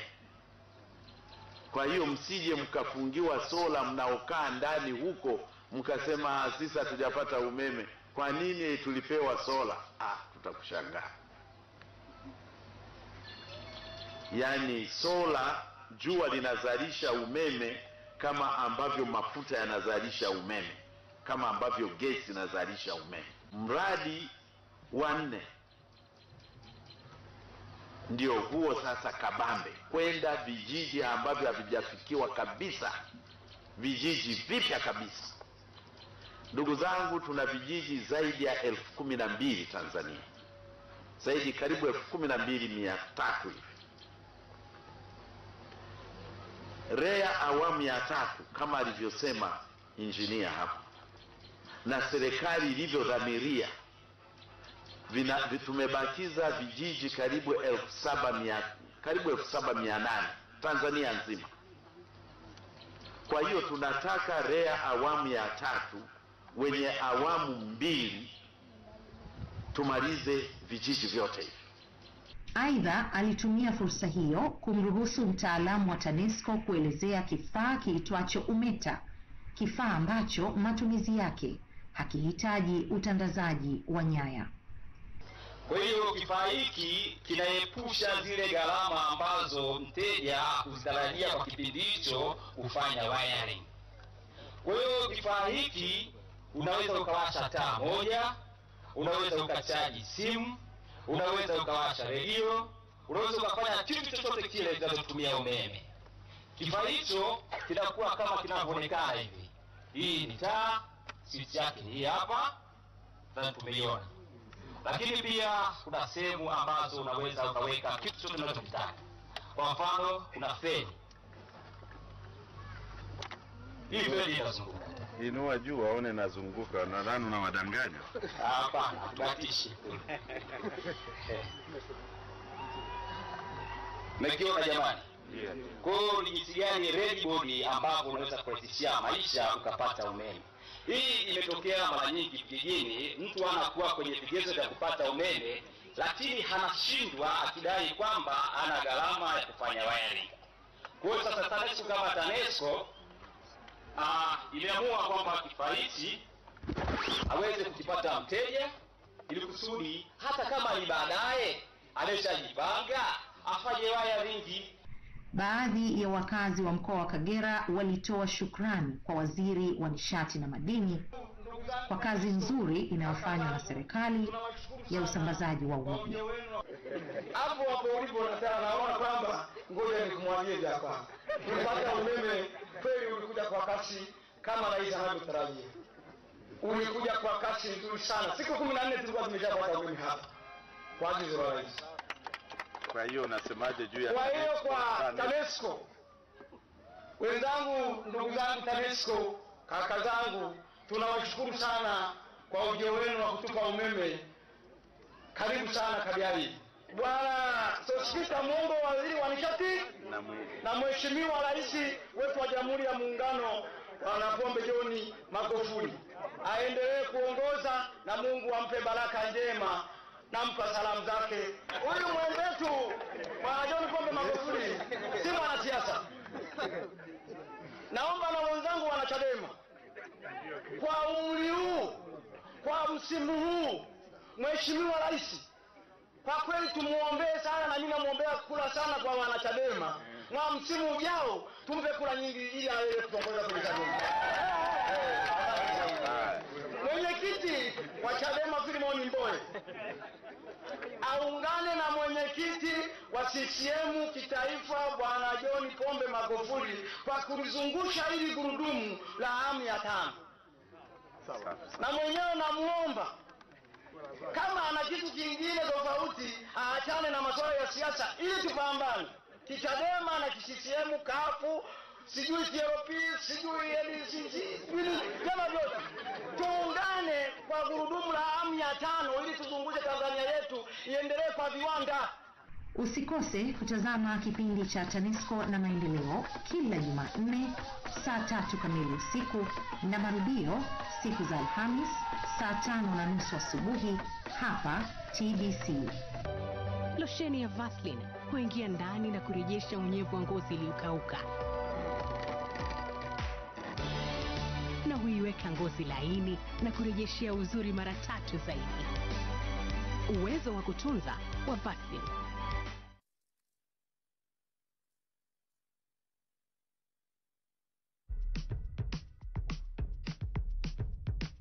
Mambo Ndiyo, Star Times inakuletea ofa maalum ya Pasaka. Nunua kifurushi cha mambo na ujipatie channel nyingi zaidi kwa kulipia shilingi elfu kumi na mbili tu. Jipatie channel za michezo bure kabisa.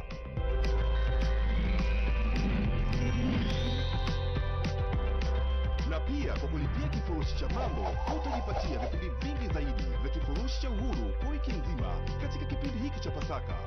Ni rahisi, sema mambo na upate uhondo zaidi. Mambo. Ofa hii ni kwa watumiaji wa Dikode na dish. Kwa watu wa Dishi, lipia kifurushi cha smart kupata kifurushi cha super. Star Times, ulimwengu halisi wa kidigitali.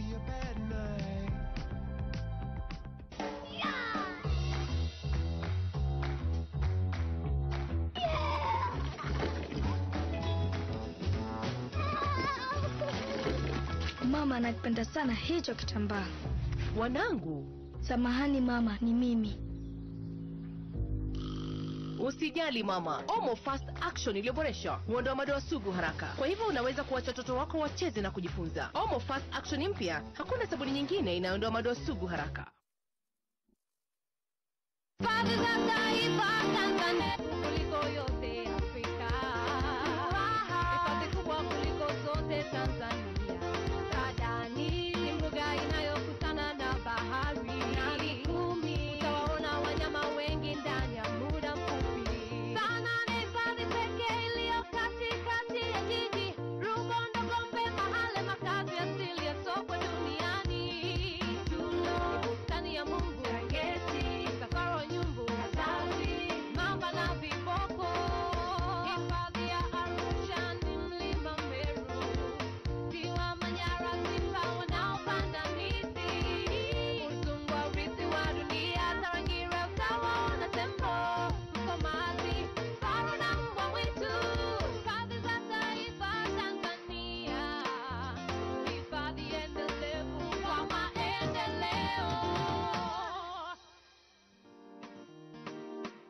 Wiki iliyopita tulizuru na kufahamu vivutio kede kede vinavyopatikana katika hifadhi ya taifa Saadani.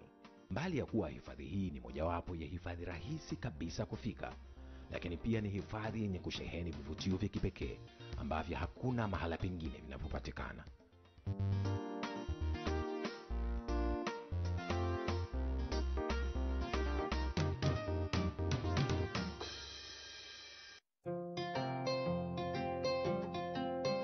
Mpenzi mtazamaji, karibu tena katika mfululizo wa makala za kusisimua za hifadhi za taifa Tanzania zinazoletwa kwenu na shirika la hifadhi za taifa Tanzania TANAPA.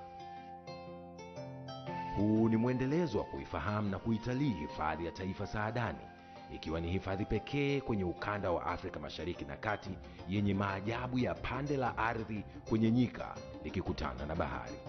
Hifadhi hii ya taifa Saadani yenye kuhamasisha kwa shughuli za utalii wa ndani kutokana na sababu mbalimbali mbali, ikiwemo kufikika kwa urahisi na kuweko kwa shughuli nyingi za kitalii wenye kufanyika kwa urahisi na gharama nafuu. Hebu tumsikilize mkuu wa hifadhi ya taifa Saadani akitujuza yote yanayohusu utalii wa ndani katika hifadhi ya taifa Saadani. bado tunapata sana watanzania wa, wa, wa, watalii wa kitanzania zaidi makundi ya shule ambayo huwezi kusema wanalazimishwa wanaenjoy pia lakini ni vyema pia eh, watu wa kawaida ambao wana uwezo wao waje watembee. Niliwahi kuuliza tulikuwa tunaulizana kwamba kwa nini hawaji. Ukiwauliza wanasema eh, uwezo mdogo usafiri mahali pa kulala Eh, lakini hata wale wenye uwezo sasa tuwaoni kuna watu wana usafiri wao kuna watu wana, wana uwezo wa kulipa. Kuna hoteli za kulipa hapa za elfu thelathini. Kama hii banda zetu mna ile elfu thelathini. Ambayo hiyo hiyo hoteli ndio unaweza kulala bagamoyo au anywhere au dar es salaam. Dar es salaam unalala hapa unasema mahali pa kulala pakoje au expensive. Kwa hiyo huoni mantiki sana.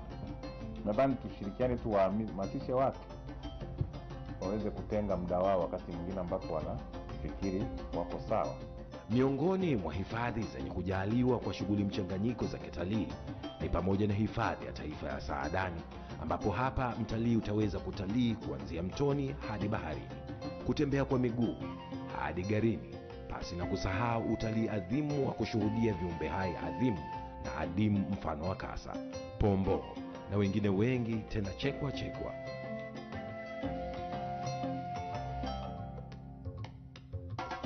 Katika hifadhi hii ya taifa Saadani, shughuli maarufu ya kitalii ni ile ya kutumia boti, ambapo hupatikana ndani ya hifadhi ya taifa Saadani kwenye mto Wami na ndani ya bahari ya Hindi, ambapo hapa watalii huweza kutalii kwa umbali mrefu sana ndani ya mto Wami, wakishuhudia wanyama tofauti jamii ya viboko pamoja na mamba, hii ikijumuisha mazingira yenye uoto mzuri wa asili wa miti ya jamii ya mikoko na mingine mingi.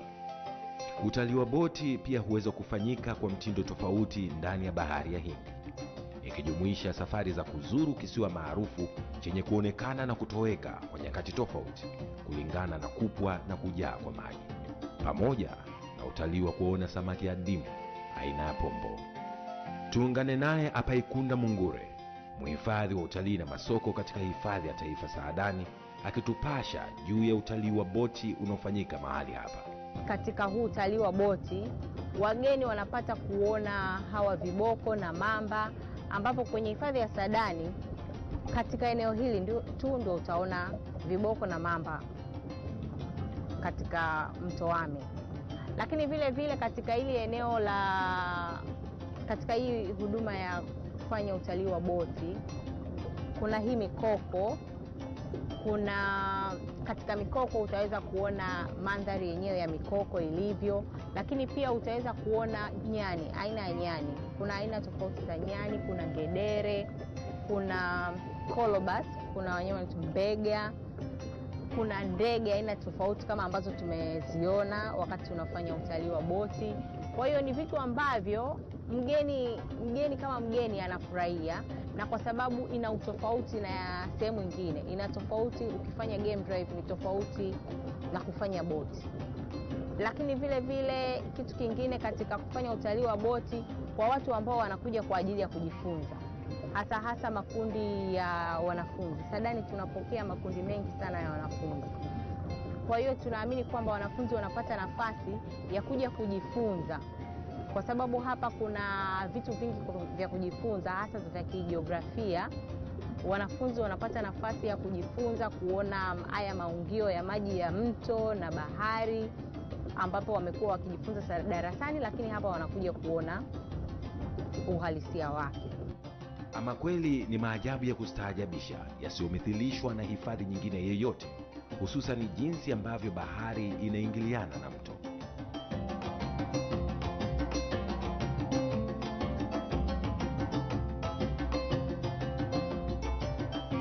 Shughuli za kitalii mara nyingine hufanana ama kutofautiana katika hifadhi zetu za taifa, na hiyo hutokana na mazingira ya hifadhi husika.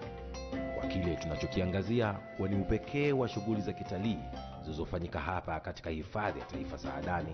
Zipo pia shughuli nyingine mbalimbali mbali za kitalii zenye kufanana na hifadhi nyingine za taifa, ikijumuisha utalii wa kutembea kwa miguu ambao hutoa fursa kwa mtalii kujifunza mengi na kufurahia kwa kuona vivutio kwa karibu zaidi, wakijifunza tabia mbalimbali mbali za wanyama na mapito yao. Hebu tuungane na askari Magesa John katika utalii wa kutembea kwa mguu almaarufu kama walking safari ndani ya hifadhi ya taifa Saadani. Uh, kwa sasa hivi nimejiandaa kwa kazi ya tunasema walking safari. Walking safari ni aina mojawapo ya utalii ambayo wageni wanakuwa wanatembea kwa miguu wakiwa na ulinzi wa askari. Tunakuwa tunaanzia katika hatua moja, tunapita hifadhini wakiwa, kipindi tunapita hifadhini ndipo wanapata fursa ya kuona wanyama uh, kwa sababu kwa kutumia barabara kuna baadhi ya wanyama wengine hawaonekani kirahisi. Lakini tunapofanya walking safari tunatembea. Pale, sasa mgeni anapata fursa, anapata uwezo wa kuweza kuona wanyama kwa, kwa, kwa, kwa ukaribu zaidi, na pia ni, ni sehemu mojawapo ya mgeni kufanya pia mazoezi ya mwili kwa wale ambao unakuta muda mwingi wanakaa bila kutembea. Kwanza kabisa natakiwa nichukue silaha, niwe na silaha ambayo kama unavyoiona e, kwa ajili ya ulinzi, kwa sababu tunapokuwa tunatembea mnyama yoyote anaweza akatokea, haijulikani, anaweza akatokea huko, labda walikuwa wanapigana, ameuzika, anakimbia, kwa hiyo akataka kuleta tafurani. Kwa hiyo lazima niwe na silaha, kama itatokea basi mimi napiga na, na, na risasi juu, namwogopesha, basi anarudi na tunakuwa katika mazingira yaliyo salama. Pia natakiwa niwe na